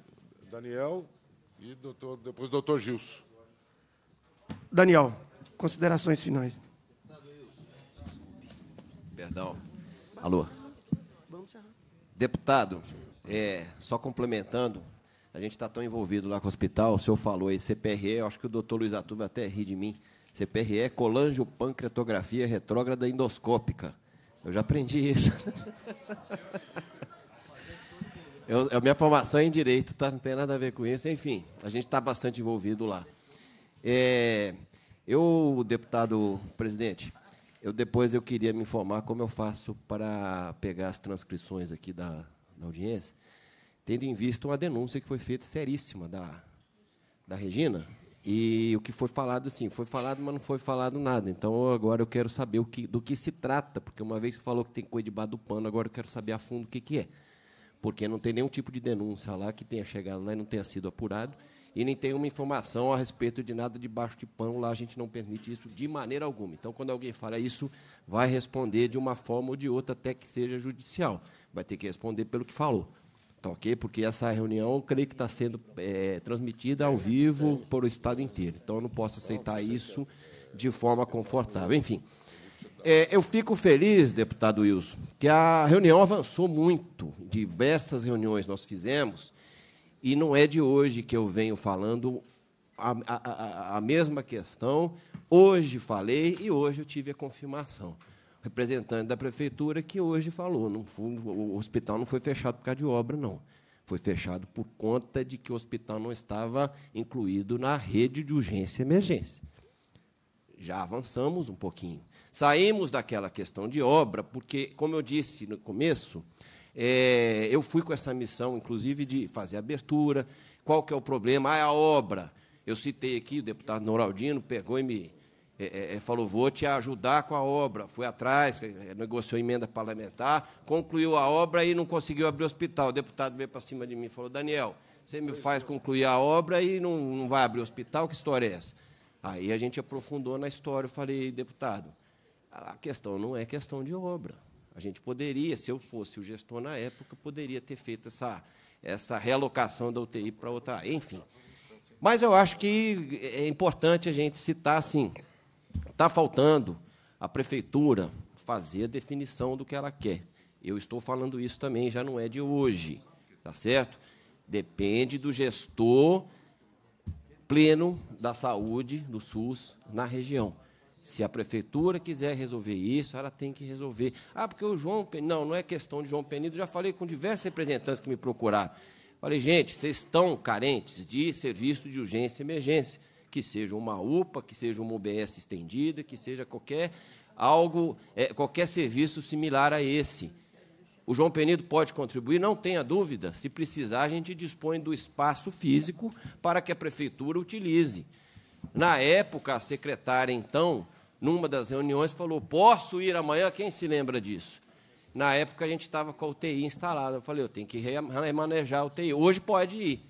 Inclusive pode ir hoje, não precisa esperar amanhã, não, se quiser utilizar o espaço lá do hospital. Nós não temos como assegurar esse serviço, não temos como custear, tá certo? Que eu já falei todas as despesas. É, e o que, que acontece? A gente não consegue aumentar e contratar pessoal para fazer serviço. Mas se a prefeitura tem condição com o valor que foi oferecido, ou não sei como é que ela pode fazer, e quiser começar o serviço hoje, está à disposição. Eu acho assim, essa, essa questão vai avançando e a gente está assim, à, à disposição. Eu só acho, eu entendo, pelo pouco que eu aprendi dentro do hospital, é, o hospital está sendo muito cobrado e a prefeitura não. Só que o gestor é a prefeitura, gente. Vocês têm que entender isso. Quem define o que, que vai ser feito com o serviço é a prefeitura. O hospital é um prestador de serviço. O hospital assina um contrato e fala, ó, faz isso. O hospital vai e faz e é cobrado por aquela produção. Tá certo? Se a prefeitura falar, ó, eu quero que você faça mais isso, e eu falar que eu não tenho condição, a prefeitura fala, então vou fazer em, em tal lugar.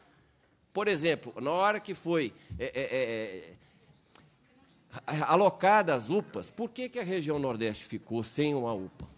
Por que, que não foi colocado uma UPA lá? Se estava faltando urgência e emergência lá, e se o hospital não poderia entrar na rede de urgência e emergência, como citou o representante do secretário. Então, essas questões precisam ser é, é, é, é apuradas para poder resolver.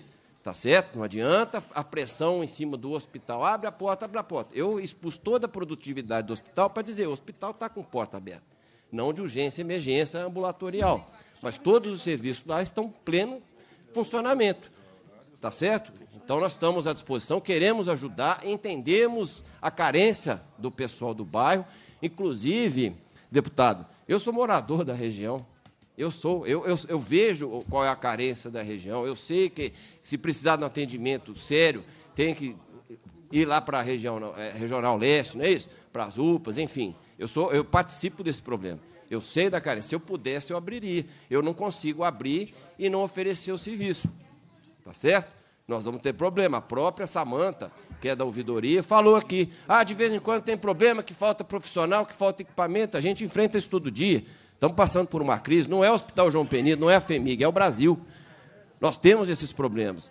Eu tenho um profissional, ele sai de férias, tem que sair de férias, tem direito. Como é que eu vou oferecer o serviço que só ele faz? eu tenho que paralisar durante 30 dias, não tem outra opção. Daniel.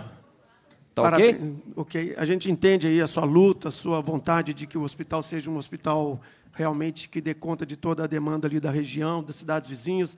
O empenho aqui do Betão em propor essa reunião, essa discussão, eu acho que isso de extrema importância. Eu acho que realmente tem que discutir, tem que debater, tem que ouvir as pessoas. Como a Samanta ali, que é a ouvidora do SUS, ela traz importantes relatos né, do dia a dia das pessoas que estão ali sendo usuário do Hospital João Penido. Eu acho que isso é de suma importância para quem vai decidir alguma mudança, algum fechamento, alguma abertura, alguma ampliação, é ouvir os usuários. E isso ninguém pode tomar nenhuma decisão em saúde sem ouvir as pessoas que estão usando aquela instituição, que depende daquela instituição. E aqui tem diversos requerimentos do, do Betão que estão sendo recebidos aqui na Comissão de Saúde para que sejam votados na próxima reunião. E o Jorge Ramos também sugeriu aqui um, um requerimento que vai ser assinado por todos os membros da Comissão de Saúde, que é discutir também a viabilidade de abrir uma UPA na região Nordeste. Como ele disse, ele disse que agora tem critério populacional para que possa também ser construída uma UPA. Aí é uma discussão a ser levantado entre vocês, gestores de saúde, juiz de fora, se vale a pena abrir uma UPA ou se mantém aí o projeto de manter aberto a urgência e a emergência. Então, sim, sim, eu concordo. Nós só estou é, colocando aqui a sugestão que o Jorge Ramos é, pediu para a gente fazer aqui na Comissão de é. Saúde. E para consideração final, aqui do Rodrigo, e aí a gente encerra a reunião. Doutor Gilson, doutor Gilson. Do Gilson depois, né? Muito bem. É, só como considerações um finais. Minuto, não, é coisa rápida. É até para poder complementar a fala do, do doutor Daniel Ortiz.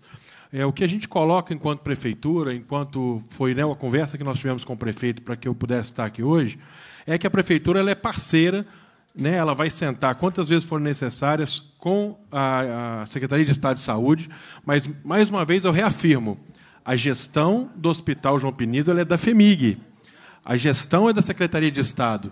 A Secretaria de Saúde, ela sim, entende todas as dificuldades, mas nós não podemos fazer gestão de recursos dentro da instituição FEMIG. Nós não podemos determinar que servidores da instituição FEMIG façam serviços na porta do, na porta do, do João Penido. Mas eu entendo o seguinte: nós não, não vamos avançar se nós ficarmos nessa discussão. Eu acho que nós temos que nos unir. Eu acho que é, a conversa que hoje ela teve, ela é muito valorosa. Nós temos que aproveitar esse momento de que, né, se falou de futebol, que levantaram a bola, é juntar essas forças, sentar numa mesa só, o deputado Noraldino colocou aí muito bem colocado, e o Betão também, é sentarmos na mesma mesa e definir esses parâmetros e verificar o que cada instituição pode fazer dentro da sua altura, dentro da sua capacidade, para estar objetivando essa, essa situação da reabertura ou não da porta. A prefeitura se coloca à disposição para sentar quantas vezes necessário for, e isso é uma definição do prefeito Tony Almas, que é médico e que entende a importância daquele hospital para aquela região. Mais uma vez, eu agradeço e cumprimento também o deputado Noraldino, que chegou aqui agora né, complementando e nos ajudando nessa discussão. Muito obrigado. Com a palavra, o Gils, um minuto, para as considerações finais. É, eu gostaria de cumprimentar novamente o deputado Betão pela propositura dessa audiência, ao deputado Wilson ter conduzido de maneira tão hábil essa, essa reunião, ao deputado Noraldino, que, que é amigo chegou agora, mas está, falou muita coisa verdadeira aí. É, acontece que a gestão é, da urgência e emergência e atenção primária compete ao município. Né? O Estado não se exime de participar disso. Né?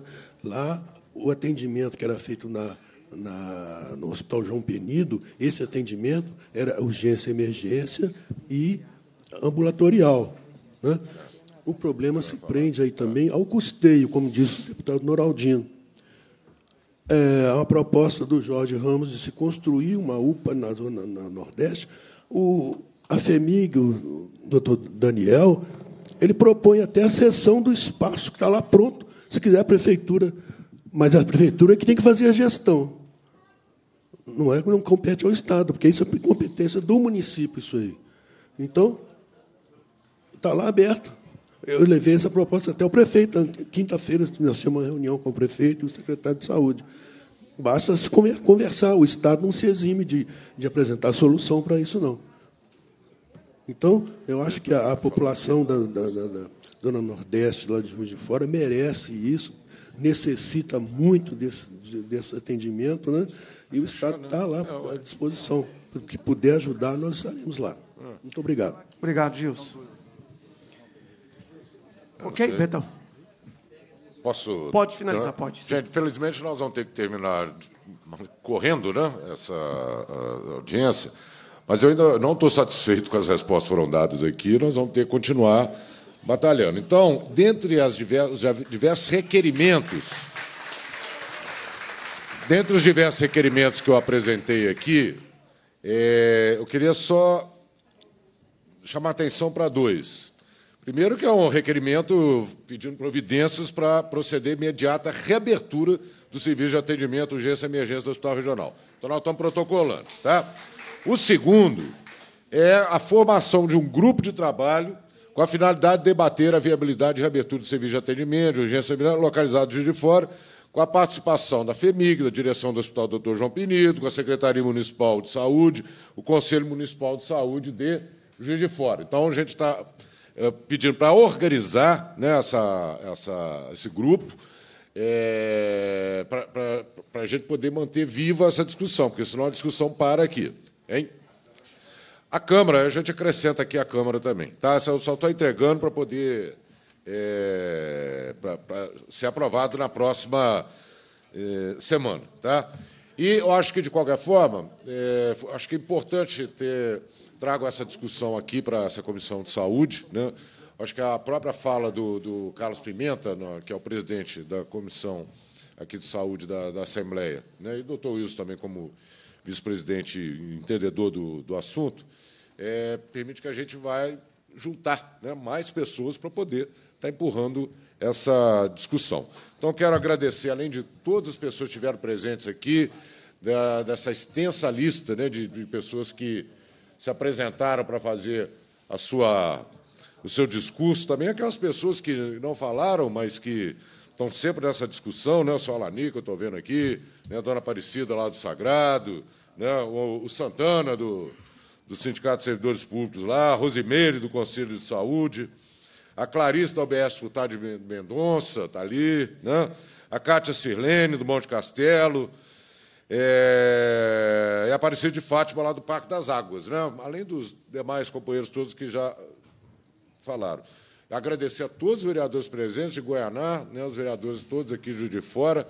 Vi agora, estou vendo aqui o ex-vereador Barbosa Júnior. Apareceu ali na porta o ex-vereador Chico Evangelista. Daqui a pouco o de Fora está todo aqui, não vai ter.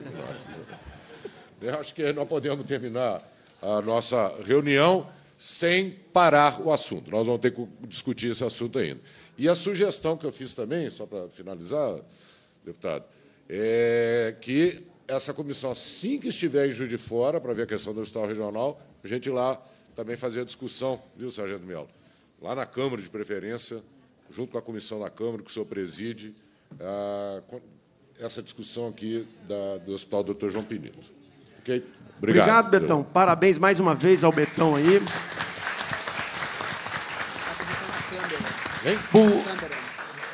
Parabéns, Betão. Parabéns também Já ao estou deputado. mudando aqui, acrescentando a Câmara naquele requerimento. Tá? Agradeço também aí ao Neuraldino, a delegada Sheila, todos os vereadores de Juiz de Fora. Isso aí é a demonstração da preocupação lá com a região Nordeste em Juiz de Fora, aos representantes aqui da Secretaria Municipal de Saúde de Juiz de Fora, o representante da Secretaria Estadual de Saúde de, de Minas Gerais. Então, agradeço a todos vocês.